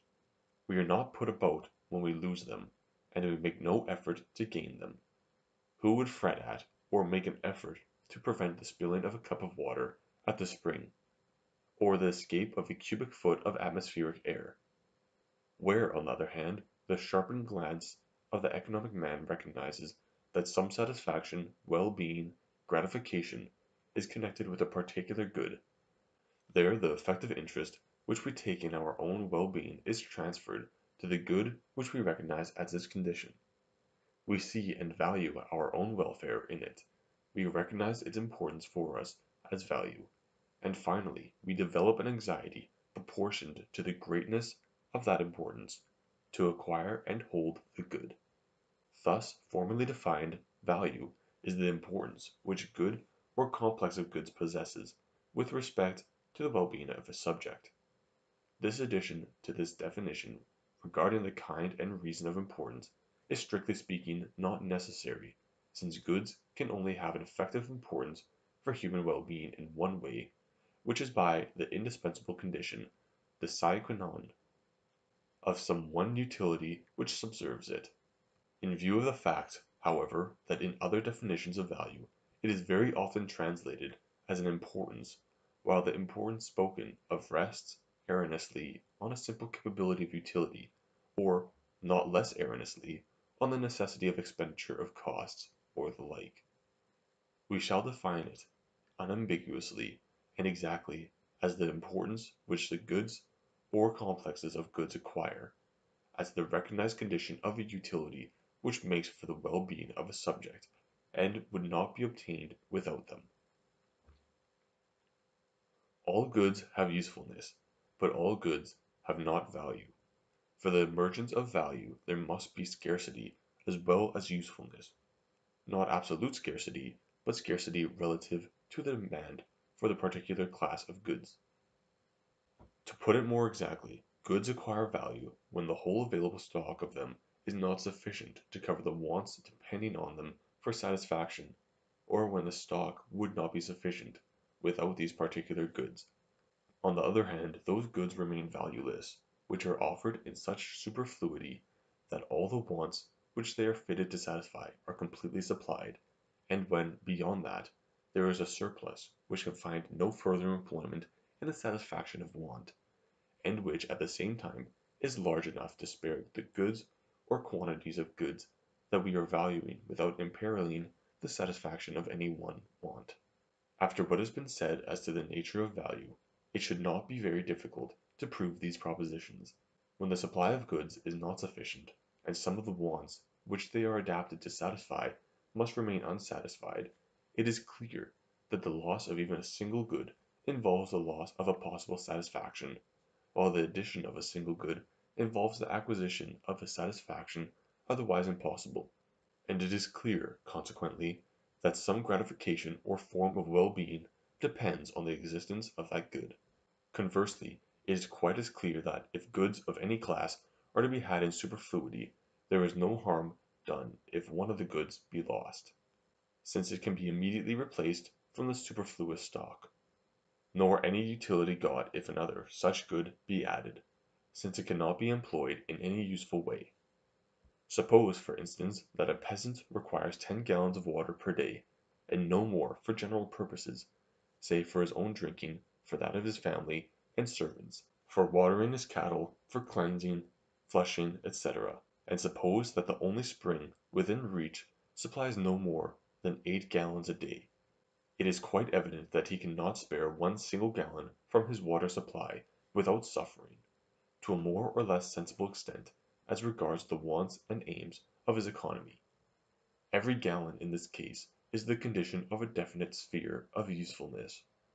Even if the spring supplied just ten gallons, this would still be true. But if the spring supplied twenty gallons per day, it is just as obvious that the loss of one gallon would not do the slightest injury to our peasant. He can only employ ten gallons usefully, and he must let the other ten gallons flow away unused. If one gallon is spilled, it is replaced from the overflow, and the only effect is that now the unusable surplus is reduced from 10 gallons to 9. Now as it is the insufficient or the barely sufficient goods that are the objects of economical care, the goods we economize or endeavor to acquire and keep, while such goods as are to be had in superfluity are free to everybody. We may express the above propositions shortly in the following form: All economical goods have value, all free goods are valueless. In any case it must steadily be borne in mind that it is only relations of quantity that decide whether any particular good is merely capable of use, or is also the condition of a utility for us. Chapter 3 The Amount of Value In asking what is the principle that regulates the amount of value, we pass to a sphere where lies the chief task of a theory of value, and where at the same time lie its greatest difficulties. These difficulties are the result of a peculiar coincidence of circumstances. From one point of view the true principle almost suggests itself. If the value of a good is its importance to human well being, and if this importance means that some portion of our well being is dependent on our having of the good, it is clear that the amount of the good's value must be determined by the amount of well being which depends on it. Goods will have high value if our well being depends on them to any important extent, low value if it does not. But from another point of view, there are certain facts in the economical world which seem to give the lie to this very simple and natural explanation. Everybody knows that in practical economic life precious stones possess a higher value, while bread and iron have a moderate value, and air and water usually have no value at all. Now everybody knows that without air and water we simply could not exist, and that the uses of bread and iron are extremely important, while precious stones for the most part only satisfy the love of ornament, and have accordingly a very inferior importance for human well being. It would appear, then, that one who holds fast by the principle that the amount of a good's value is determined by the importance of the services which it may render to human well being, must expect to find in precious stones a low value, in bread and iron a high value, and in water and light the very highest value. But facts show that exactly the opposite of this is the case. This startling phenomenon has been a veritable rock of offence in the theory of value. The highest utility accompanied by the smallest value is a strange paradox. It is true that in confusing usefulness and use value, economists did not apprehend and describe the state of the case quite exactly. When they falsely ascribed to the iron a high use value and to the diamond a low use value, the only reason for surprise was that the exchange value of these goods went so entirely in the opposite direction. But this was only to change the name of the opposition, not to take away any of its sharpness. There were plenty of attempts to bridge the fatal contradiction by involved explanations, but these were unsuccessful, and so it happens that from Adam Smith's time to our own, innumerable theorists have despaired of finding the nature and measure of value in any relation to human well being, and have fallen back upon quite foreign and often wonderful lines of explanation, such as labor or labor time cost of production, resistance of nature to man, and the like, but unable to get rid of the feeling that the value of goods must have something to do with utility and human well being, they put down the want of harmony between the utility and the value of goods as a rare and perplexing contradiction. In what follows I mean to prove that the older theory had no need to abandon the most natural explanation. The measure of the utility which depends on a good is actually and everywhere the measure of value for that good. To prove this nothing more is necessary than a dispassionate but keen casuistical investigation into the question, What is the gain to our well being that in any circumstances depends on a good? I say deliberately casuistical investigation for the entire theory of the subjective value is properly nothing else than a system of casuistry, determining when, under what circumstances, and how far our well-being is dependent upon any particular good. It is very remarkable that the ordinary man in everyday life is constantly making casuistic distinctions of this kind, and making them with great certainty. He seldom makes a mistake, and he never makes a mistake in the principle. He may, of course, ascribe a trifling value to a diamond if he mistakes it for a glass bead. But the theoretical consideration, which is quite irrelevant here, that without water the human race could not continue in life, would never lead to him to the casuistical conclusion that every gallon of water which flows from the village spring is a good of priceless value, or worth thousands of pounds.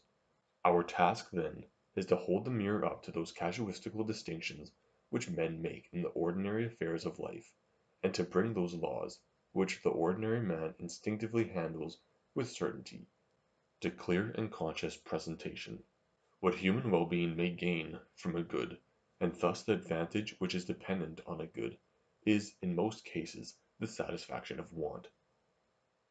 The casuistical consideration that really determines how far a person's well-being depends upon a particular good is found in the answer to two questions.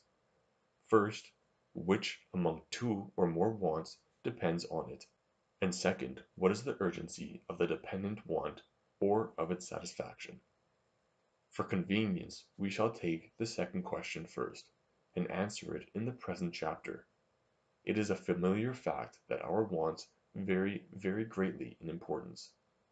We are accustomed to rank them according to the seriousness of the consequences which their non-satisfaction has on our well-being. Thus we attach the greatest weight to those wants the non-satisfaction of which would be followed by death. Next to these we place wants the non-satisfaction of which would result in some serious permanent injury to our health, honor, or happiness. Below these again come such wants as expose us to more temporary injuries pains, or deprivations. Finally, we put in the very lowest class those wants the non-satisfaction of which costs us nothing more than a very slight unpleasantness, or the deprivation of some quite insignificant pleasure. Arranging our wants according to these characteristics, we obtain a regularly graduated scale of wants.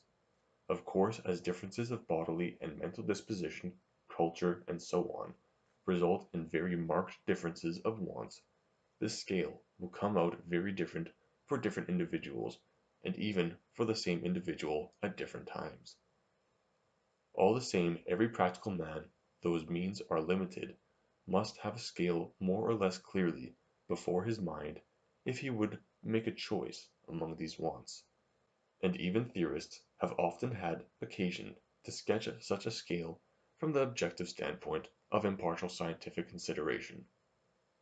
So far everything would be simple and certain were it not that there is an ambiguity when we speak of graduation or ranking of wants. We may mean by these terms either the graduation of wants as kinds of wants, or the graduation of degrees of wants. The concrete individual feelings of want, and these two are essentially different, even divergent. If we compare kinds of wants looked at as a whole, according to their importance for human well-being, there is no doubt whatever that to the needs of subsistence would be allotted the first rank; to the needs of housing and clothing a rank not much inferior to the wants satisfied by tobacco, spirituous liquors, music, etc., a very much less important place, while the wants of ornament and the like would have a very insignificant rank indeed. Now the graduation of concrete feelings of want is essentially different from this. Within one and the same kind of want the feeling of want is not always uniform, not always equally strong. Every feeling of hunger is not equally intense, and every satisfaction of hunger is not equally perfect. In the class of needs of subsistence, for instance, the concrete want of a man who has not eaten a morsel for eight days is infinitely more urgent than that of another man who has already got through two courses of his ordinary dinner. And is meditating whether he should have a third. In the graduation of concrete wants, we have to deal with an entirely different state of affairs, and with a much greater variation. In the scale of kinds of wants, the needs of subsistence came far and away before the desire for tobacco, for liquor, for ornament, etc. In the scale of concrete wants, wants belonging to the most various kinds cross and intersect each other. It is true that even here the most important concrete wants, in the most important classes of wants, stand at the top of the scale, but the less important concrete wants of these classes are frequently overpassed by concrete wants of much inferior classes. The bottom members of the highest class, perhaps, overpassed by the top member of the lowest class. It is very much the same as if a geographer were one time to arrange the Alps, Pyrenees, and Harz by their height as mountain ranges, and another time were to arrange their single summits. As ranges the Alps would, of course, come before the Pyrenees, and the Pyrenees before the Harz. But in comparing individual heights, a great many of the Alpine summits would take rank below individual peaks of the Pyrenees some even below hills in the insignificant Harz. And now the question is, when goods have to be valued by which scale shall we measure the importance of the wants they subserve, the scale of kinds or the scale of concrete wants? When the older theory came to this dividing of ways, the very first opportunity offered it of making a mistake. It chose the wrong way. It adopted the scale of kinds. On this scale the class needs of subsistence occupies one of the most conspicuous places, while the class desire of ornament has a subordinate place. Thus the older theory decided that bread universally has a high use value and diamonds a low use value, and naturally was very much astonished that the value practically put upon those two kinds of goods was exactly the reverse of this. Now their conclusion was quite wrong. What the casuist must say to himself is, if I have a slice of bread I can indeed still this or that concrete feeling of hunger as it arises, but I can never satisfy the totality of such feelings, the actual and possible, present and future, feelings of hunger which together make up the kind needs of subsistence. Obviously then it is quite out of place to attempt to measure the service which the piece of bread can render me by the fact that the totality of such feelings possesses much or little importance. To do so would be like the act of a man who, on being asked as to the height of the Kahlenberg, an insignificant offshoot of the Alps near Vienna, were to ascribe to it the height of the Alpine chain. As a fact, it would never occur to us in practical life to value every bit of bread in our possession as a treasure of infinite importance. We do not rejoice every time we buy a baker's roll as if we had saved a life, nor do we blame a man, a spendthrift, when he carelessly gives away a slice of bread or throws it to a dog. Yet this is the judgment we must pass if we would transfer the importance of this kind needs of subsistence on the satisfaction of which our very life depends, to the goods which actually minister to that satisfaction. This much is clear, then that the value we ascribe to goods has nothing to do with the graduation of kinds of want, but only with the graduation of concrete wants. In order to bring out all that is involved in this conclusion, it may be desirable to put more clearly certain points relating to the composition of this graduated scale, and to put the whole argument on a surer basis than has been done in the foregoing analysis. Most of our wants are divisible in the sense that they are susceptible of piecemeal satisfaction. When I am hungry I am not compelled to choose between satisfying my hunger completely or going entirely unsatisfied. I may take the edge off my appetite by a moderate meal, intending perhaps to dispel the feeling of hunger altogether later on by a full meal, or perhaps to make shift with the partial satisfaction I have got. Naturally the partial satisfaction of a concrete want has another and a smaller importance for my well being, than a complete satisfaction of the same, and, to a certain extent, this of itself would suffice to call attention to the above-mentioned phenomenon, that within a kind of wants there are concrete wants, or degrees of wants, of varying importance. But with this is connected a further notable fact. It is an experience as familiar as it is deep-rooted in human nature that the same enjoyment, when constantly repeated, gives us beyond a certain point a constantly decreasing gratification, till in the end it changes into its opposite. Any one can prove for himself that at a meal when the fourth or fifth course is reached, the appetite is not nearly so keen as the first course, and that if there are too many courses, a point is reached where enjoyment turns into discomfort or disgust. The same occurs in too long a concert, lecture, walk, play, and generally speaking, in the case of most physical as well as intellectual enjoyments. If we put the essence of these well known facts into technical language, we get the following proposition the concrete degrees of want into which our sensations of want may be divided, or the successive degrees of satisfaction obtained from similar amounts of goods, are usually of very dissimilar importance, indeed of importance which diminishes step by step to zero. This will explain a whole series of propositions which were simply asserted above. It explains firstly how in one and the same kind of wants there may be concrete wants, or degrees of wants, of varying urgency.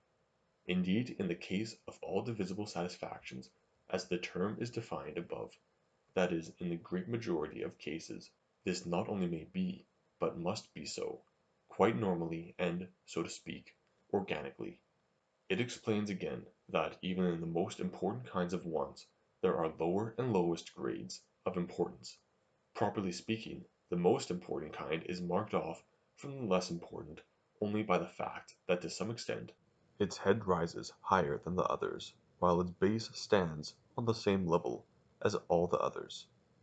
And finally it explains that not only may it occasionally happen, as I have just said, that a concrete want belonging to a kind which on the whole is more important, may be outweighed by some individual concrete want of a kind on the whole less important, but that this happens as a perfectly normal, ordinary, and organic occurrence. There will always, for instance, be innumerable concrete subsistence wants, which are weaker and less urgent than many a concrete want of quite unimportant classes. Such things as the desire of ornament, the love of dancing, the craving for tobacco, etc., will often be stronger than the need of good food and warm clothing. If we try to represent the classification of our wants by a typical scheme, we must, on the principles just laid down, give it something like the following shape. In this scheme the Roman figures indicate the various kinds of wants, decreasing in order of importance from 1 to 10. 1 indicates the most urgent kind, say the needs of subsistence. 5 indicates the kind of medium importance, say that of spirituous liquors while 10 indicates the least important conceivable kind. The Arabic figures 10 to 1, again, indicate the concrete wants and degrees of want that occur in the different kinds, their rank being shown by assigning the figure 10 to the most important conceivable want, the figure 9 to that next in importance, and so on till the last figure 1 indicates the most insignificant want likely to occur. This scheme now puts before us the fact that the more important a kind, the higher stands the most important concrete want contained in the kind. But it shows at the same time that in each kind there are all grades of importance, from the greatest to least; the only exception in the scheme occurs in classes 4 and 7, in which some individual members of the descending scale are wanting. These represent the comparatively rare kinds, where on technical grounds a successive satisfaction by means of partial acts is either incomplete or quite impossible, and where accordingly the want must either be entirely satisfied or not satisfied at all. The want met by kitchen ranges, for instance, is generally met so completely by one range that we should have absolutely no use for a second. Finally the scheme shows that the most important kind (1) there occur the concrete wants which bear the lowest figure of importance, while in almost all other kinds which stand under it in importance there are concrete wants that bear higher figures. Chapter 4 The Marginal Utility Turning now to the second question suggested in the last chapter we ask, of several or many wants which one is it that actually depends on a particular good? This question would not be put at all if the circumstances of economic life were so simple that single wants always stood over against single goods. If a good were adapted to satisfy a single concrete want, and if it were, at the same time, the only one of its kind, or, at least, the only one of its available kind, it would be quite clear without further consideration that the satisfaction of a single want depended on our command over the single good. But in practical life the matter is scarcely ever so simple as this; on the contrary, it is usually complicated simultaneously from two sides. First, one and the same good is usually adapted to satisfy various concrete wants, which wants, again, possess various degrees of importance, and second, several goods of one and the same kind are frequently available, thus leaving it to caprice which good will be used for the satisfaction of an important and which for an unimportant want. To give the simplest possible example, I have been shooting for a few days on the mountains, and by some accident I miss my companions. I am far from any house or village, and the only food I have for myself and my dog is two entirely similar baker's rolls. It is clear that the satisfaction of my hunger is of infinitely more importance to me than the satisfaction of my dog's hunger and it is just as clear that it lies with me which of the two rolls I shall consume, and which I shall give to the dog. And now the question arises which of the two wants here is dependent on the bread. One is tempted to answer, that want to which the bread was actually devoted, but it is evident at once that this is an erroneous conclusion. It would amount to say that the two rolls, devoted as they were to the satisfaction of wants of different importance, must possess different values, while it does not admit of a question that two similar goods available under similar conditions must be entirely equal in value. Here again an easy casuistical consideration gives the proper solution. The problem is, which among several wants is dependent on a commodity. This resolves itself very simply when it is known which want it is that would fail of its satisfaction, if that commodity were not present. That want is evidently the dependent one, and now it is easy to show that the want which failed of its satisfaction would not be that want which the particular commodity was, accidentally and capriciously, selected to satisfy, but would always be the least important, among all the wants in question; that is to say among all those wants which would formerly have been provided for out of the total stock of this class of goods. Consideration for one's own convenience, as obvious as it is imperative, induces every reasonable man who acts economically to maintain a certain fixed order in the satisfaction of his wants. No one would be so foolish as to exhaust the resources at his command in satisfying trifling wants, or wants that could be easily ignored and thus to deprive himself of the means of satisfying necessary wants. On the contrary, everyone would take care to use the resources at his command, in the first instance to provide for his most important wants, then for wants that come after these in importance, then for those of the third rank, and so on, always arranging in such a way that the lesser wants were only provided for when all the higher wants had been supplied and there still remained some means of satisfaction to spare. We act according to the same obvious and reasonable principles, when our stock undergoes a change by the loss of one member of that stock. Naturally this will alter the plan according to which we have been employing our resources. Not all the wants we had arranged to satisfy can now be provided for, and some abatement in the totality of satisfaction is unavoidable. But of course the wise man will try to lay the burden on the least sensitive spot, that is to say, if the loss chances to be in a commodity which was destined to a more important use, he will not give up the satisfaction of this more important want, and, by holding on obstinately to his old plan, provide satisfaction for the less important wants. He may be sure that he will satisfy the more important want, and will do so by withdrawing provision from that want, among all the wants hitherto marked out for provision, on the satisfaction of which least depends. To put it in terms of our former illustration, if our sportsman loses the roll which he has meant for himself, he will scarcely feed his dog with the one that remains, and expose himself to the danger of starving. He will suddenly change his plan, elevate the roll that remains into fulfilling its more important function only, and shift the loss to the least important function, the feeding of the dog. The case then stands as follows: wants which are more important than his last want will not be affected by the loss of the good for their satisfaction, is as before guaranteed in case of need by the replacement of substitutes.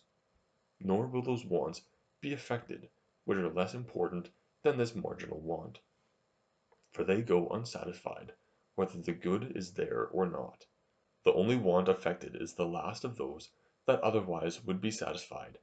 It will be satisfied if the good is there, it will not be satisfied if it is not there. It is thus the dependent want we are seeking. Here, then, we have reached the goal of the present inquiry, and may formulate it thus: the value of a good is measured by the importance of that concrete want, or partial want, which is least urgent among the wants that are met from the available stock of similar goods. What determines the value of a good, then, is not its greatest utility, not its average utility, but the least utility which it, or one like it, might be reasonably employed in providing under the concrete economical conditions. To save ourselves the repetition of this circumstantial description, which all the same had to be somewhat circumstantial to be quite correct, we shall follow Wieser in calling this least utility the utility that stands on the margin of the economically permissible, the economic marginal utility of the good.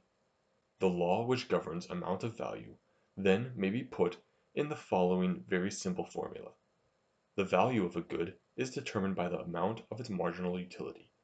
This proposition is the keystone of our theory of value, but it is more; in my opinion it is the master key to the action of the practical economic men with regard to goods.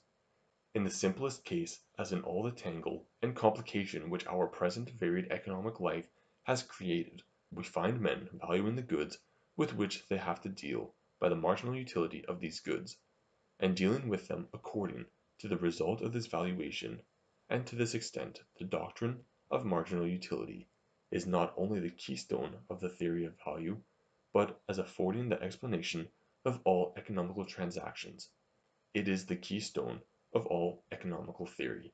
Those who have observed practical life closely will, I think, be convinced that this claim is not exaggerated. Rightly to observe and rightly to interpret what has been observed, however, is an art, not always easy, and in what follows accordingly we shall make use of the value of theory to guide us in observing and interpreting what falls within its sphere. We begin, then, with an illustration of the greatest conceivable simplicity. A colonial farmer whose log but stands by itself in the primeval forest, far away from the busy haunts of men, has just harvested five sacks of corn. These must serve him till the next autumn. Being a thrifty soul, he lays his plans for the employment of these sacks over the year. One sack he absolutely requires for the subsistence of his life till the next harvest.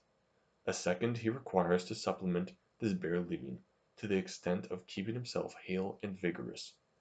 More corn than this in the shape of bread and farinaceous food generally, he has no desire for. On the other hand, it would be very desirable to have some animal food, and he sets aside, therefore, a third sack to feed poultry; a fourth sack he destines for the making of coarse spirits.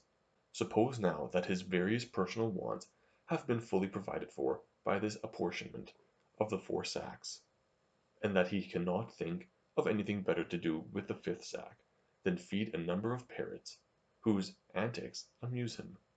Naturally, these various methods of employing the corn are not equal in importance.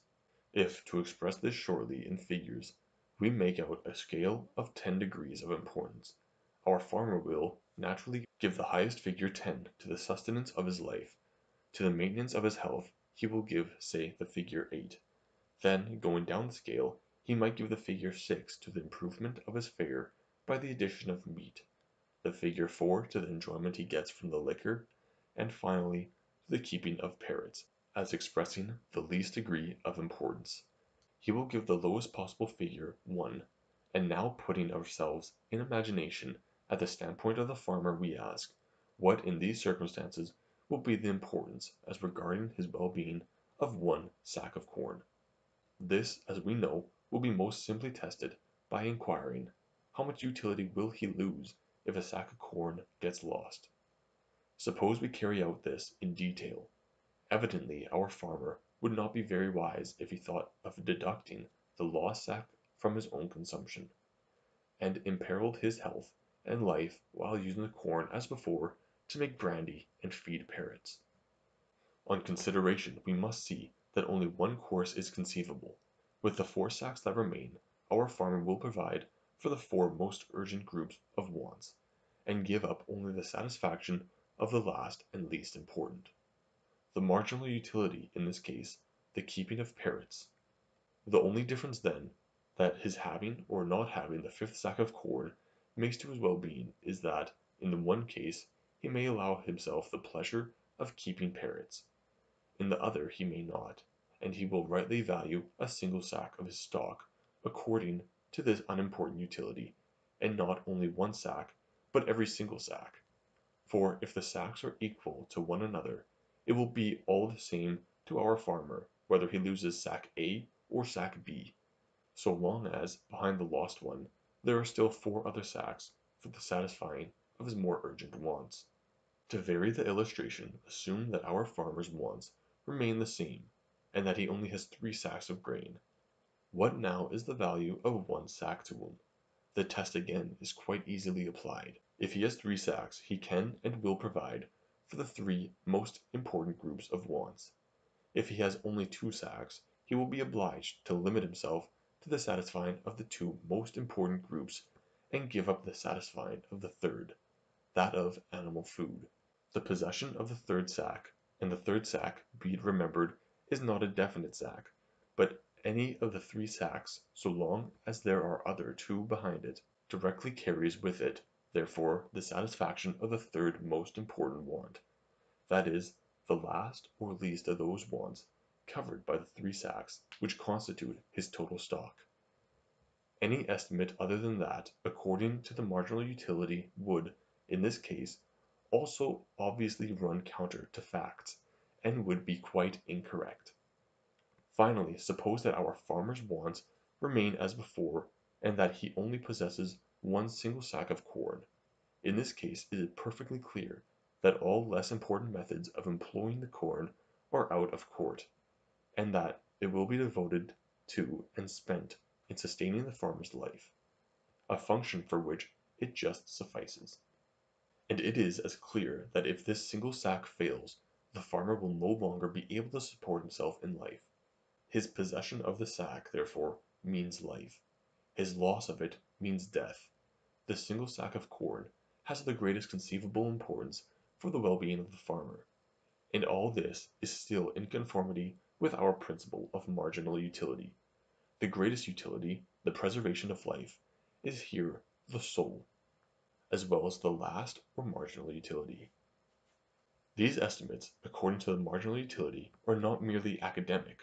No one will doubt that our farmer on due occasion, say, on an offer made him for the corn, would act practically according to the same estimates. Any one of us placed in his position would undoubtedly be inclined to let one of the five sacks go pretty cheap in consideration of and in correspondence with its small marginal utility. He would charge considerably more for one of the three sacks, and he would not let the irreplaceable single sack with its enormous marginal utility go for any price whatever. Transfer now the field of illustration from the solitary in the primeval forest to the bustle of a highly organized economic community.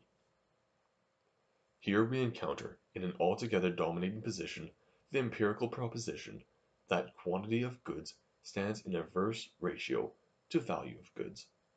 The more goods of one kind there are in the market the smaller, ceteris paribus, is the value of the single commodity and vice versa. Everyone knows that economic theory has made use of this empirical proposition, the most elementary proposition in the doctrine of price to establish the law of supply and demand. But this proposition maintains its validity quite apart from exchange and price. For instance, how much more value does a collector put upon the single specimen which represents a class in his collection than upon one of a dozen of such specimens? It is easy to show well authenticated facts of experience like these follow. As a natural consequence from our theory of marginal utility, the more individual goods there are available in any class, the more completely can the wants to which they relate be satisfied, and the less important are the wants which are last satisfied, those whose satisfaction is imperilled by the failure of one of the goods. In other words, the more individual goods there are available in any class, the smaller is the marginal utility which determines the value. If, again, there are available so many individual goods of one class that, after all the wants to which they are relative are completely satisfied, there still remains a number of goods for which no further useful employment can be found, then the marginal utility is equal to zero, and a commodity of that particular class is valueless. Here, then, we have an entirely natural explanation of the phenomenon which originally struck us as so surprising that comparatively useless things, such as pearls and diamonds, have so high a value, while infinitely more useful things like bread and iron have a far less value, and water and air no value at all. Pearls and diamonds are to be had in such small quantities that the relative want is only satisfied to a trifling extent and the point of marginal utility which the satisfaction reaches stands relatively high. Happily for us, on the other hand, bread and iron, water and light, are, as a rule, to be had in such quantities that the satisfaction of all the more important wants which depend on them is assured. Only very trifling concrete wants, or no wants at all, are dependent, for instance, on the command over a piece of bread or a glass of water. It is, of course, true that in abnormal circumstances, as, for instance, in besieged towns, or in desert journeys, where water and food are scarce, and small stores only suffice to meet the most urgent concrete wants of meat and drink, the marginal utility flies up. According to our principles, the value of those goods otherwise of so little account must rise also, and the inference finds ample empirical confirmation in the enormous prices paid in such circumstances for the most wretched means of subsistence. Thus those very facts which at first sight seem to contradict our theory that the amount of value is dependent on the amount of utility conditioned, on closer examination afford a striking confirmation of it. Chapter 5 Complications The cases we have hitherto considered have been comparatively easy of interpretation but practical economic life brings out a great many complications which the practical man treats with easy assurance, but the theorist finds considerable difficulty in explaining. To understand these, everything depends on the correctness of our casuistical decision as to that amount of utility which in the given circumstances is the marginal utility. For this purpose the following general direction may serve as master key to all the more difficult problems of value we must look at the economic position of the person who is estimating the value of a good from two points of view. First we must in thought add the good to his stock, and consider what further and lesser concrete wants can now be satisfied. Second we must in thought deduct the good from his stock, and consider again what concrete wants will still be satisfied. In the latter case, of course, it becomes manifest that a certain layer of wants which is the lowest layer, has lost its former provision. This lowest layer indicates the marginal utility that determines the valuation. The first very obvious but theoretically not unimportant application leads us to recognize that in valuing a good sometimes it is the importance of some one individual, concrete want that is taken into consideration; sometimes it is the importance of many concrete wants that has been summed up. That is to say, in the nature of things, the layers of want that depend on the object we are valuing may turn out to be very various, in compass and extent, according to the constitution of that object. If it is a single individual of a perishable group of goods, for instance of food, the marginal utility will usually include no more than one single concrete want, or even a partial want. If the object again is a durable good, and thus susceptible of repeated acts of use, or if it is a number of goods considered as a whole, it is natural that an entire sum, in certain circumstances a very great sum of concrete wants may be included in the layer of wants that depends on it. On the possession or non possession of a piano, for instance, depend hundreds of musical enjoyments; on the possession of a cask of wine, hundreds of pleasures of the palate, and the importance of those pleasures naturally must be summed up in valuing these goods. To pass on now to another far reaching complication, it follows from our earlier analysis that the marginal utility which determines the value of a good is not, or is only accidentally, identical with the utility which the good itself actually affords.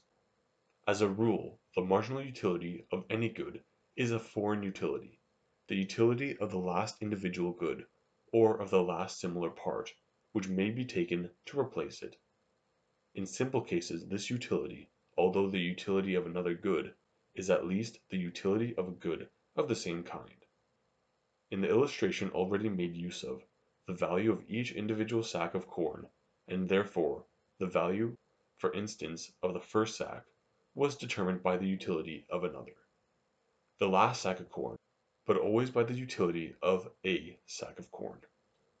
The existence of organized exchange, however, may cause considerable complications here, in making it possible to exchange goods of one kind, without loss of time, for goods of another kind it also makes it possible to shift a loss, which occurs in one kind of goods, over to another kind. Instead of replacing the loss of an individual good by withdrawing another good of the same kind from a less important employment and leaving there a vacancy, we may summon goods of entirely different kinds from the occupation in which they have previously been employed, and by way of barter procure the good required to supply the loss. What is here lost in losing a good of class A is really the utility which the good taken from class B would otherwise have afforded; and since, of course, we should not think of taking the replacing good from the more important but from the least important employments in their spheres of utility, the loss comes upon the marginal utility of the foreign good, that transferred from class B to class A. Here, therefore, the marginal utility and the value of a good of one kind is measured by the marginal utility of a good of another kind, by the good or portion of goods devoted to replace it. To illustrate this, my only overcoat has been stolen. There is no question of replacing it directly by another coat of the same kind, because I had only the one. But all the same I shall not willingly let the loss caused me by the theft rest where it originally fell. For the want which now makes itself felt, that of warm winter clothing, is a very urgent one. Its non satisfaction may involve the most serious consequences to my health, and even endanger my life. I shall accordingly try to shift the incidence of the loss on to other kinds of goods, and I shall do so by parting in exchange for a new overcoat, with goods which, in other circumstances, would have been put to other uses. The goods needed for this exchange I shall, naturally withdraw from those uses which are of least consequence to me; that is to say, I shall take the goods which are of least marginal utility to me. If I am well off, I shall probably take the three dollars, the price of a new great coat, out of my cash box, and I shall be able to buy one luxury the less with my diminished funds. If I am not well off, but am not exactly a poor man. I shall have to fill up the deficit in the cash box by economizing on my housekeeping expenses for a couple of months. If I am so poor that I neither have the money nor can save it out of my monthly income, I shall have to sell or pawn some of my articles of furniture which can be most easily dispensed with. Finally, if I am so far reduced that I can provide only for the most urgent concrete wants in all the other classes, then I cannot shift the loss to other classes of wants, and needs must get along without an overcoat. If we put ourselves for the moment into the position of the owner of the overcoat, and ask what it is, as regards his well being, that depends on the coat being stolen or not, we shall find that the dependent circumstance is in the first case the spending of money on some luxury; in the second, some little curtailments in housekeeping; in the third, deprivation of the utility of the goods sold or pawned; in the fourth, the actual preservation of health. Only in the last, therefore, is the value of the coat determined by the immediate marginal utility of its own class; which marginal utility here happens to coincide with the utility of the good itself because the class is represented by a single individual; in all the other classes it is determined by the marginal utility of foreign classes of goods and wants. Under the present economic system, where exchange is very highly organized, a notable importance attaches to the casuistical modification we have just described. We might almost say that it includes the majority of subjective estimate of value. For reasons which may be easily inferred from what has been said, we scarcely ever value goods that are indispensable to us by their direct utility, but almost always according to the substitutionary utility of foreign classes of goods.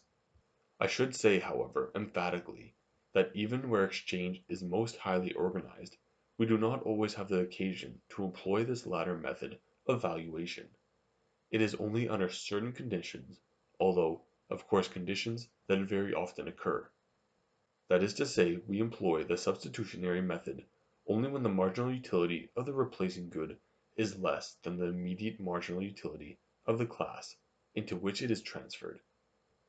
To put it more exactly, when the prices of goods, and, at the same time, the circumstances of provision for the various kinds of wants, are such that if a loss occurring in one kind were borne inside the kind itself, wants relatively more important would go unsatisfied than if the purchase price of the replacing good were drawn from other kinds of wants. But through all complications it is always the least utility, mediately or immediately dependent on a good, that determines its true marginal utility and value. Casuistical complications similar to those made possible by exchange may be caused by the fact that replacing goods can be quickly obtained by production. This kind of complication also has a very notable place in the theory of value, from the fact that it gives the key to the influence of cost of production on value. It requires, on that account, particularly careful treatment, but it will be more appropriate to give an independent consideration to this and to certain other casuistical complications somewhat later, and to return meantime to the simple fundamental law the statement of which requires to be supplemented in a particular direction. Chapter 6 What determines marginal utility? Thus far we have traced the amount of value which goods possess to the amount of their marginal utility. We may, however, pursue the causes which determine value one step further back, and ask on what circumstances the amount of this marginal utility itself depends. The answer is, on the relation between wants and their provision. The way in which these two factors influence the amount of marginal utility has been suggested so often and so fully in the foregoing analysis, that I need not say any further in way of explanation. I shall content myself with shortly formulating the law relating to it. It runs thus: the more comprehensive and the more intense the want, the higher the marginal utility, and vice versa. That is to say, the more numerous and the more intense the wants demanding satisfaction, on the one hand, and the less the quantity of goods available to satisfy them on the other hand, the more important are the layers of want that must remain unsatisfied, and the higher, therefore, the marginal utility.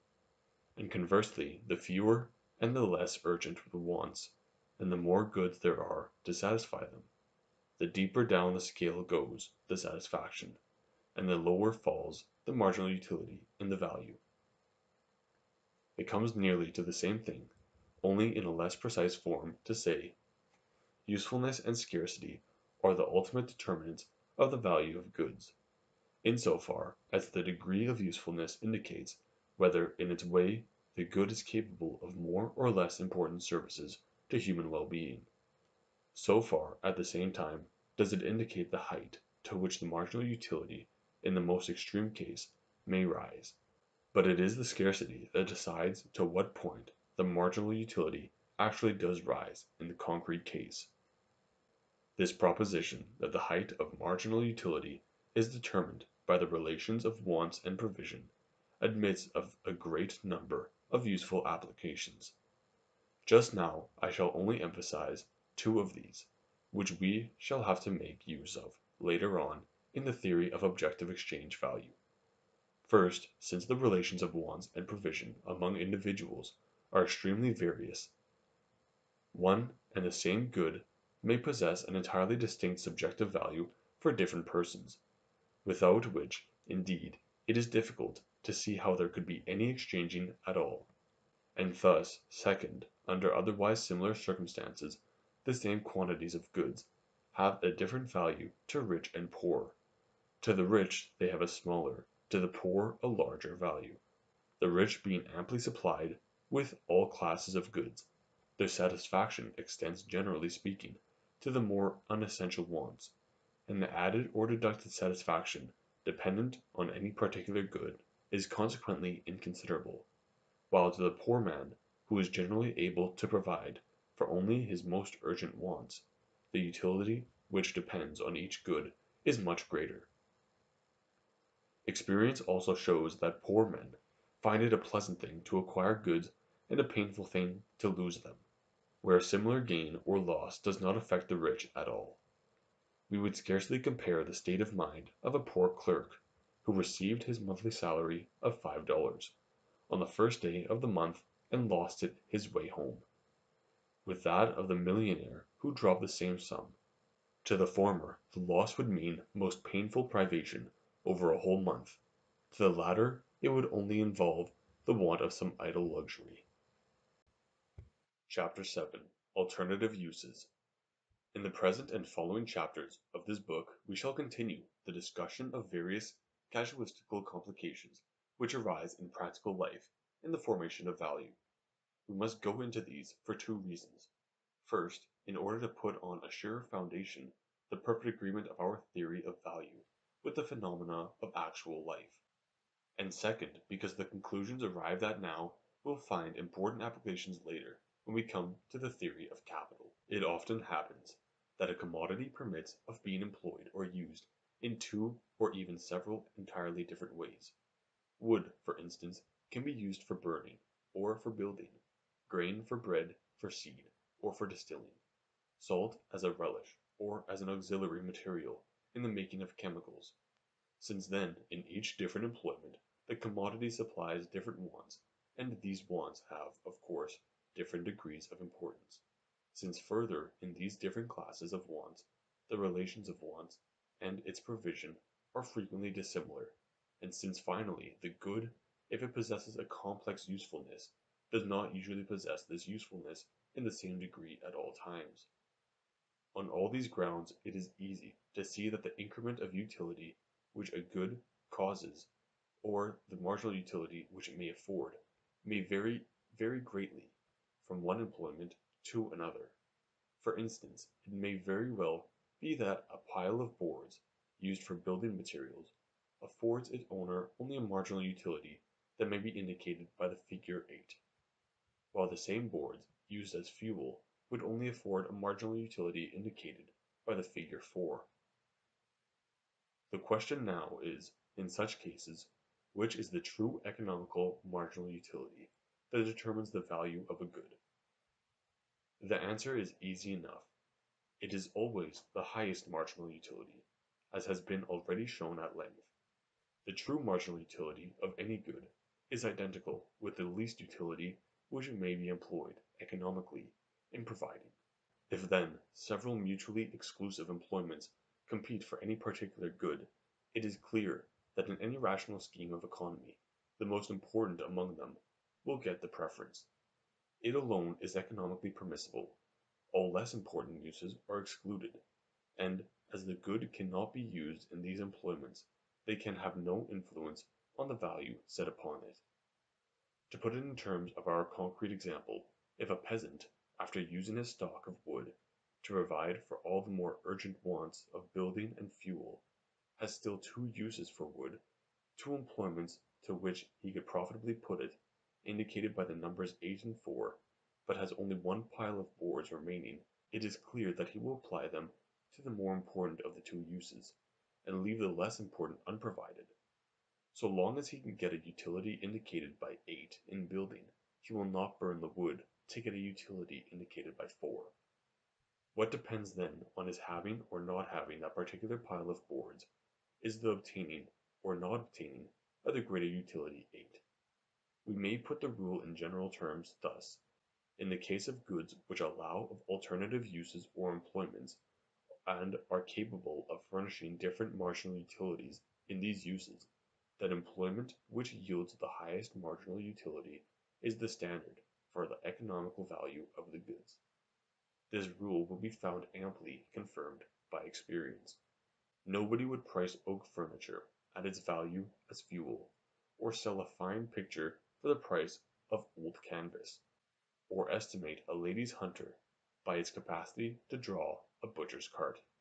The formula, however, as now stated, might easily give rise to mistakes, and it will be advisable to anticipate these before going further. It might seem as if what I have just said was contradictory of what was said a little while ago. I now say that among several alternative employments having different marginal utilities, the highest is the standard, while a few pages ago it was demonstrated that, if the immediate marginal utility of a good, say the utility the last good of its own class, was greater than its immediate marginal utility, say the marginal utility of goods of another class employed as substitutes the lower marginal utility was the standard. The seeming contradiction is very simply explained. In the former case we were dealing with a distinction between several ways in which a stock of goods could be employed. Now we are dealing with a distinction between two or more employments for which the stock of goods is not sufficient, and as I have already shown on a former occasion, the least of those uses to which a good is put always coincides exactly with the greatest of those uses which fail of provision if there is no such good. When, then, in the above formula I spoke of several alternative employments, and of alternative marginal utilities, it must be understood as a method of expression which, literally speaking, is not quite correct; for naturally of those competing employments only one can economically be the last. Only one, therefore can be the true marginal employment, that in which we find the marginal utility, while all the other employments are economically inhibited. They make the more demand on our attention, however, as being the first or most conspicuous representatives of an entire branch of employment. As soon as we think of this latter branch at all, these representatives force themselves, in the first place on our consideration, and it is by choosing between them that we, as it were, give a casting vote for one among entire groups of employment, such as carving and burning of wood, hacking and knacking of horses, and so on; an actual psychological procedure which appears to me best and most concisely indicated by the above formula. Here, however, it must be emphasized that the precedence given in the course of our inquiry to those pseudo marginal employments is only formal. In our economical decisions they enjoy no sort of material preference. Generally speaking, the fact that the employments to which a good may be put into several distinct branches has really not the slightest influence on our calculations of value. Just as we do not value goods according to kinds of wants, so we do not distribute them according to branches of employment. Every concrete employment is only looked on as a possible employment according to the rank which it maintains in virtue of the importance among all competing employments of every branch. And thus, in obedience to the principle of economic conduct, we follow one and the same course: we allocate our stock of goods among the concrete uses which are of most importance on our scale, and the last of these determines for us the marginal utility and the value of the good. Now in doing so it will often happen that only one single branch of employment is taken into consideration. This will, of course, be quite regularly the case where we have only a single individual commodity to dispose of, but it will also happen where a whole series of concrete employments of one kind outweighs that of another kind in importance, and where at the same time this series is long enough, or the available stock of goods is small enough, to leave no provision for employments of less importance. If, for instance, in any branch of industry there are a hundred opportunities of employing certain goods, and the importance of each opportunity is indicated by the figure 8, while the opportunities in another branch of employment are indicated only by the figure 6, and if our stock of goods consists of fifty individual commodities only, naturally all the fifty will be devoted exclusively to the first kind of employment, and their value will be fixed according to the highest utility, at 8. But often it will happen that wants representing different branches of employment, say for instance timber, wanted for building and for burning, demand satisfaction simultaneously. In such cases it is the ratio that chances to exist between the opportunities and the goods that decides to what branch of the want the last employment will belong, that is to say, the employment which determines the value. Suppose that in one branch of employment there are four opportunities, indicated according to importance by the figures 10, 8, 6, 4, and that in another branch there are four opportunities, indicated by the figures 9, 7, 5, 3, and suppose that a man possesses in all five individual goods, there is no doubt that the five goods will be allotted to the opportunities 10, 9, 8, 7, 6, and that the last figure, which accidentally belongs to the first branch of employment, is the real marginal utility and determines the value of the good, while the employment that comes next in the second branch, that indicated by the figure 5, must, according to our formula, become the pseudo-marginal utility. Chapter 8 Subjective Exchange Value We are now ready to consider a concrete application of what has just been said, and one that lies at the root of a very widespread phenomenon. Hitherto we have mostly had before us cases where a commodity, in virtue of some technical adaptability peculiar to it, becomes susceptible of being employed in various ways. Quite apart from any such special assumption, however, the existence of an organized system of exchange gives almost every good a second kind of employment, that of being bartered for other goods. It is customary to put this against, and in opposition to, all other kinds of employment, and to associate this opposition between use and exchange with the division of value into use value and exchange value. Understood in a certain sense, to which in this place we shall adhere, both of these exchange value as well as use value are kinds of subjective value. Use value is the importance which a good obtains for the welfare of a person, on the assumption that it is used immediately in furthering his well-being, and similarly exchange value is the importance which a good obtains for the welfare of a person through its capacity to procure other goods by way of barter. The amount of use value is measured, according to rules already known to us, by the amount of the marginal utility which the good in question brings its owner when used by himself. The amount of subjective exchange value, on the other hand, obviously coincides with the amount of the use value of the goods got in exchange. When I employ a good by bartering it, I procure for my welfare exactly what the goods I get in exchange procure for me in utility. The amount of the good's subjective exchange value, therefore, is to be measured by the marginal utility of the goods got in exchange for it. Now nothing is more common than that the use value and the exchange value of a good to its owner are of unequal amount. To a scholar, for instance, the use value of his books would, as a rule, be considerably greater than their exchange value, while to the bookseller the contrary is likely to be the case.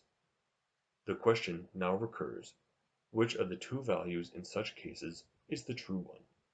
Here we have only to deal with a special case out of a group for which we have already laid down the general rule. Employment in personal use and employment in exchange are two different ways of employing one good. If the good affords a different marginal utility in each employment, it is the higher utility that gives the standard for its economical value. If, therefore, the use value and the exchange value of a good are different in amount, the higher of them is its true value. We recognize this principle in practical life. We always employ our goods in that which corresponds to the higher and the true value. The scholar keeps his books, the bookseller sells his. Or if the scholar gets into reduced circumstances, he also sells his books. But in this case, while the use value and also the objective exchange value of the books remain unaltered, their subjective exchange value to him has risen. That is to say, there are now more urgent wants of other classes clamoring in vain for satisfaction. And the possibility of satisfying these other wants through the sale of the books acquires for him an increased importance, and an importance that easily outweighs the use of the books.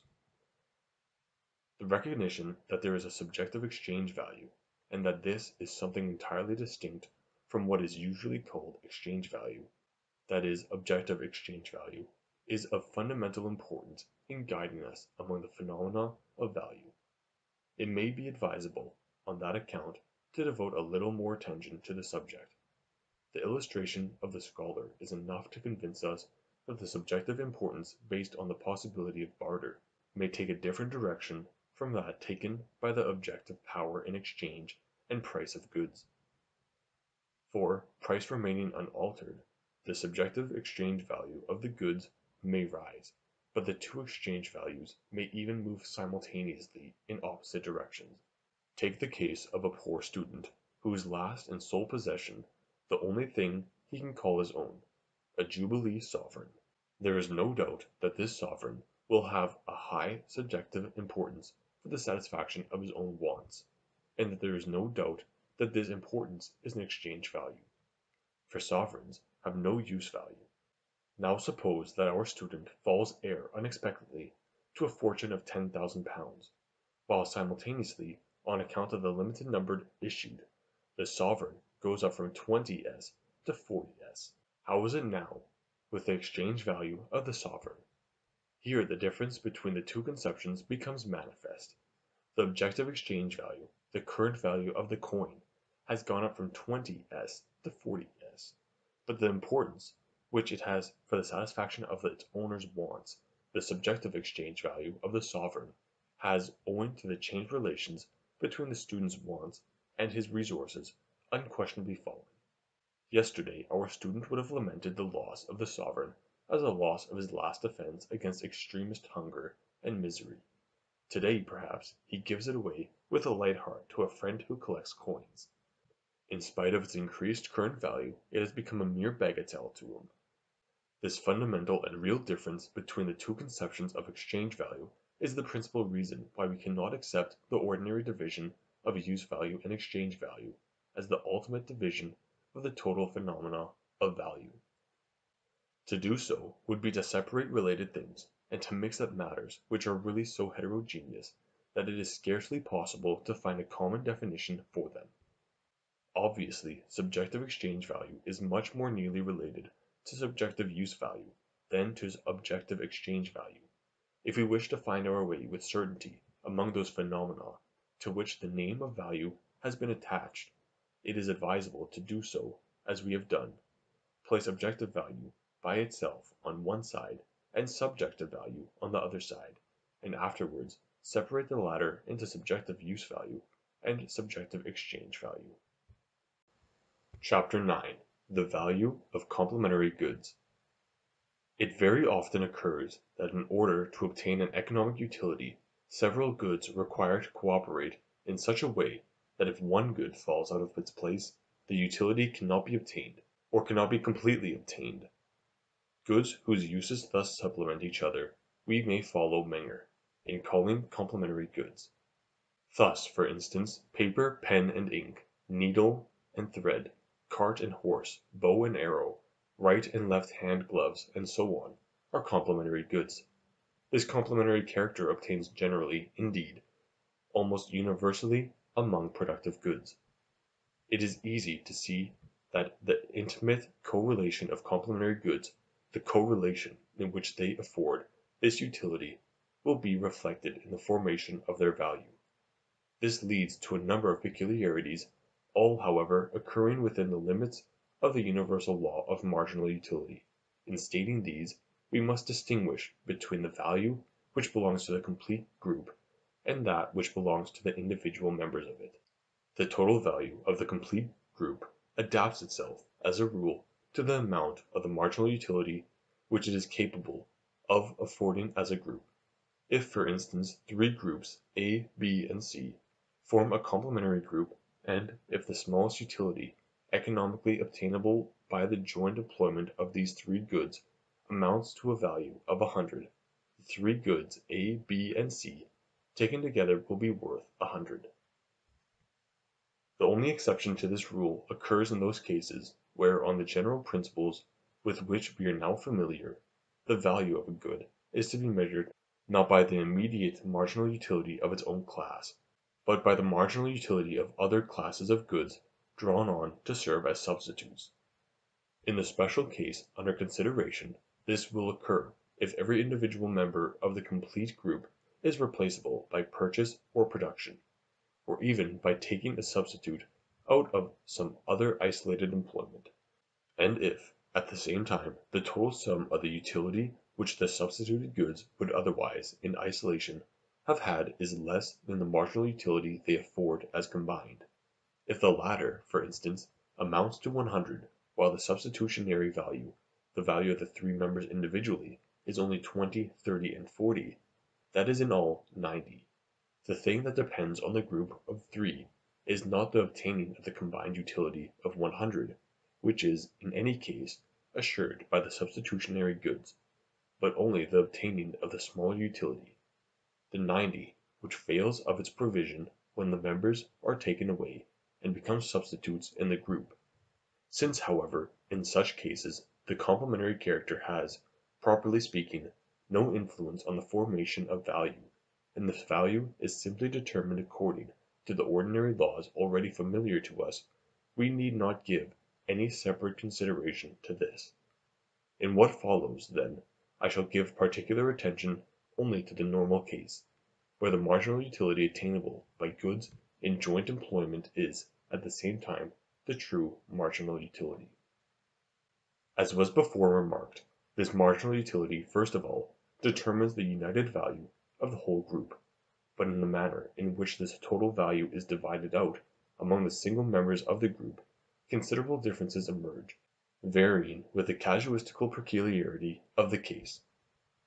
First, if none of the members admits of any use other than the joint use, and if, at the same time, no one member which cooperates towards the joint utility can be replaced, then one single member has the full total value of the group, and the other members are entirely valueless.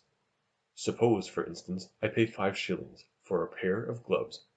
Five shillings is the total value of the pair. If I lose one glove, I lose the whole utility, and with it the whole value of the pair, and the remaining glove has no value. Of course either of the two gloves equally admits of either valuation, and it is simple circumstances that decide which of them is to rank as all, and which as nothing, the glove needed to complete the pair or the useless single glove. Cases of this kind are relatively scarce in practical life. Second and more common is the case where the individual members of the group can afford another, though a less utility, outside their joint employment. Here the value of the single member does not lie between everything and nothing, but between the amount of the marginal utility which it is capable of affording in isolation as minimum, and the amount of the joint marginal utility after deducting the isolated marginal utility of the other members as maximum. Suppose, for instance, that three goods, A, B, and C, in cooperation, afford a marginal utility of 100; that A by itself has marginal utility of 10, B by itself of 20, and C by itself of 30. The value of A is determined as follows: If a merchant owns this good by itself, he can get from it only its isolated marginal utility of 10, and the value of the good accordingly is only 10. But suppose he owns the whole group, and is asked to sell or give away the good A out of that group, what he has to consider is that with the good A he can get a marginal utility of 100; without it only the smaller isolated utility of goods B and C, that is 20 plus 30, which equals 50; and that accordingly on the having or losing of the good A depends a difference in value of 50. As a complement of the group it is therefore worth 100 minus 20 plus 30, which is 50; as an isolated good it is worth only 10.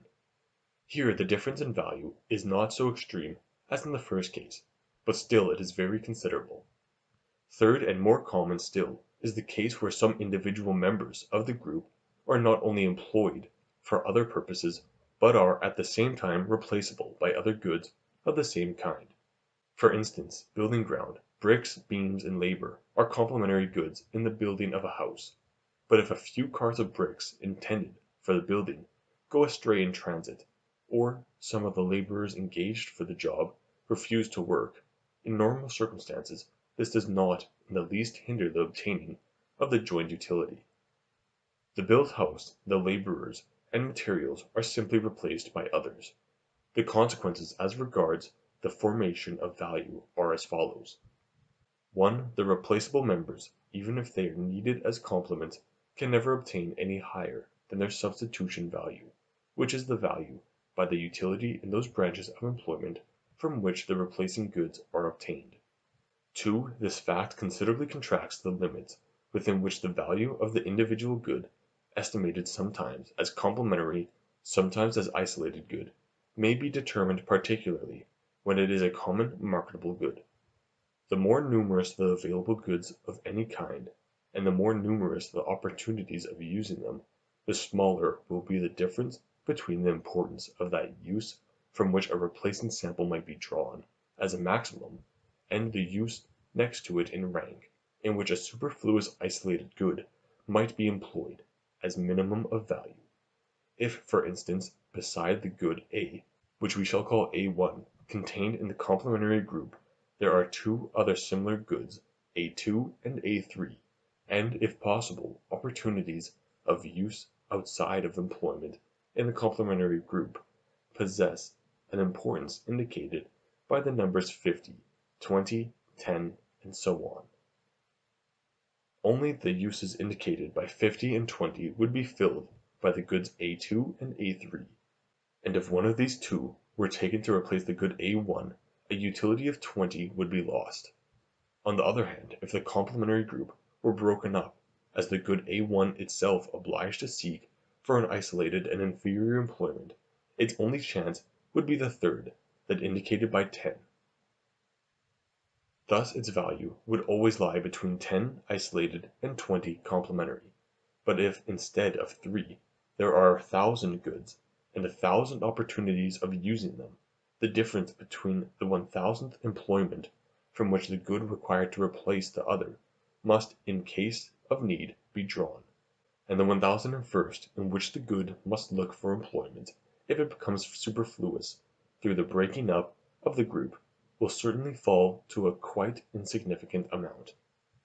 Now of course it is not likely that any one individual within the limits of his own economy will possess a thousand goods of one kind, and a thousand different opportunities of employing them; but all the same the efficiency of the influences just described is in no wise annulled; it is only the scene of their operation that is changed from individual economy to the market, and that in the following way: Individuals buy what they require, and sell their surpluses in the market; here, then, all the stocks of goods, and all the opportunities of employing them over the entire field covered by the market, come together.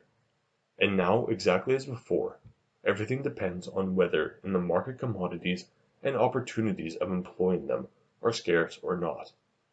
If the commodity is very scarce, it makes a very considerable difference in the determination of price, whether we approach the particular good as buyer or as seller.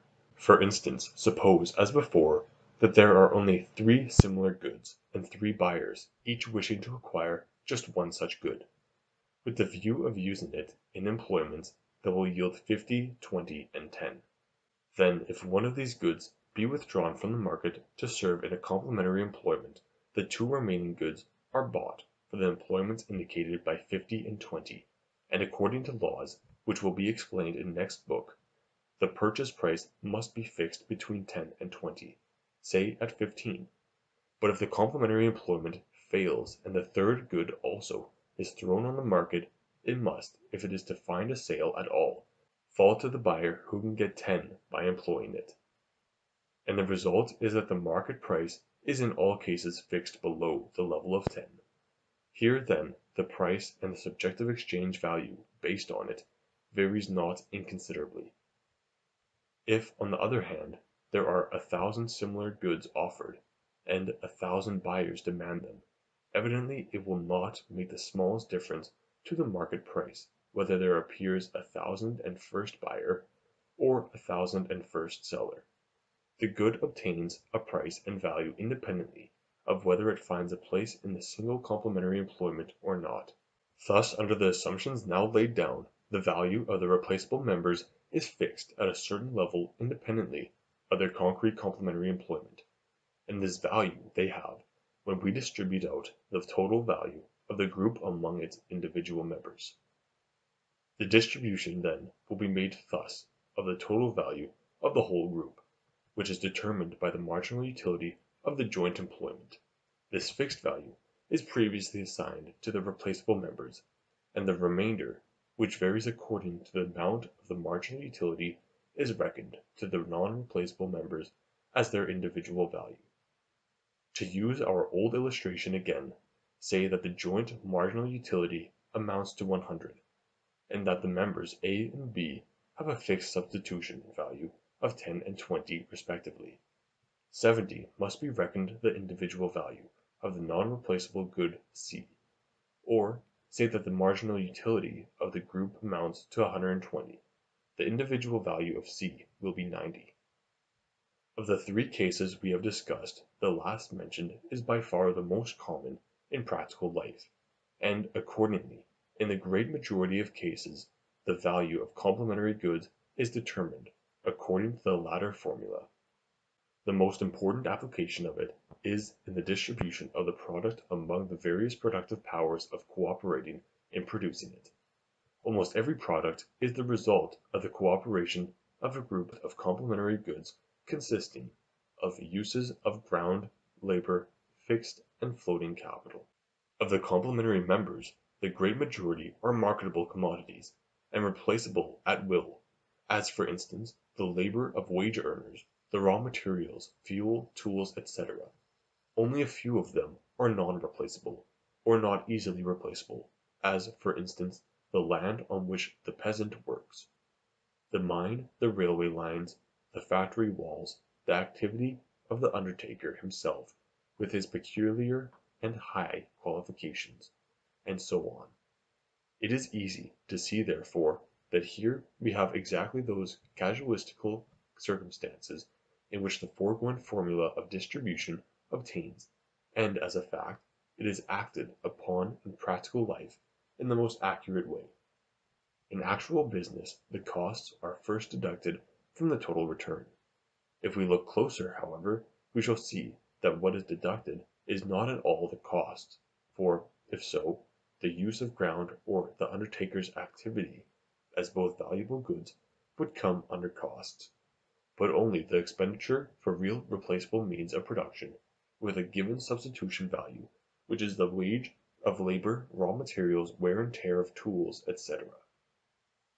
The remainder, under the name of net return, is ascribed to the non replaceable member or members.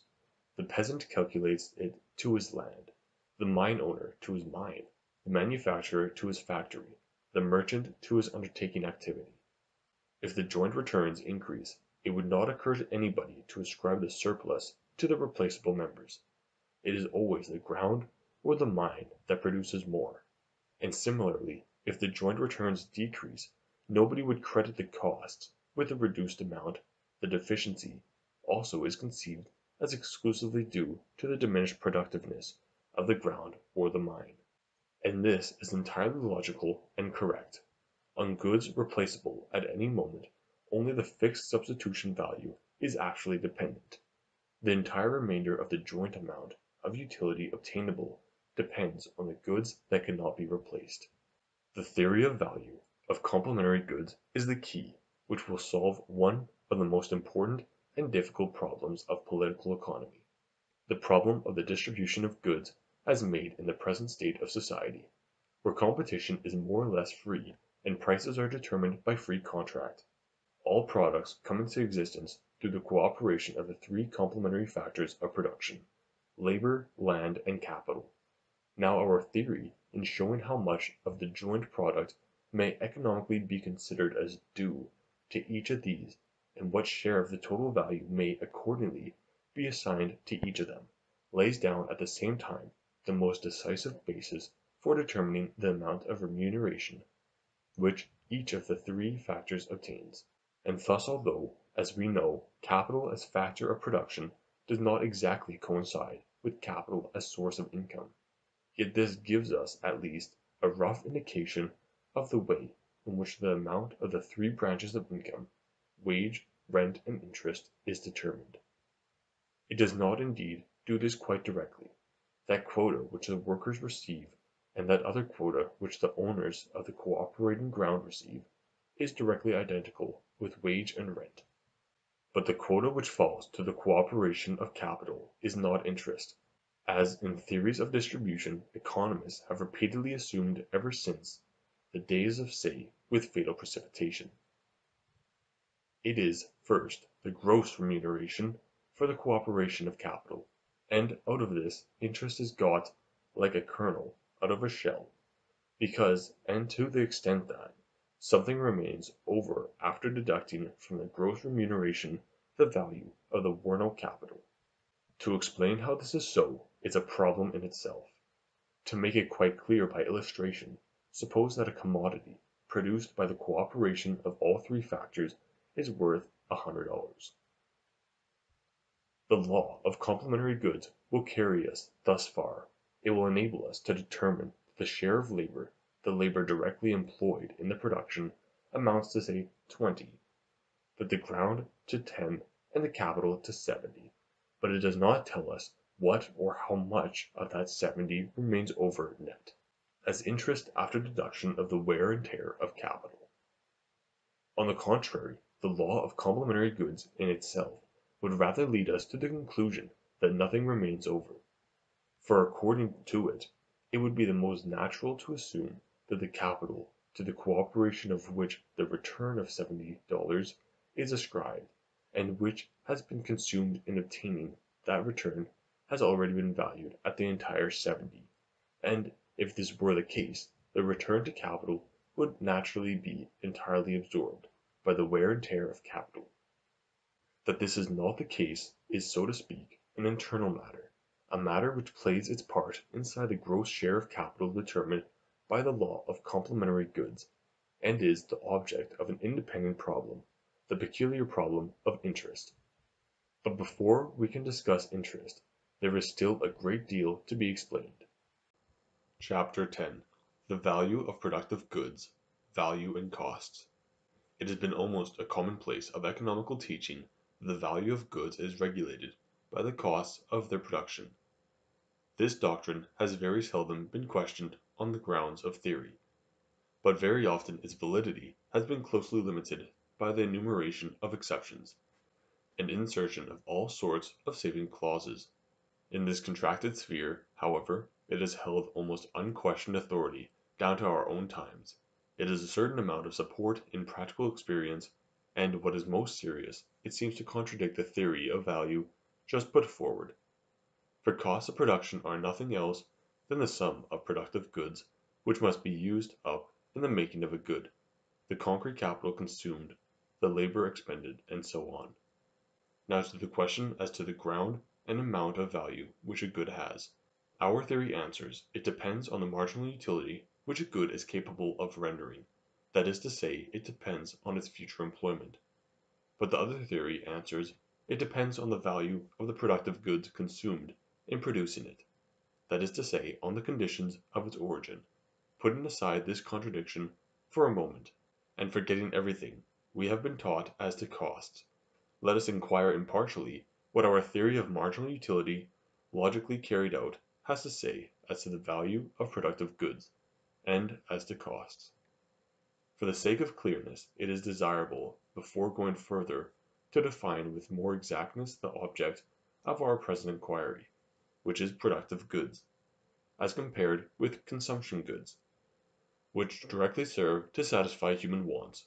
All productive goods have this common feature. They serve to satisfy human wants only indirectly, but they differ again from one another in the degree of indirectness.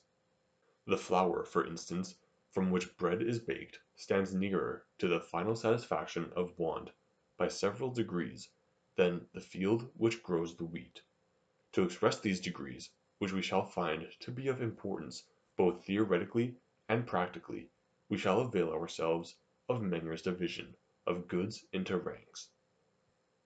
In the first rank we shall place consumption goods those goods which serve immediately for the satisfaction of wants, such as bread. In the second rank we place those goods which assist in the producing the goods of the first rank, the goods which cooperate in the production of bread, as flour, the oven, the baker's labor. In the third rank we place those goods which serve the production of goods of second rank, as the wheat from which the flour is ground the mill in which it is ground, the building materials of the oven, etc.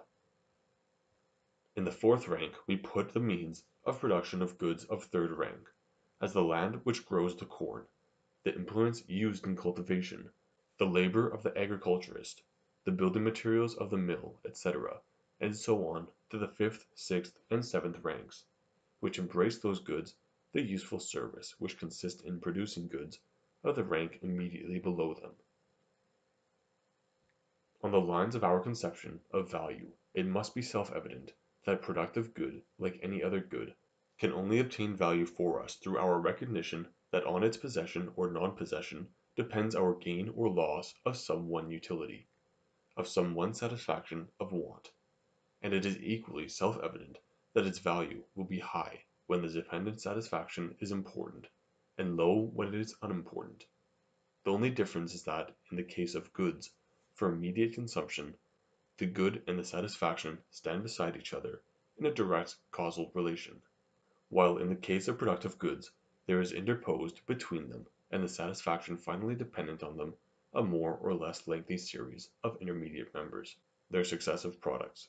In this prolonged connection there is both matter and occasion for the development of new and legitimate relations, particularly between the value of means of production and that of their products. But the great law of value is neither destroyed nor disturbed by these relations. Exactly as in the analogous case of complementary goods, it is only obscured, as it were, by a mass of details to which the more ample development of the phenomena gives occasion. These details we have now to consider. To this end let us take a typical productive series.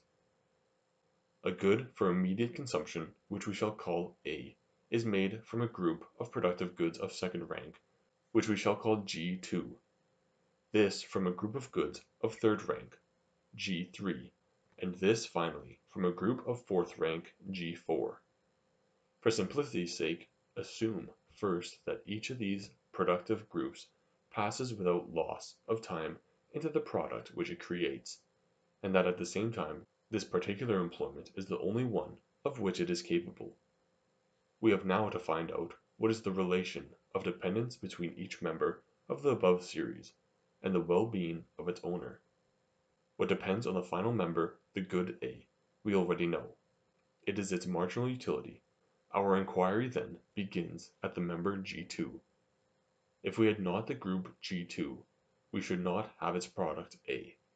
That is to say, that the class of goods to which A belongs, we should have one fewer than we should otherwise have had. But, as we already know, one good less means one satisfaction less, and that the least satisfaction to which economically one good of the stock would otherwise have been devoted. In other words, it means the loss of the marginal utility of the product A. On the group G2, therefore, exactly as on the final product A itself, depends the marginal utility of A. Looking now at the member we find that if we had not the group G3 we could not have the group G2, which is made from it, and as consequence we should lose one good of the class A, or its marginal utility. On the group G3, then, depends exactly the same utility and importance for well-being as on the members which come after it in the production series. The same thing again follows in the case of the group G4. If it fails us, we of course lose one of the group G3, which otherwise might have been produced from it. We lose further one of the group G2, one of the class of good A, and finally the marginal utility of A. Thus we arrive at the following general proposition: On all groups of means of production of remoter rank which successively pass into one another, there depends one and the same gain to human well being, that is, the marginal utility of their final product. No one will be surprised at this result.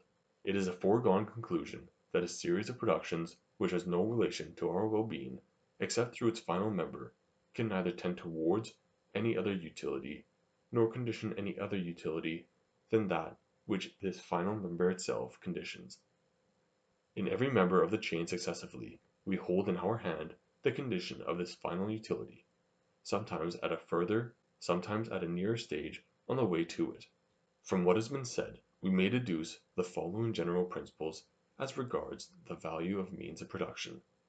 First, since on one and the same utility depend all the groups of means of production which successively pass into one another, the value of all these groups must be substantially the same. Second, the amount of this, their common value, is regulated for all, in the last resort, by the amount of the marginal utility of their finished product. I emphasize, in the last resort. For thirdly, the value of each group has its immediate measure in the value of its product, the succeeding group. In the first instance, the utility and service of the means of production consist and exhaust themselves in the making of their product, and naturally the more important and more valuable the product is for us when made, the higher will be the estimate put on the importance of this utility, and of that which provides it. Substantially, the third proposition is fully covered by the second, for in the value of the goods of higher rank the marginal utility of the final product is mirrored.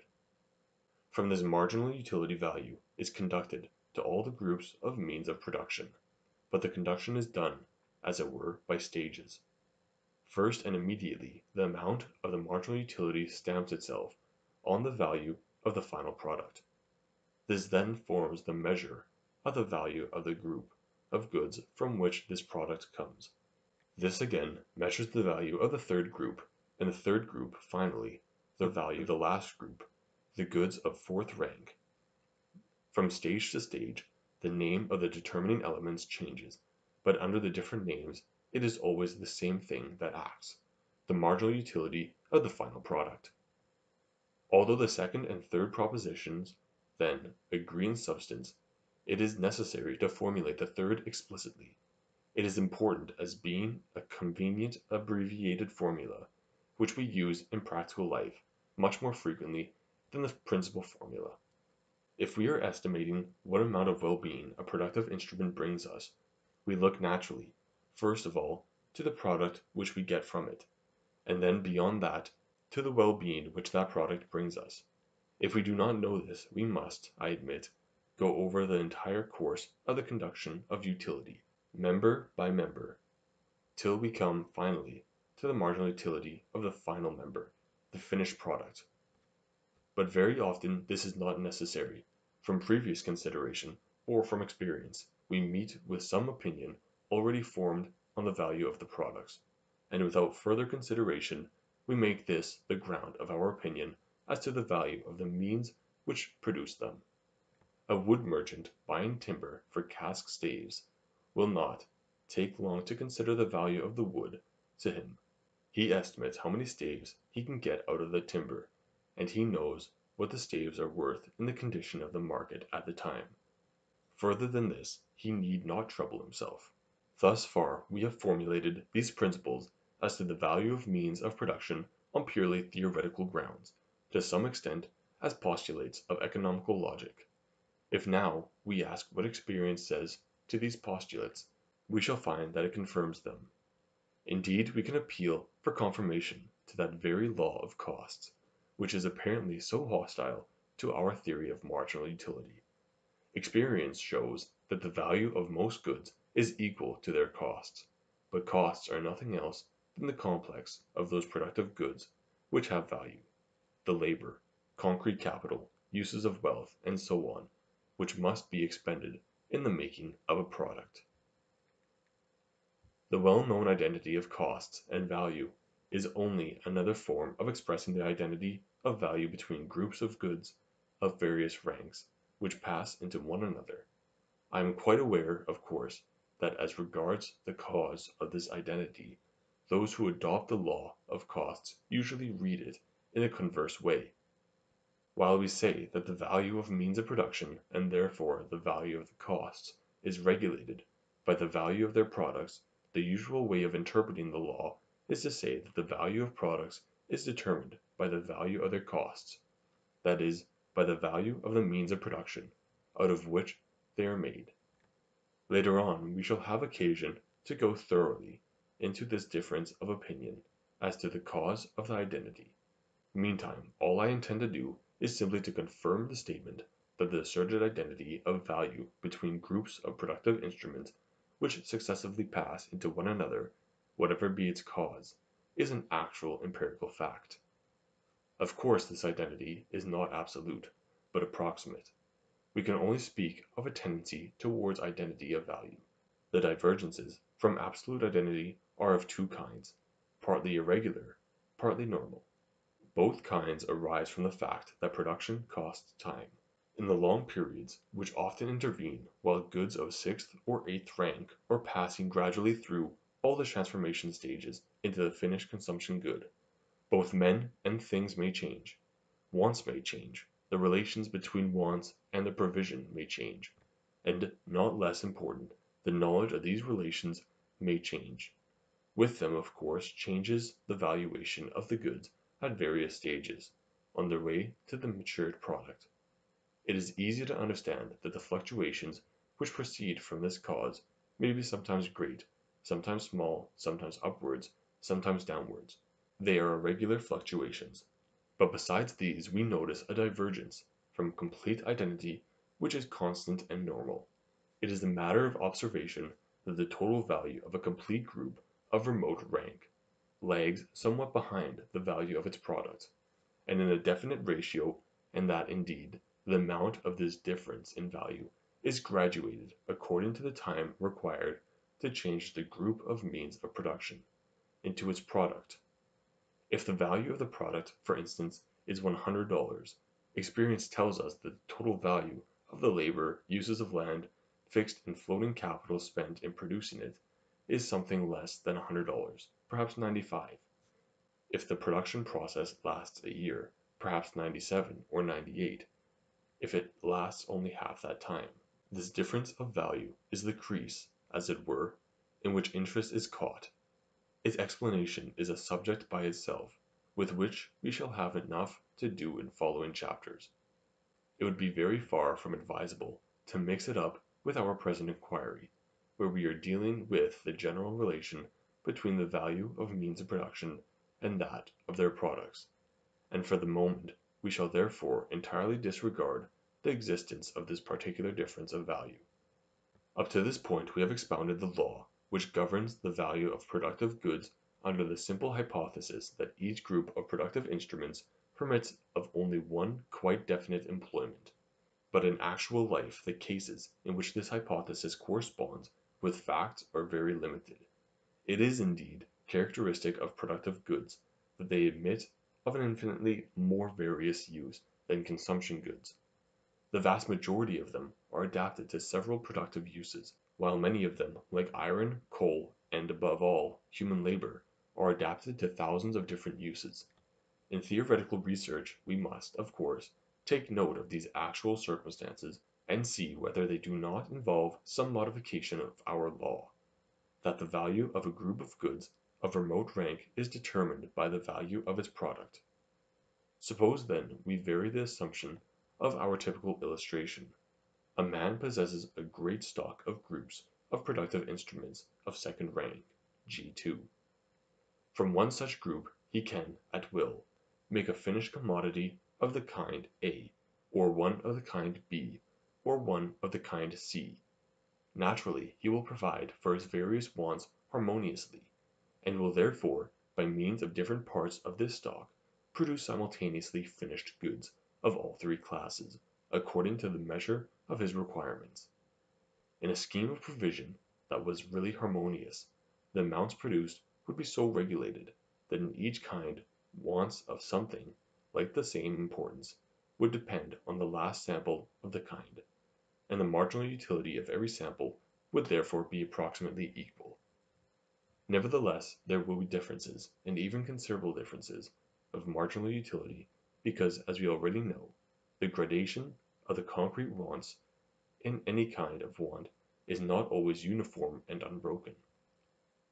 One fireplace in a room, for instance, will give me a very considerable utility, which I may represent by the figure 200, while a second fireplace would not be of any further use to me. Naturally, in providing for my wants, I shall therefore in any case stop at fireplaces when I have one fireplace with its marginal utility of 200. Even if in other branches of wants the provision goes down on the average as low as a marginal utility of 100 or 120. To make our typical illustration true to nature therefore, we must assure that the marginal utility of one sample is of different amounts in the same three kinds, A, B, and C, say 100 in A, 120 in B, 200 in C. The question now is in these circumstances what is the value of G2? After the practice we have had in drawing distinctions of similar kind, we can give the answer without hesitation. The value will be equal to 100, for if one of the available groups were lost the owner would naturally shift the loss to the least sensitive part. He would neither limit the production of the kind B, where he would lose a marginal utility of 120, nor to the kind C, where he would lose a marginal utility of 200. He would simply produce one less of the kind A, whereby his loss of well-being would only be 100. To put it generally, the value of the productive unit adjusts itself to the marginal utility and value of that product which possesses the least marginal utility among all the products for whose production the unit might, economically, have been employed. All the relations which we have found to hold as regards the value of means of production and of their products under the simple hypothesis of the single employment, hold therefore generally between the value of means of production and their least valuable product. And how does it stand with the value of the remaining classes of products B and C? This question brings us to the source of the law of costs. If under all circumstances the marginal utility attainable within the kind itself were to decide, the kinds of goods B and C would possess a value diverging as well from the value of the kind A as from the value of its costs G2. B would have a value of 120, C a value of 200, but this is one of those cases where through substitution a loss occurring in one kind of good is shifted to another kind, and consequently the marginal utility of the latter becomes the standard for the former. That is to say, if one of the kind C gets lost, there is no occasion to give up the marginal utility of 200, which it would have directly afforded. We can and will immediately procure a new C out of a productive unit G2, and we shall prefer to produce one less of that kind of good in which the marginal utility, and with it the loss of utility, is least. This, in our illustration, is the kind A. in virtue of the opportunity of substitution offered by production, a good of the kind C is therefore valued, not at its own marginal utility 200, but at 100, the marginal utility of the least valuable cognate product A. The same holds, of course, of the value of kind B, and would hold, generally speaking, of every kind of good which is cognate in production with A, and has at the same time an immediate marginal utility greater than that of kind A. This leads to several important consequences. First of all, in this way, the value of goods which have a higher individual marginal utility is put on a level with the value of the marginal product, as we shall call that product which has the least marginal utility.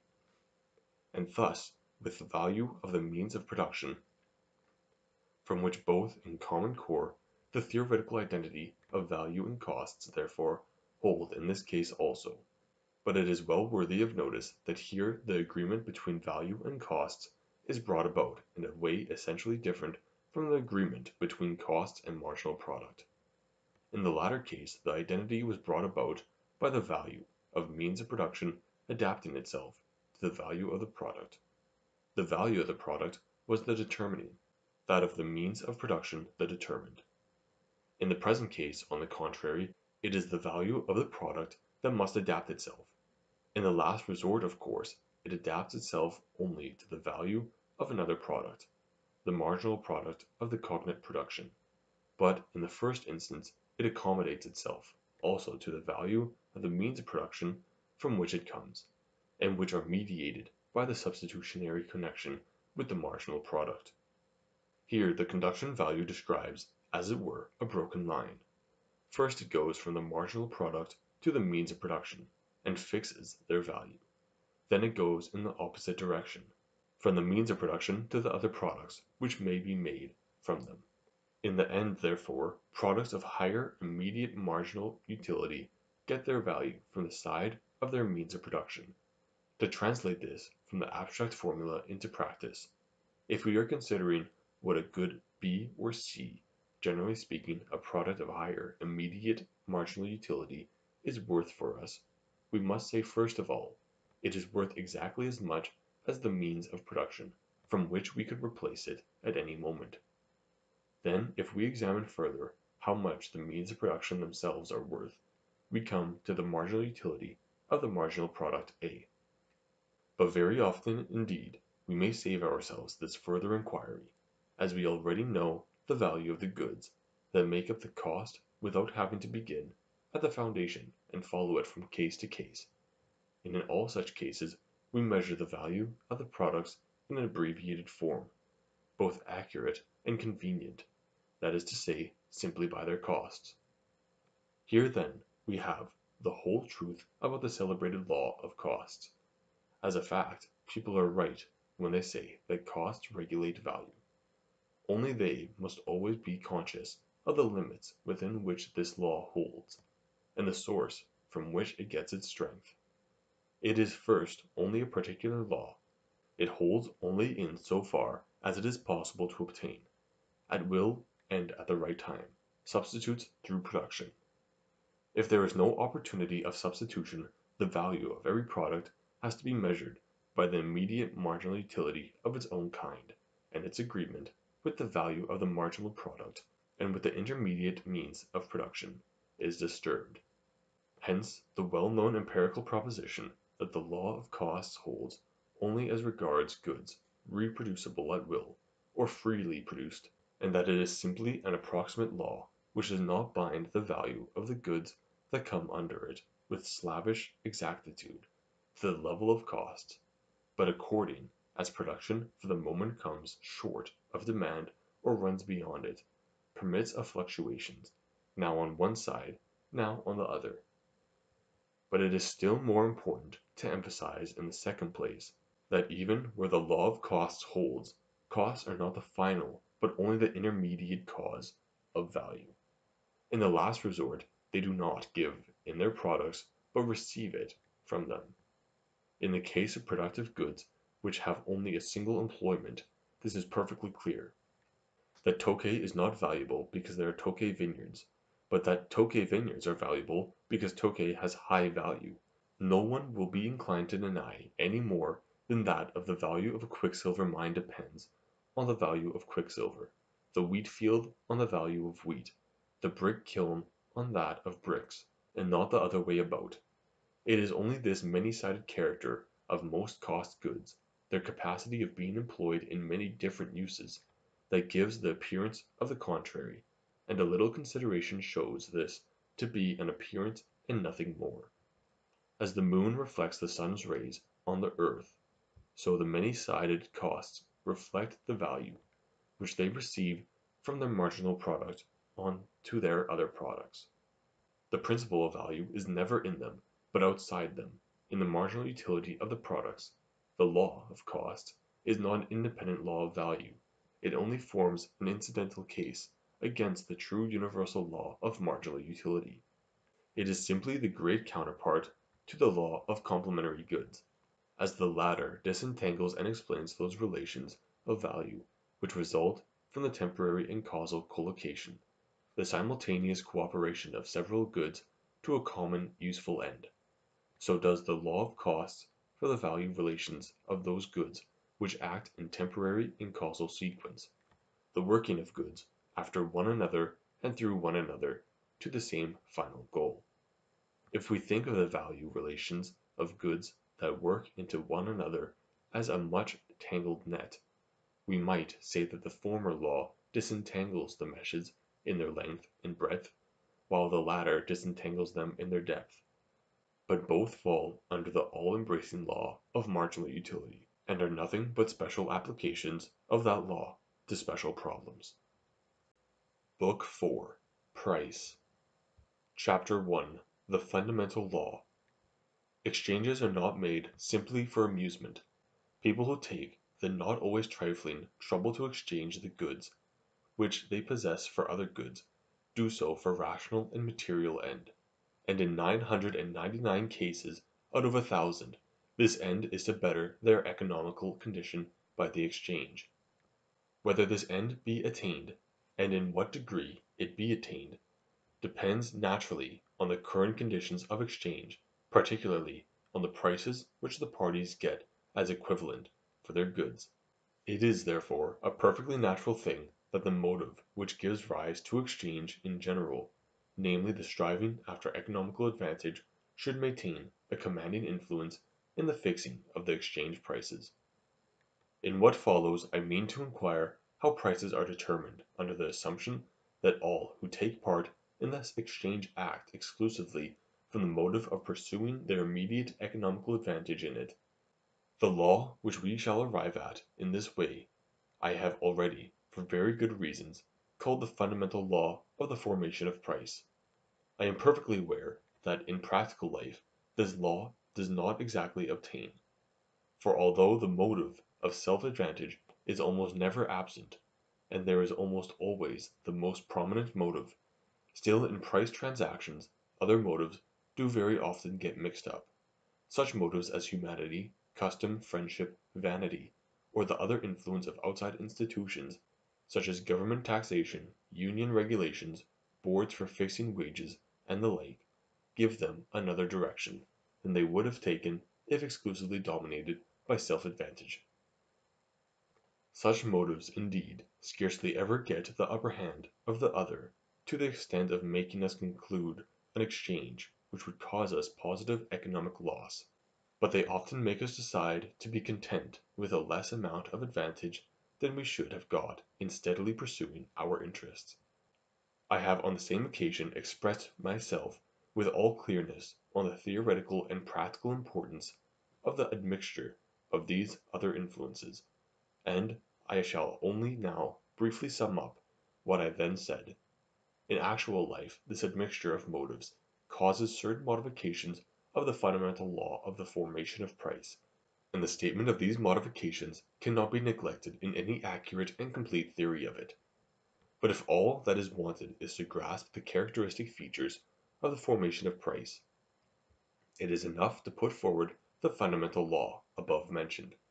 For just as, among the motives that determine price, that of striving after self advantage in exchange has the lion's share, so does the lion's share in the theoretic explanation of the phenomena of price fall to the fundamental law here stated, and it is sufficient for us in our present task as we have not to pursue the theory of price as an end in itself, but only so far as is necessary to establish the theoretical connection between the elementary phenomena of subjective value and the complicated phenomena of interest. In this law we may obtain a principle which is not minutely accurate, but is amply sufficient for the further development of the theory of capital. Before going on to state the peculiar laws of price, it may be desirable to preface them by some considerations that may more accurately unfold the content of the fundamental motive which forms the assumption and basis of the whole of the following inquiry. In exchange transactions the decisions made always turn on two points. These are (1) whether in a given state of things a man should exchange or not, and (2) if he decide to exchange, what form he should try to give to the terms of the exchange. Now in making these decisions it is obvious that the man who looks to his own immediate advantage and nothing else, will act according to the following rules. First, he will exchange only if the exchange brings him an advantage; second, he will rather exchange for a greater advantage than for a less; third, he will rather exchange for a small advantage than not exchange at all. It scarcely need be shown that these three rules are dictated by our fundamental motive, and constitute the practical substance of it. What does require elucidation is an expression that recurs in them all to exchange with advantage. The meaning of the expression obviously is to exchange in such a way that the exchanger gains more in well being from the goods he gets than he loses in the goods he gives; or, since the importance that goods have for life and well being is expressed in their subjective value, to exchange in such a way that the goods received possesses a greater subjective value than the goods parted with. If A owns a horse and is willing to exchange it for ten casks of wine, it can only be because the ten casks of wine have a greater value for him than his horse has; but naturally the other party to the contract thinks exactly in the same way. He on his part will not give up the ten casks of wine if he does not get for them a good that has a greater value for him. He will exchange his ten casks for A's horse only if the wine is worth less to him than the horse is. From this we get an important rule: an exchange is economically possible only between persons who put a different value, even an opposite value, upon the commodity and upon the price equivalent.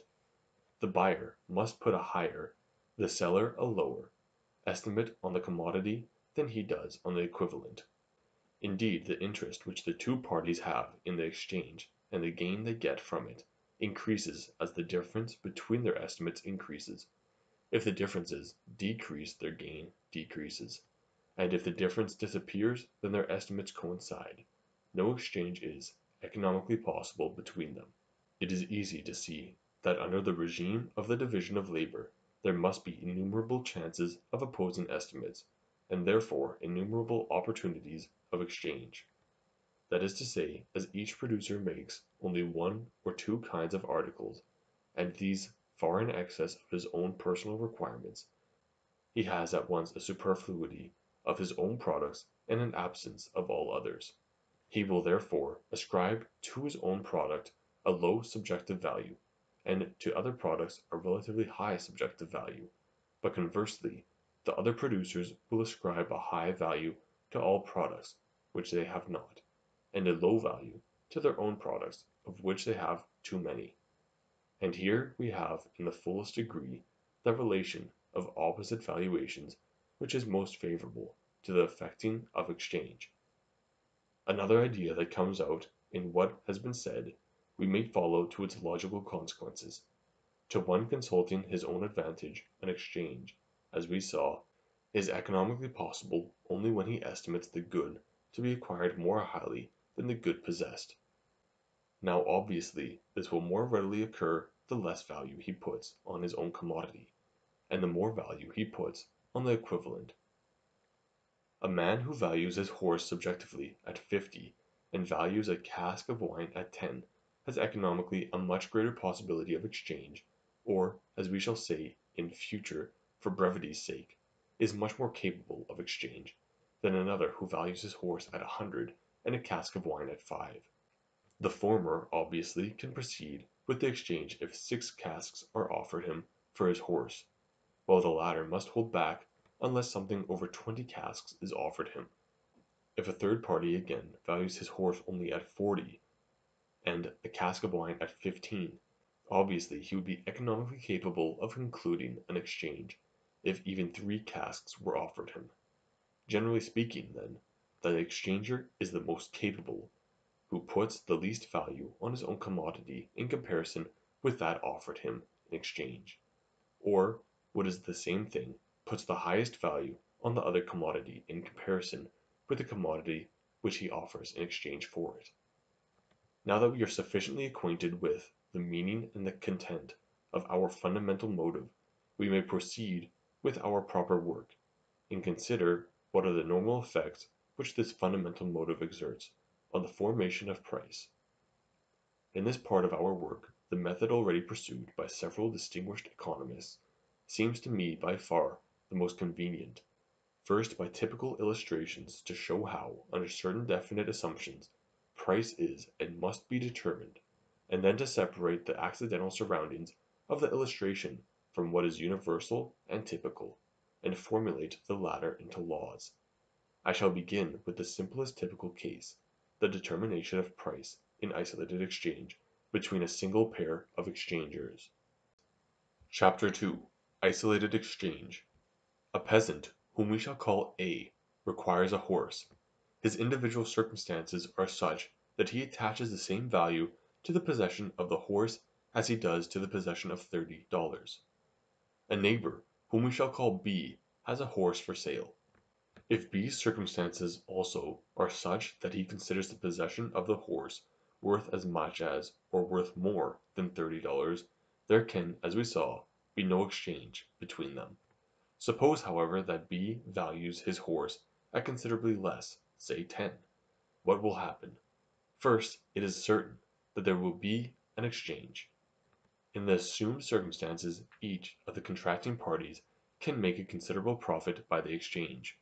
If, for instance, the horse changes hands at 20, A, who considers it worth 30, makes a profit of 10, and B, who gets 20 for an article only worth 10 to him, just the same amount of profit.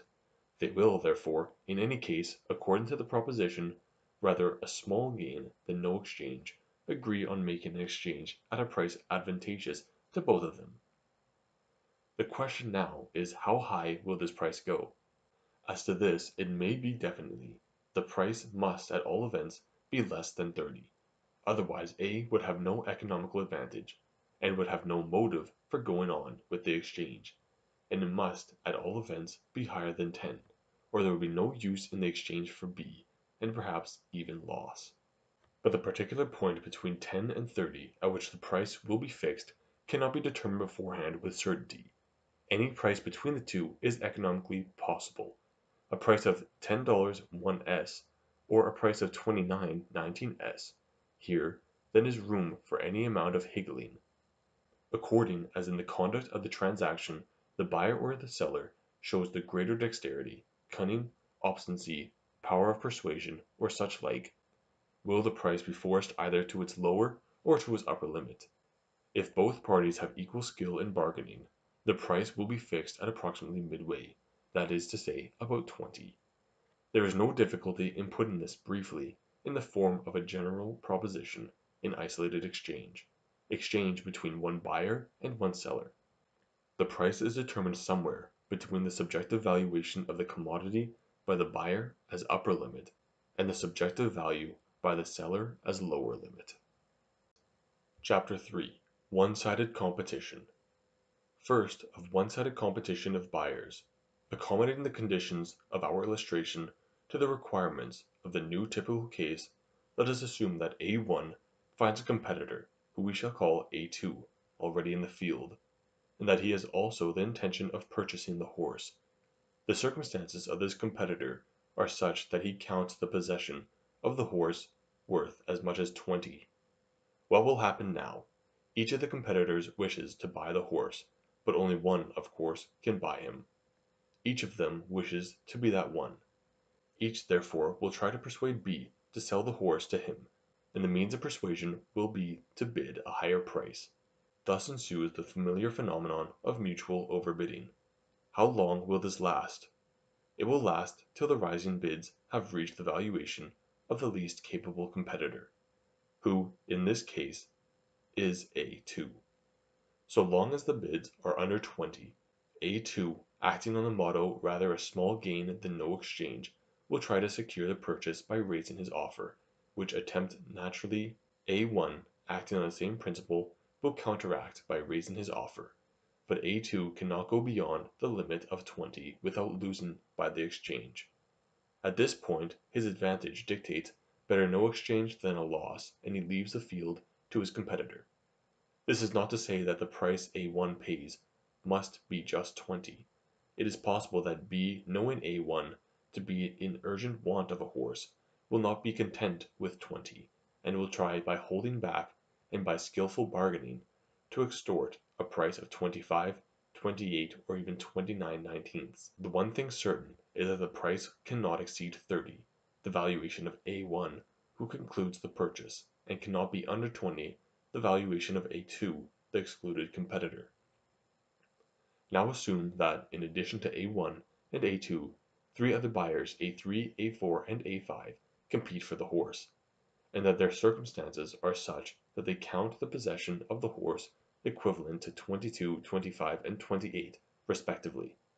It is easy to show, in the same way, that in the ensuing competition A3 will bid to the limit of 22, A4 to 25 and A5 to 28, that the most capable competitor, A1, will always be the successful one, and that the price will be fixed between 30 as a higher limit and 28, the valuation of the most capable of the excluded competitors as lower limit. The results of this investigation may therefore be expressed in the following general proposition. The one-sided competition of buyers, where there is one seller and more than one buyer, the most capable competitor will be the purchaser, that is, the one who puts the highest value on the commodity he wishes to buy in comparison with the good he wishes to sell, and the price will lie somewhere between the valuation of the purchaser as higher limit and the valuation of the most capable among the unsuccessful competitors as lower limit, always understood that the price can in no case be lower than the subsidiary lower limit of the seller's own valuation. Comparing this proposition with the results arrived at under the former typical case, we see that the competition of buyers has the effect of narrowing the sphere within which price is determined, and narrowing it in the upward direction. Between A and B the limits within which price was determined were 10 and 30; by the added competition the lower limit was moved up to 28. Second, of the one-sided competition of sellers, this forms the exact converse of the foregoing; entirely analogous tendencies lead to entirely analogous results, only in an opposite direction. The statement of this need not detain us long.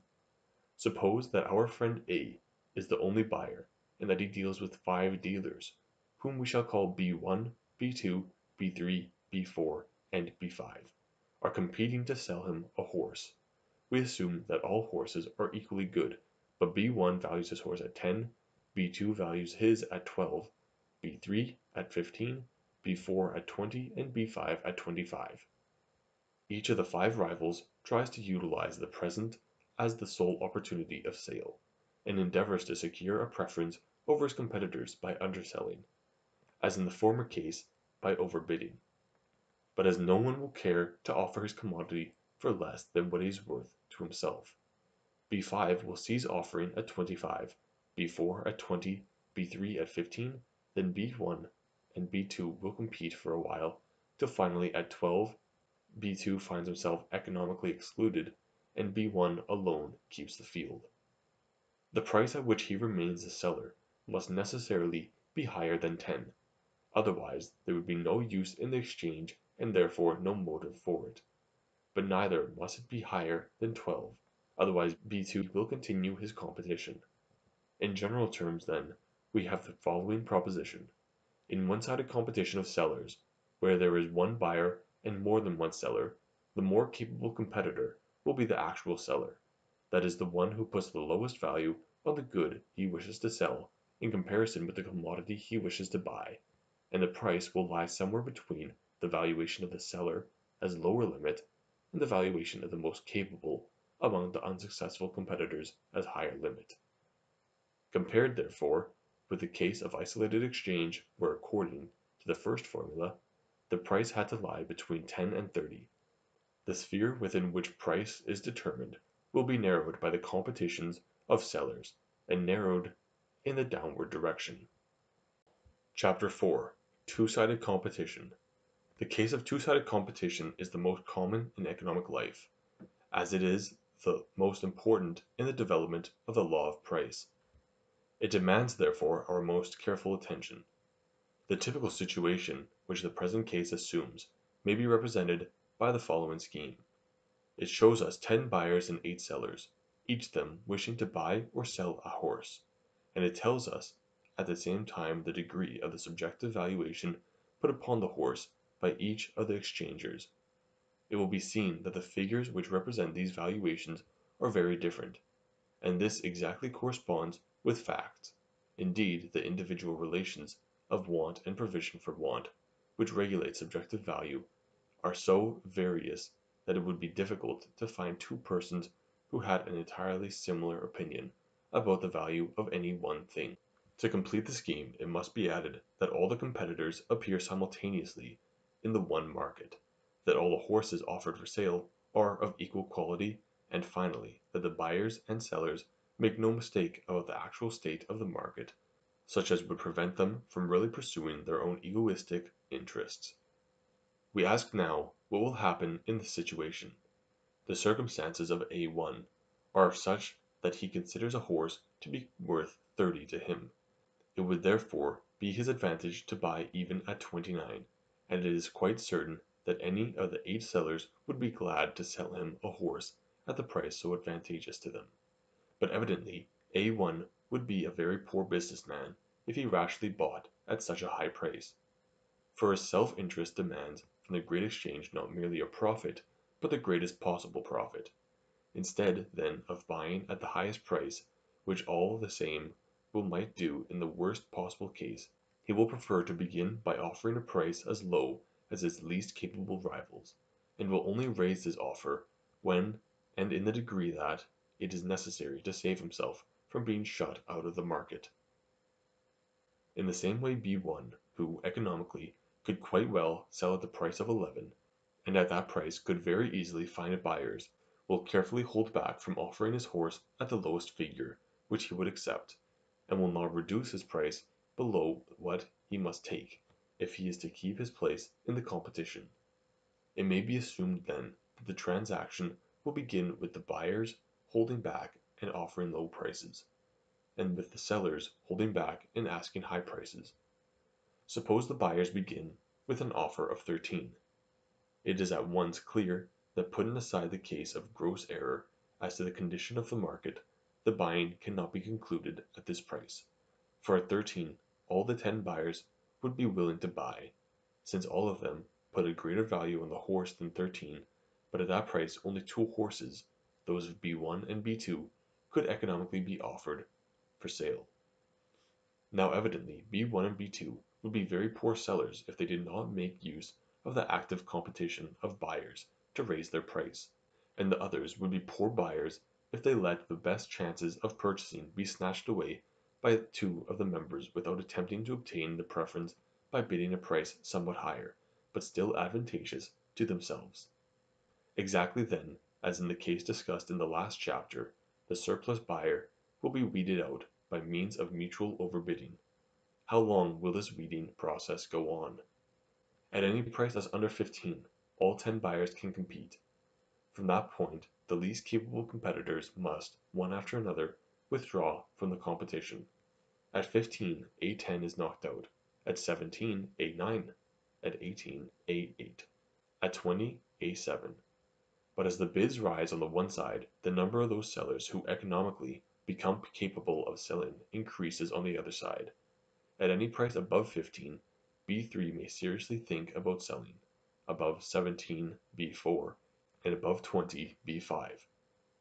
Thus the marked disproportion which existed at first between the horses demanded and the horses actually offered for sale is gradually reduced. At 13 there was an effective demand for 10 horses, and only two could, economically, be offered, while at any price over 20 only six horses are demanded and five offered, the majority of buyers over sellers thus being reduced to one. So long, however, as the rival buyers are in the majority, and this fact is accurately known in the market, there can be no final settlement.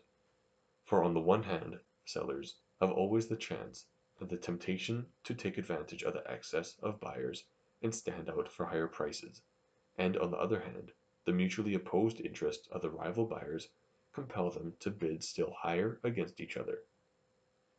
Obviously, A6 would scarcely consult his own interests if he were calmly to look on while his five rivals went off with the five cheapest horses, and left him no chance of an exchange, and therefore no chance of a profit.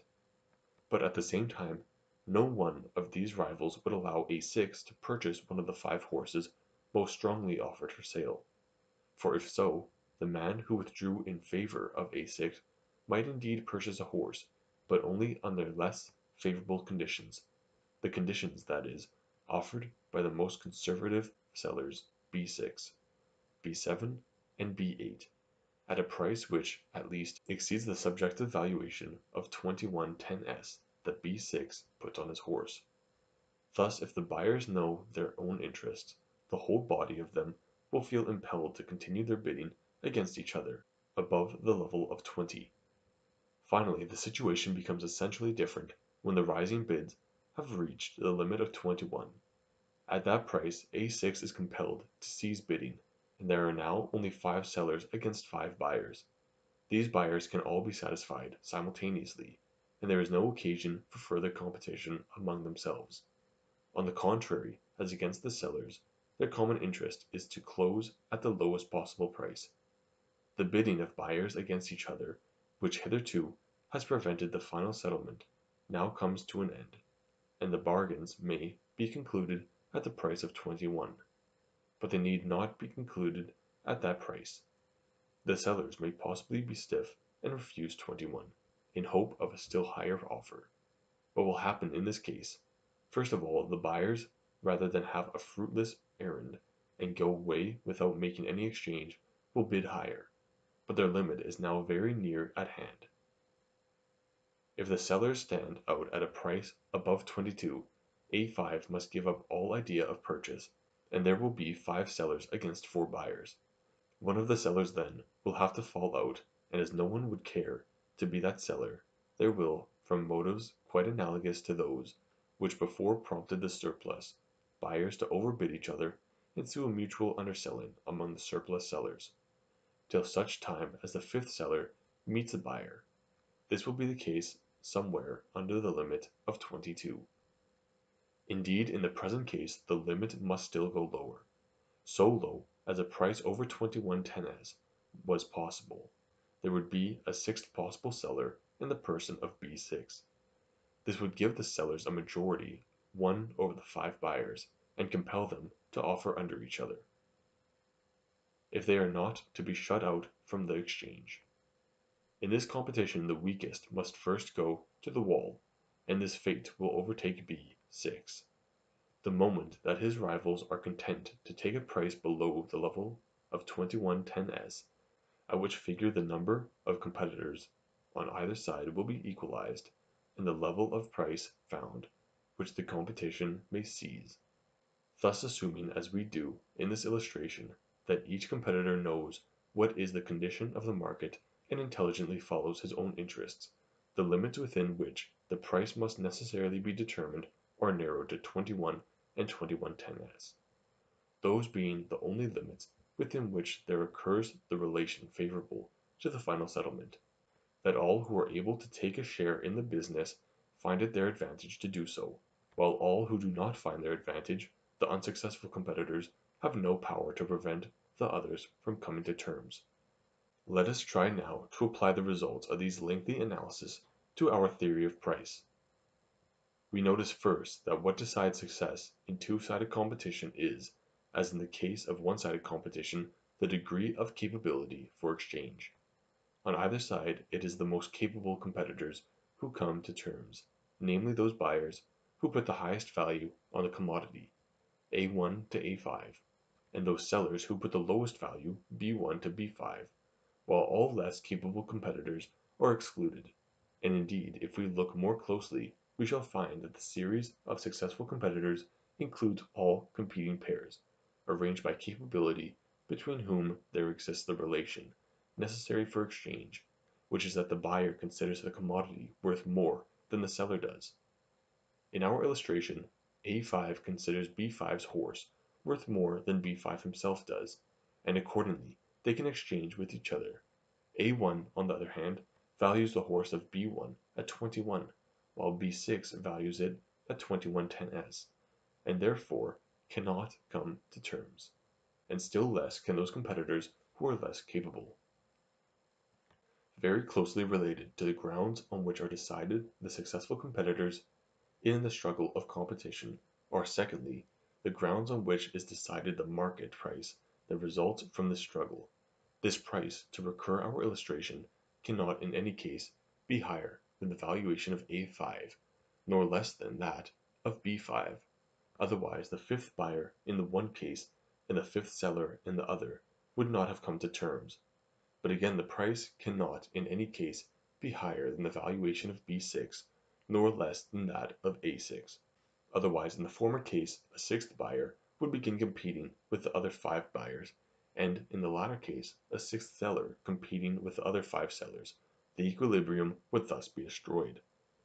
And overbidding and underoffering would inevitably be continued till such time as the price was forced within the limits already indicated.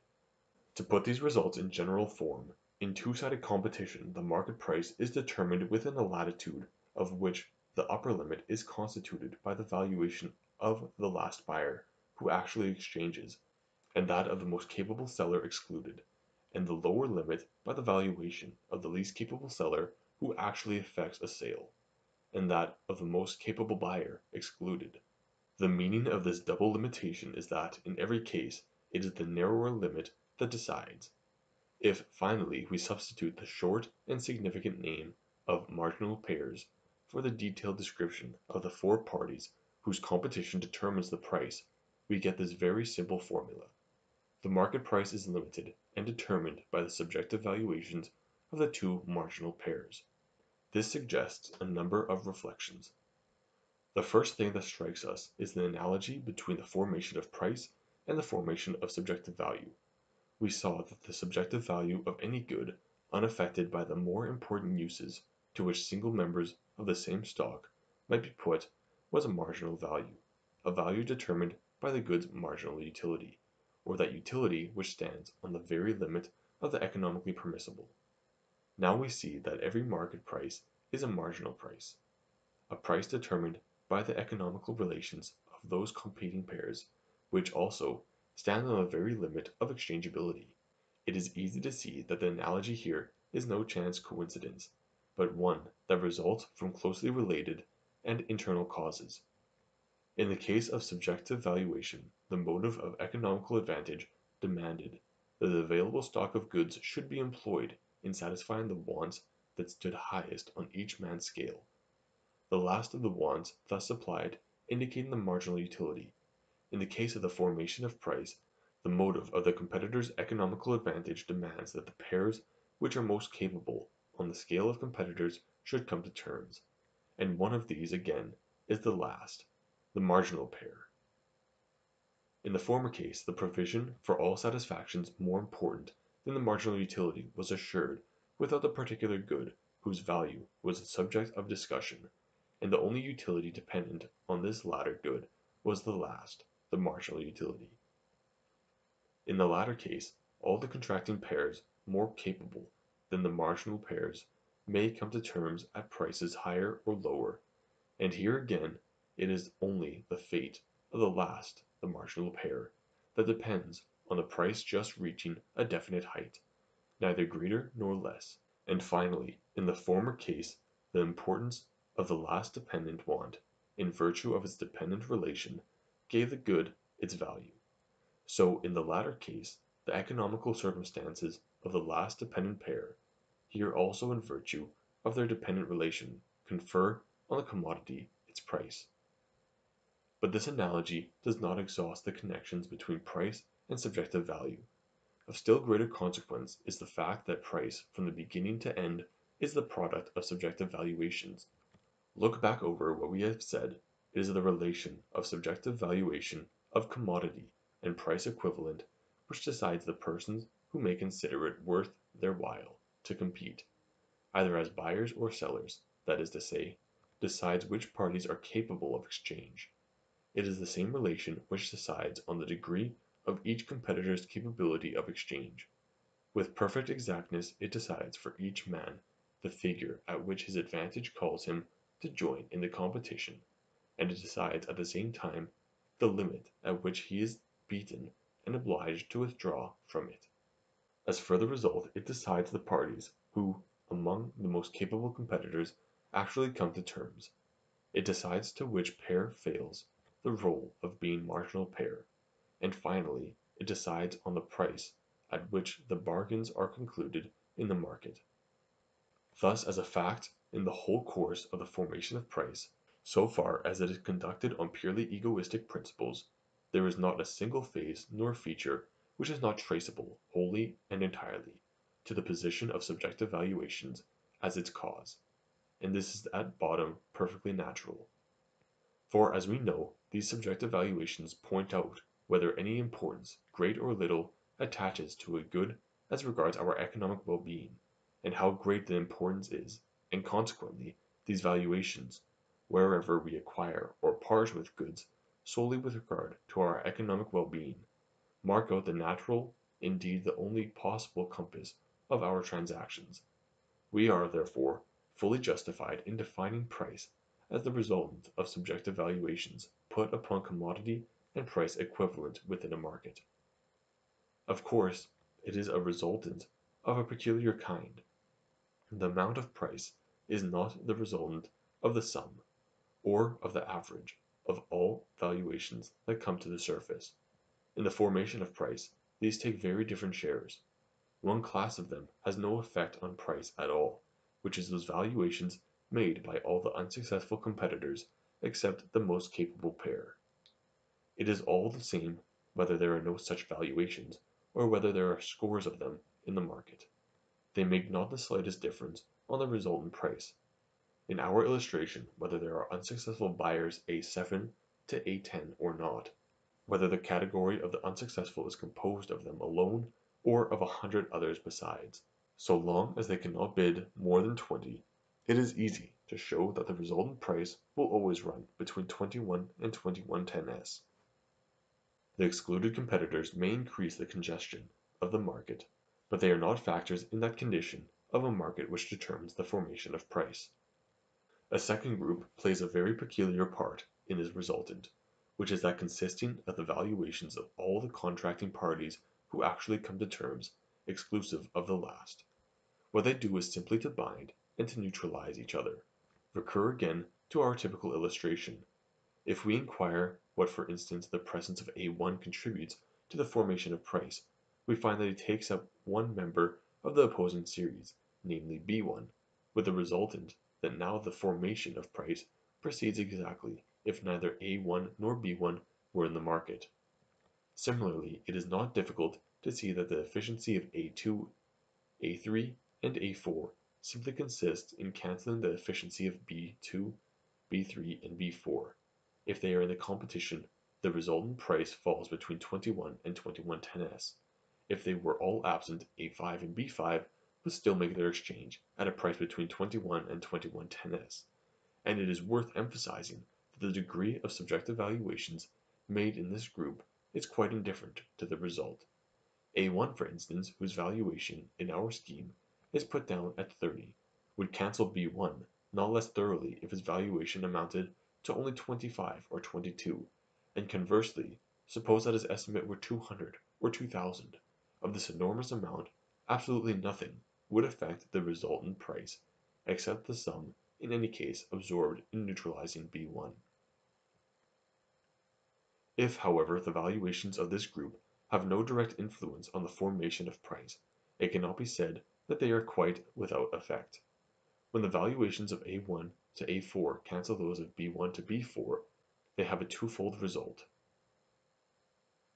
They prevent any stronger seller than B5 getting into the marginal pair which immediately determines the price, and second, they prevent the strongest sellers from canceling the next strongest buyers, as they might do if not cancelled already, and they thus prevent any weaker member of the buying series than A5 from getting into marginal pair. The part played by all those exchanging pairs who are stronger, more capable than the last, may therefore be accurately characterized in the following words: Their valuations contribute nothing directly to the formation of the resultant price, but they do indirectly in so far as they neutralize each other and thus reserve the rôle of marginal pair for another couple. Finally, the real decision of price lies exclusively with a third group, and that a small one, the valuations of the two marginal pairs. All weaker competitors being absolutely without influence, and all stronger ones cancelling each other, they and they alone are the directly effective components, and the market price is their resultant. At first sight it may appear strange that so few persons, and those so little conspicuous should decide the fate of the whole market, but on closer examination this will be found quite natural. If all are to exchange at one market price, the price must be such as to suit all exchanging parties, and since naturally the price which suits the least capable contracting party suits in higher degree all the more capable, it follows quite naturally that the relations of the last pair whom the price must suit, or as the case must be, the first pair whom it cannot suit, afford the standard for the height of price. Chapter 5 The Law of Supply and Demand The zone within the limits of which the struggle of competition forces the formation of price is, as we have seen, characterized as lying between the subjective valuations of the marginal pairs, and on this characteristic feature we have formulated our law of price. But this zone has a second characteristic feature. It is that in which exactly as many commodities are offered for sale as are wanted to purchase, or, to use the common expressions, in which supply and demand are quantitatively in equilibrium. In our scheme, at a price which did not rise to £21, more horses were demanded than were offered; at a price which rose above £21 and 10 shillings, more horses were offered than were demanded; while in the zone indicated by our law of marginal pairs, that between £21 and £21 10 shillings, the position requisite to end the competition was reached, and at that price exactly as many horses were asked as were offered. Now if it should be thought preferable, the formulation of the law of price may be based on this second characteristic feature, and it will then take the following shape: the market price is found in that zone in which supply and demand quantitatively balance each other. This formula is as correct as the other. It indicates the same zone in another way, but it is less expressive (1) in so far as it points only to the level of determining zone in a roundabout way, while by formula the limits of this zone are directly and positively indicated; (2) as it has to contend to some extent with the difficulty of having to use the expression supply and demand, for the Protean ambiguity of these terms is sure to bring innumerable errors and misconceptions in their train, just as it brought the terms themselves into thoroughly bad repute with many. Still these drawbacks may very well be overcome by critical attention, and there is no objection in my opinion to treat the theory of price under the good old catchwords supply and demand, if care is only taken to avoid the errors and misunderstandings which so plentifully surround them, and to inform the old forms and formulas with new and clear knowledge.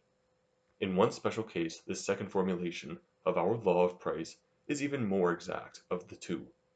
In the vast majority of cases the zone within which supply and demand just balance each other exactly coincides with the zone whose limits are marked out by the valuations of the marginal pairs.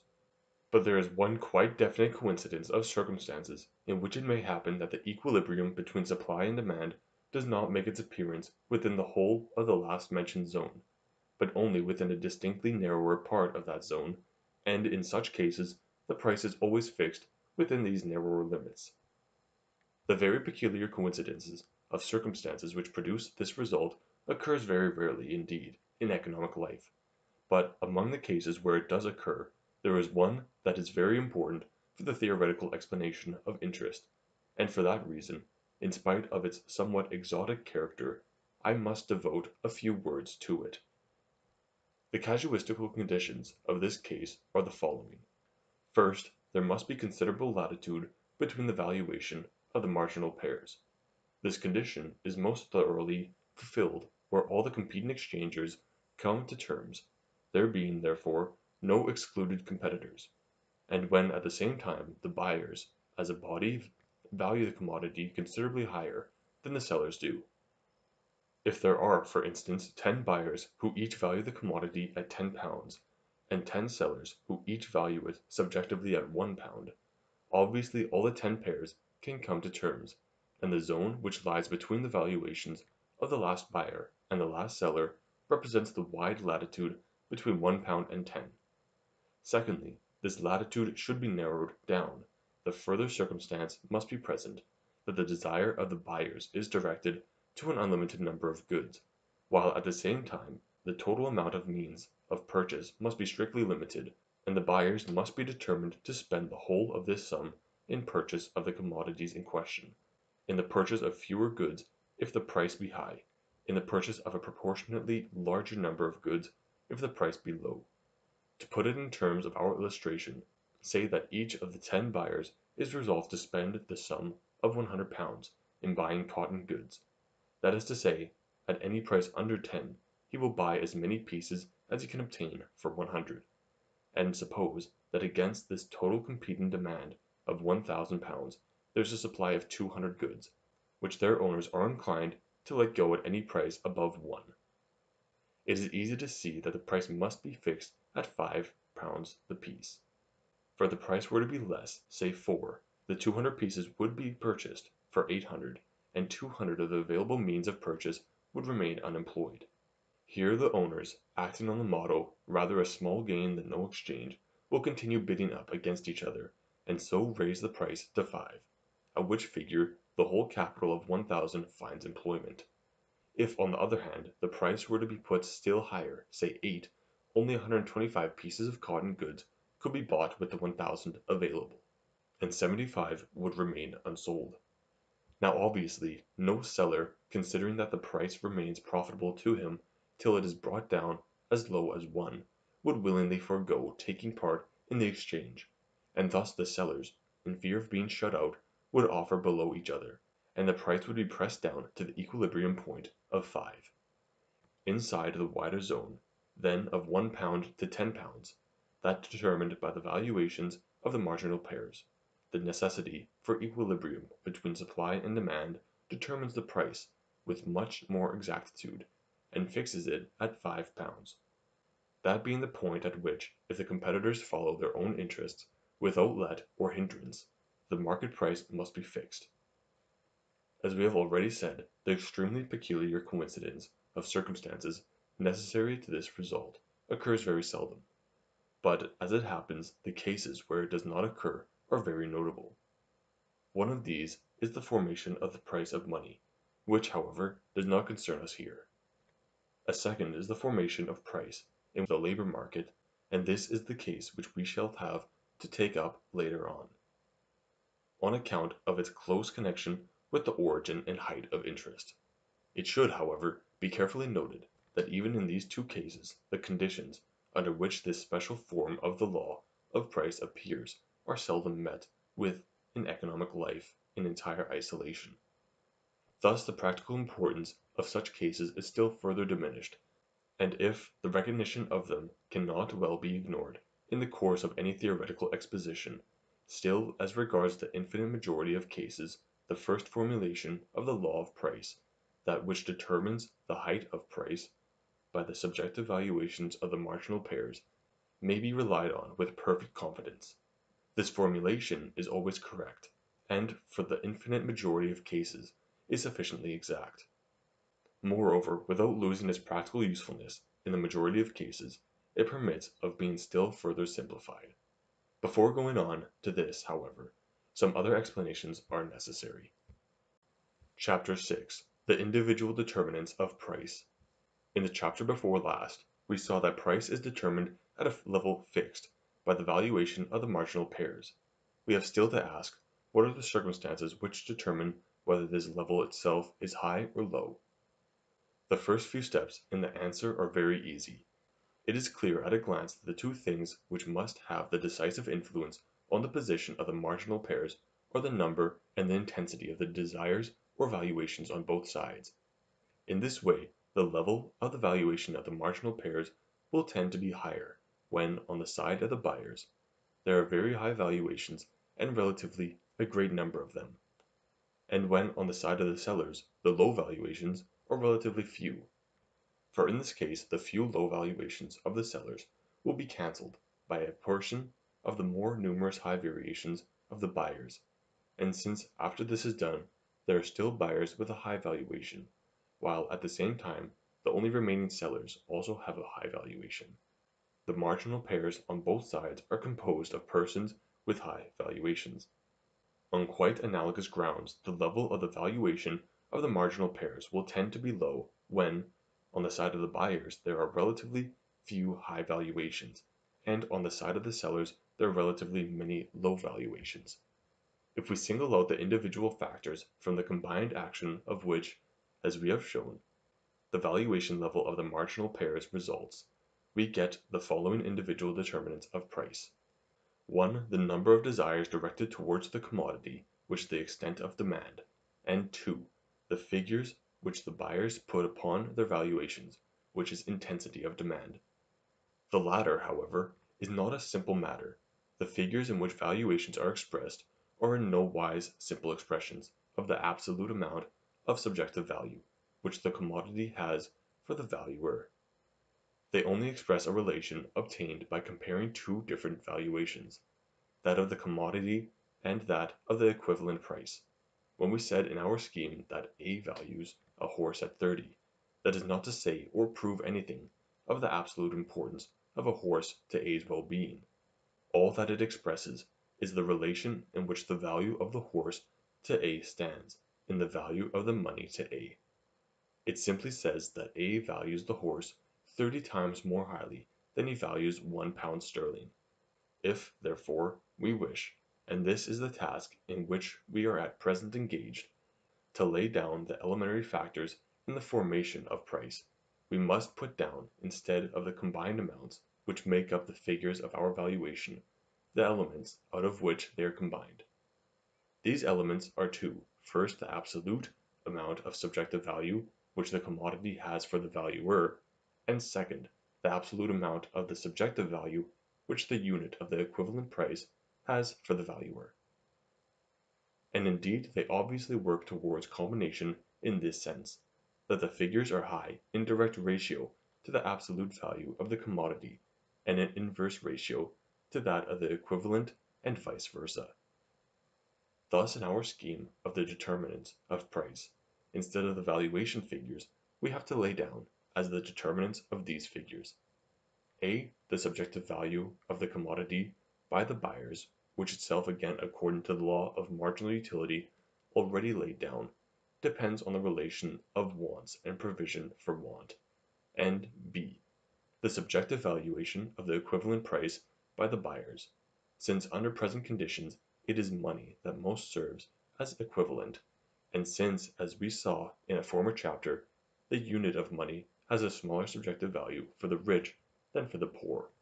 It is in the last instance the standard of comfort of the buyers which has the preponderating influence on the formation of this determinant. Continuing our enumeration, we have 3. The number in which goods are offered for sale, which is the extent of supply, and 4. The figures which the sellers put upon their valuations, which is the intensity of supply. As in the former case, this latter determinant may be split up into two simple factors, a. the subjective valuations of the commodity by the sellers, and b. the subjective valuations of the equivalent price by the sellers. These two find their own further determination according to the law of marginal utility, but frequently this leads to a very noteworthy peculiarity. In the present condition of industry most sales are made by men who are producers and merchants by profession and who hold an amount of their commodities entirely beyond any needs of their own. Consequently for them the subjective use value of their own wares is for the most part very nearly nil, and the figure which they put on their valuation in which the subjective use value is the standard element also sinks almost to zero. Finally comes the result that in such sales the limiting effect which, according to our theoretical formula, would be exerted by the valuation of the last seller, practically does not come into play and price is actually limited and determined by the valuations of the buyers alone. In other words, when goods are once produced and the owner can do nothing with them for his own personal wants, they must, all the same, seek a market. To find this market the seller must, in the usual way, put his goods at a price low enough to find buyers for the whole stock he offers for sale. In the case of a stock of 1,000 pieces, for instance, he will find his market at a price which is somewhat less than the valuation of the thousandth buyer, and somewhat higher than the valuation of the thousand and first. If now the relations of production and sale are normal, the whole stock offered will, almost invariably, be taken off by the demand at a price which is far above the minimum use value of the commodity to the sellers, and which beyond the full amount of costs brings them a business profit. If the circumstances, however, are unfavorable, it may well happen that the seller must seek for his market at considerably lower levels of demand, and be content to take prices which show a loss when compared with costs of production. But as a rule even those forced prices are still above the subjective use value of the commodity to the seller, and the function of this subjective use value as lower limit of price does not come into operation. It is only if the price should sink almost to zero that it would be checked in its descent by this latter limit, the valuation of the seller finally coming into play but it can scarcely ever come to this; in almost all cases the competition of buyers is sufficient of itself to stop the downward movement at a higher point on the scale. Thus in regard to the prices actually established within a large and organized market, the law of price undergoes a great simplification. Of the four valuations which as valuations of the two marginal pairs limit the zone within which price is determined, the valuations of the seller for the reasons mentioned above, fall out altogether. But if the buyers are very numerous, the interval between the figures which two successive buyers put on their valuation is so small the zone limited by the figure of the last buyer and that of the first unsuccessful competitor is narrowed almost to a point. And so far as this is the case, it may be asserted, with sufficient exactness of economic exchange which goes on in large markets, that the market price is determined by the valuation of the last buyer. Chapter 7 The Law of Costs In the sphere of price, as in the theory of subjective value, we find a law firmly rooted in economic literature and accredited by common experience. It tells us that the market price of goods reproducible at will tends to equalize itself in the long run with costs of production.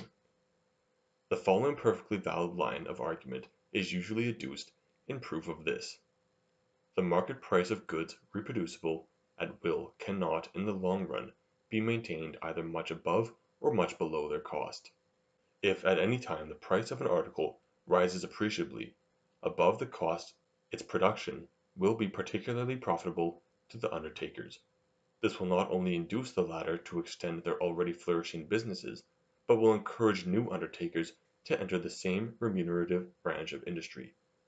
Thus the amount of product brought to the market will be increased, and finally according to the law of supply and demand a fall in price will ensue. If conversely at any time the market price falls below cost, continued production will show a loss, many undertakers will reduce their output, the supply of the commodities will be reduced, and this, finally, in virtue of the law of supply and demand, will lead to a raising of the market price. From this law of cost has gathered a great mass of theoretical detail, which may, for our purposes, be left entirely on one side. Our whole interest is centered in the question as to the position which the law so well accredited by experience takes in the systematic theory of price. Does it run counter to our law of marginal pairs or not? Our answer is that it does not. It is as little of a contradiction as we before found to exist between the proposition that the marginal utility determines the height of subjective value, and the other proposition that the cost determine it. The line of thought which in both cases leads to the solution of the apparent contradiction is the same, feature for feature, except that, in the present case in virtue of the intervention of exchange, in virtue, that is, of the translation of the phenomena out of individual economy into social economy, there appear richer developments at every station on the line of thought. In what follows I shall try, as briefly and clearly as possible, to describe the concatenation between value, price, and costs, and I think I am not exaggerating when I say that to understand clearly this connection is to understand clearly the better part of political economy. The formation of value and price takes its start from the subjective valuations put upon finished products by the consumers these valuations determine the demand for those products.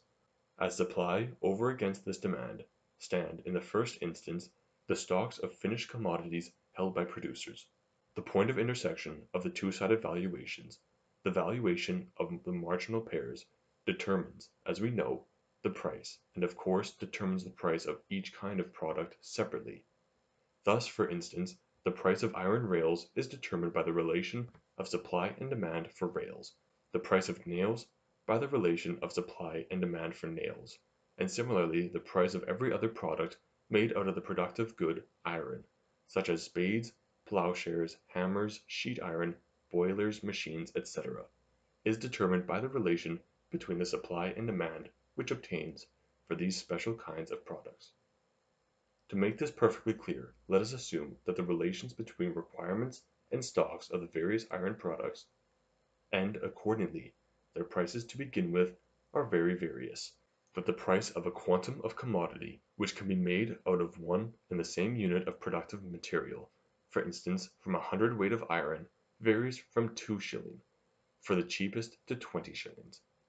For the dearest class of products these prices are the result of the position of the market at the moment, and we have first assumed that the stocks of products the supply are a given quantity.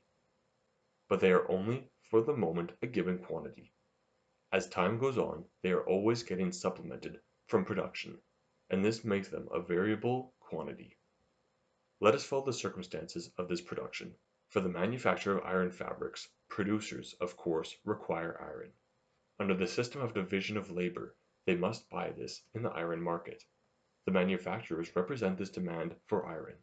As regards the extent of the demand it is clear that every producer will buy as much iron as he requires to produce that amount of the commodity which he may expect to sell among his customers. But how will it be as regards the intensity of the demand? Obviously no producer will give more for the hundredweight of iron than he can get for it from his own customers in the shape of price.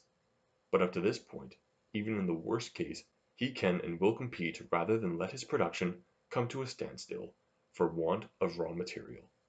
The manufacturer, therefore, who can profitably employ the hundredweight of iron if he gets twenty shillings from his customers will be a buyer in the iron market up to the price of twenty shillings as maximum. He who can profitably employ the hundredweight of iron at sixteen shillings will, naturally, not buy at a price over sixteen, and so on. In this way the market price which each producer of iron wares gets for his particular wares, or the share of the market price which falls to iron according to the law of complementary goods, furnishes him with the concrete valuation which he has in his mind when joining in the demand for iron. The supply which stands over against this demand consists of the stocks of iron held by the mine owners and iron masters. These stocks will pass in methods familiar to us, in the possession of the most capable buyers, and at a price which approximately corresponds to the valuation of the last buyer. Suppose the stocks of iron are sufficient to meet the demand of all those buyers who value the iron from 20 shilling down to 6 shilling per hundredweight, the valuation of the last buyer, and thus the market price of the iron will stand at 6 shilling. And we now have to consider the causal connection which has ended in the price. It runs in the clearest possible way in an unbroken chain from the value and price of products to value and price of costs, from iron wares to raw iron, and not conversely. The links in the chain are these: the valuation which consumers subjectively put upon iron products form in the first link. This helps next to determine the figures of the valuation, the money price at which consumers can take part in the demand for iron products. These prices, then, determine in methods with which we are now familiar, the resultant price of iron products in the market for such products. This resultant price, again, indicates to the producers the exchange valuation which in turn may attach to the productive material iron, and thus the figure at which they may enter the market as buyers of iron. From their figures, finally, results the market price of iron. But still another and very important connection may be gathered from all this. It is that we have simply the great law of marginal utility fulfilling itself.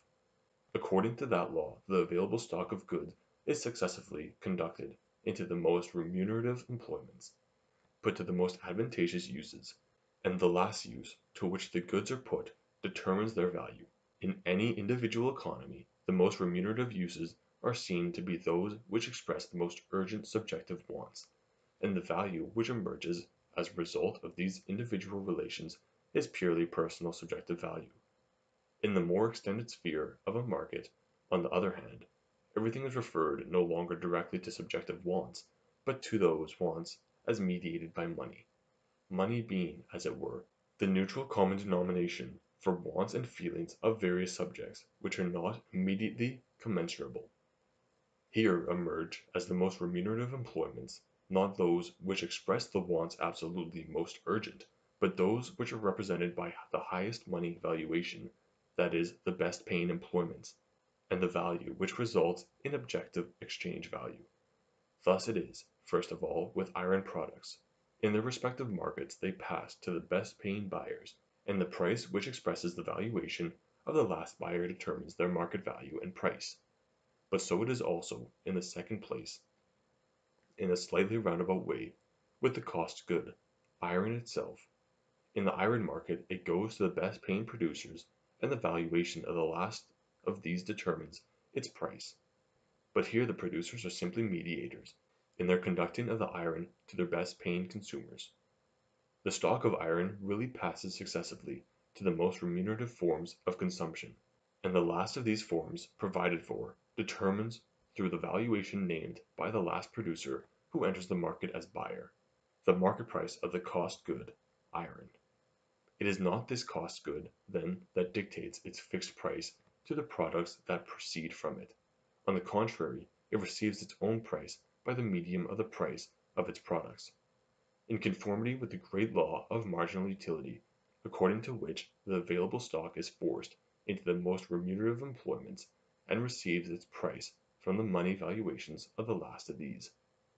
But connected with this is a series of subsequent phenomena which, obviously, have given rise to the opinion that costs exert a causal influence on the price of products. So long as the price of various products made from iron varies between 20 shilling and 2 shilling, while the price of the unit of iron stands between 6 shilling, it is an evidence that the economical principle which should guide the stocks of iron into the most remunerative employments is not fully carried out.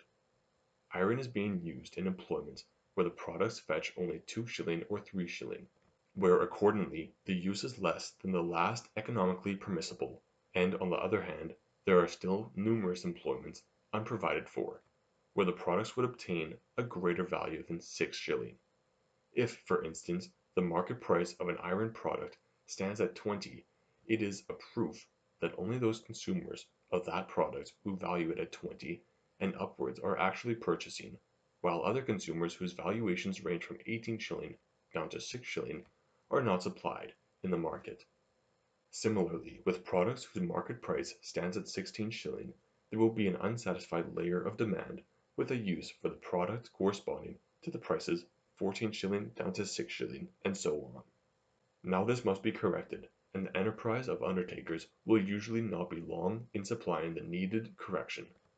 The production of those iron wares the price which still stands above six shilling will, under the inducement of the premium offered by the difference between price and cost, be increased till all those employments where the utility is greater than the amount of six shilling are supplied. Of course this increase of supply has the effect of always reducing the level in which the last buyer is found, and thus the market price sinks till such time as the money valuation of the last buyer, and with it the market price comes to the normal level of 6. Conversely, where iron has been put to employments whose products fetch less than 6 shilling, the loss that ensues will prevent more iron being thus employed. This will be brought about by a temporary suspension or limitation of the production of those iron wares, the market price of which is under 6 shilling. This limitation of supply will soon have the effect of raising the price to 6, and now as the state of the case demands, the commodity, iron, will only be attainable by those buyers who can use it to make products that will fetch at least six shilling. Thus from above and from below all iron products come together at the price of six.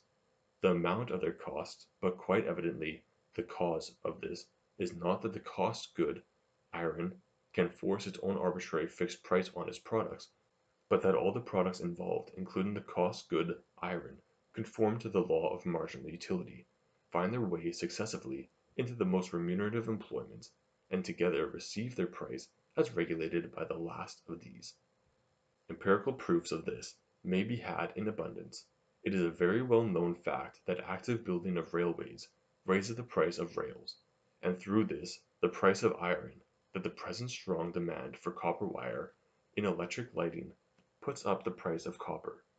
In these cases it is evident that the upward movement of price takes its start from the final products, and is transferred from these to the cost goods. But the objection will probably suggest itself to many readers, that there are also cases where the movement of price is from costs to products. The stocks of iron, for instance, of which we have been speaking in our illustration, are not a fixed amount, but are smaller or greater according to the circumstances of iron production. Now if there is an extension of this production, and the supply of iron increases, its price will certainly fall, and that from causes peculiar to the iron; and this fall in prices will drag down the price of iron wares. Does the causal connection here not run from costs to price of products? To answer this objection, we have only to carry the concatenation, of which we have hitherto examined only a few links, back to its beginning. It is quite correct to say that stocks of iron are not a fixed amount, but the varying result of a production which is capable of being extended or limited at will. For the production of iron, two things are necessary, mines, and to put it shortly, direct and indirect labor. The mines are a given quantity, and cannot be devoted to the production of anything but iron. On the other hand, the quantity of labor available as a whole for economical employment is an amount given and limited by the current state of population, but this is not the case with that particular labor which is employed in the production of iron. Labor is a productive power capable of being employed in any number of ways, and all the branches of production carried on in a community compete for it. Who or what, now, is it that decides what exact proportion of the original productive powers at the disposal of industry, namely labor and uses of land, is employed in the production of iron, and who and what is it that decides on the value and price of the unit of those productive powers. Here, then, for the last time, is repeated in the elements of all economy the movement which we saw in the case of final products and intermediate products. The original productive powers in the nation force themselves into the most remunerative employments one after another, and receive their value and price from the last of these.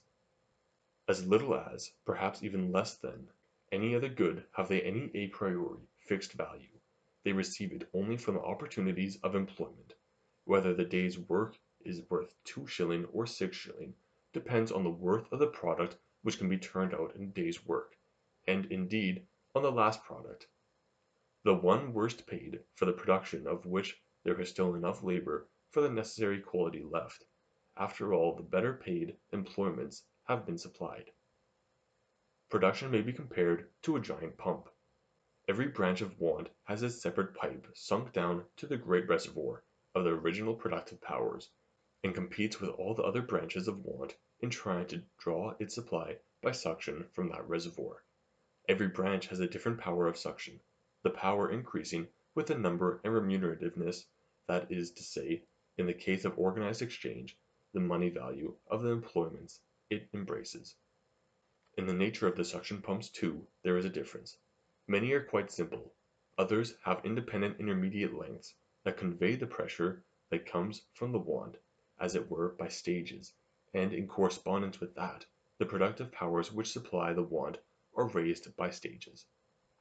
The simile extends still further.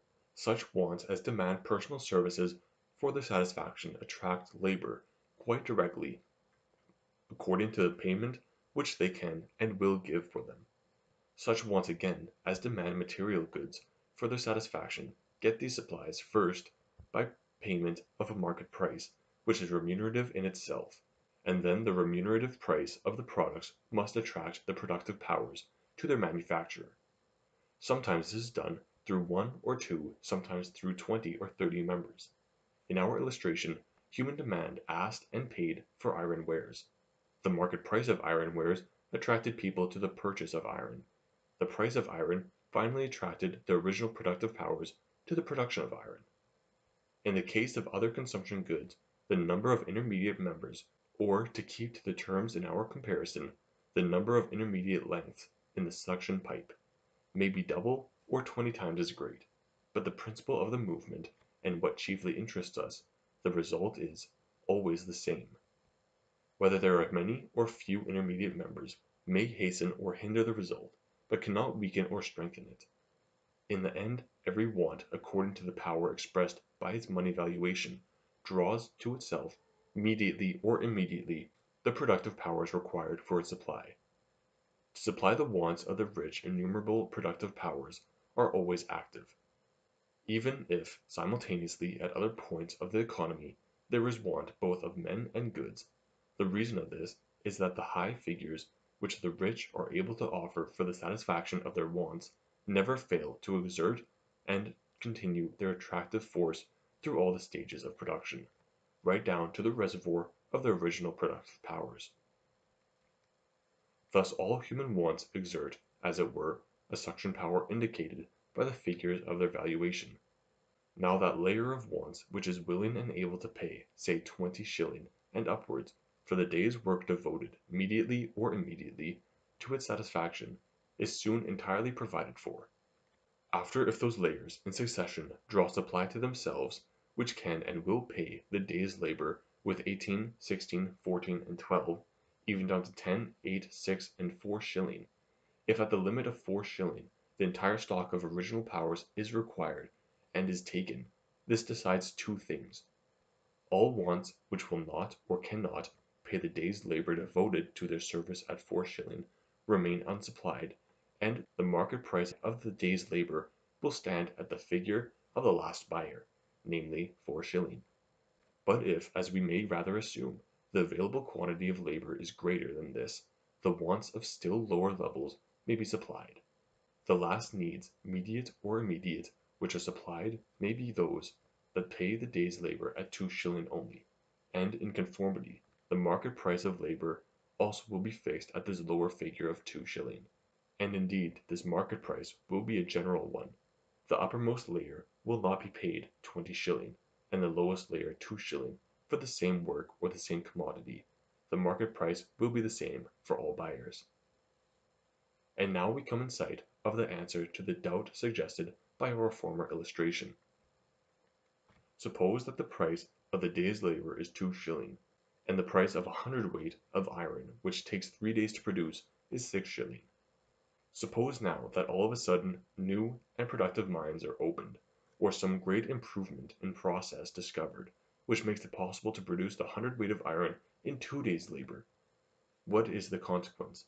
So long as the iron and its products maintain the old price of six shilling, only those wants in the department of iron wares are supplied which are able and willing to pay six shilling for two days' work, that is, to pay the day's labor at three shilling, while all round in other departments of want and branches of production, that layer of want is supplied which pays only two shilling for the day's labor. On economic principles which are willingly carried out by undertakers of industry, who are always ready to seize the chance of a profit when offered them, those opportunities of employment which pay the day's work at more than two shilling, and have hitherto been misapplied, will now be supplied. More original productive powers will, accordingly, be invested in the production of iron, and the supply of iron and iron products will be increased till such time as, here as elsewhere, that level of wants which is willing to pay the day's labor at two shilling is satisfied, and therefore the hundredweight of iron, which costs two days' labor, fetches four shilling. Parallel with this, of course, the price of iron and iron products goes down to the level of four shilling, and all this is not in opposition to, but in real fulfillment of our law of marginal utility, of which the law of costs, rightly understood, is only a special expression suitable to a special group of phenomena. If what is practically inconceivable, production were carried on in ideal circumstances, unfettered by limitations of place and time, with no friction with the most perfect knowledge of the position of human wants requiring satisfaction, and without any disturbing changes of wants, stocks, or technique, then the original productive powers would, with ideal and mathematical exactitude, be invested in the most remunerative employments, and the law of cost, so far as we can speak of such a law, would hold in ideal completeness. The complementary groups of goods from which in the long run the finished good proceeds would maintain exactly the same value and price at all stages of the process, and commodity would be exactly equal to its costs. These costs and their costs and so on, back to the original productive powers from which ultimately all goods come. But this ideal symmetry is traversed by two disturbing causes. The first of these I may call by the general name of friction. Almost invariably there is some hindrance, great or small, permanent or temporary, to the due investment of the original productive powers in the employments and the forms of consumption which are the most remunerative at the time. In consequence of the provision for wants, and likewise the prices, are somewhat unsymmetrical. Sometimes it is that individual branches of want are, relatively, more amply supplied than others, so that for instance in woollens those wants are supplied which pays the day's labor indirectly at one shilling eightpence only, while it may be that in copper goods no wants are satisfied which cannot pay three shillings for a similar day's labor. But sometimes it may be that groups of productive materials successively transformed till they are changed at last into the finished commodity are not equally valued at all stages of the process.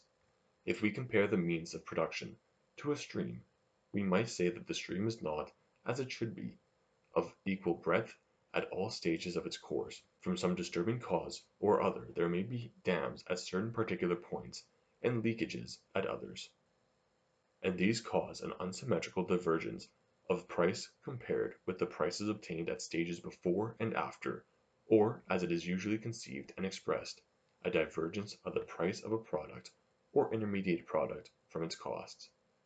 Thus it is in our illustration of the iron, when production is suddenly cheapened from six shilling to four shilling, as a consequence of the production of iron is at first increased and presses down the price of raw material, while the products of iron may still for some time maintain a price greater than their costs, but gradually the increase of supply presses forward to the later stages of production, passing from the production of raw materials to the manufacture of final products and by reducing the price here also to four shillings restores the disturbed symmetry between price and costs. In practical life such frictional disturbances are innumerable. At no moment and in no branch of production are they entirely absent, and thus it is that the law of costs is recognized as a law that is only approximately valid, a law riddled through and through with exceptions. These innumerable exceptions, small and great, are the inexhaustible source of the undertaker's profits, but also of the undertaker's losses. The second disturbing cause is the lapse of time, the weeks, months, years which must stretch between the inception of the original productive powers and the presentation of their finished and final product. The difference of time in exerting a far-reaching influence on our valuation of goods makes a normal difference between the value of productive groups standing at different points of the production process, through which they must all pass, and is therefore a difference to be kept quite distinct from the unsymmetrical divergences caused by frictional disturbances. It is this second disturbing cause which gives rise to interest. Our further task will be to intercalate the theory of interest in its place within the value and price theory already outlined.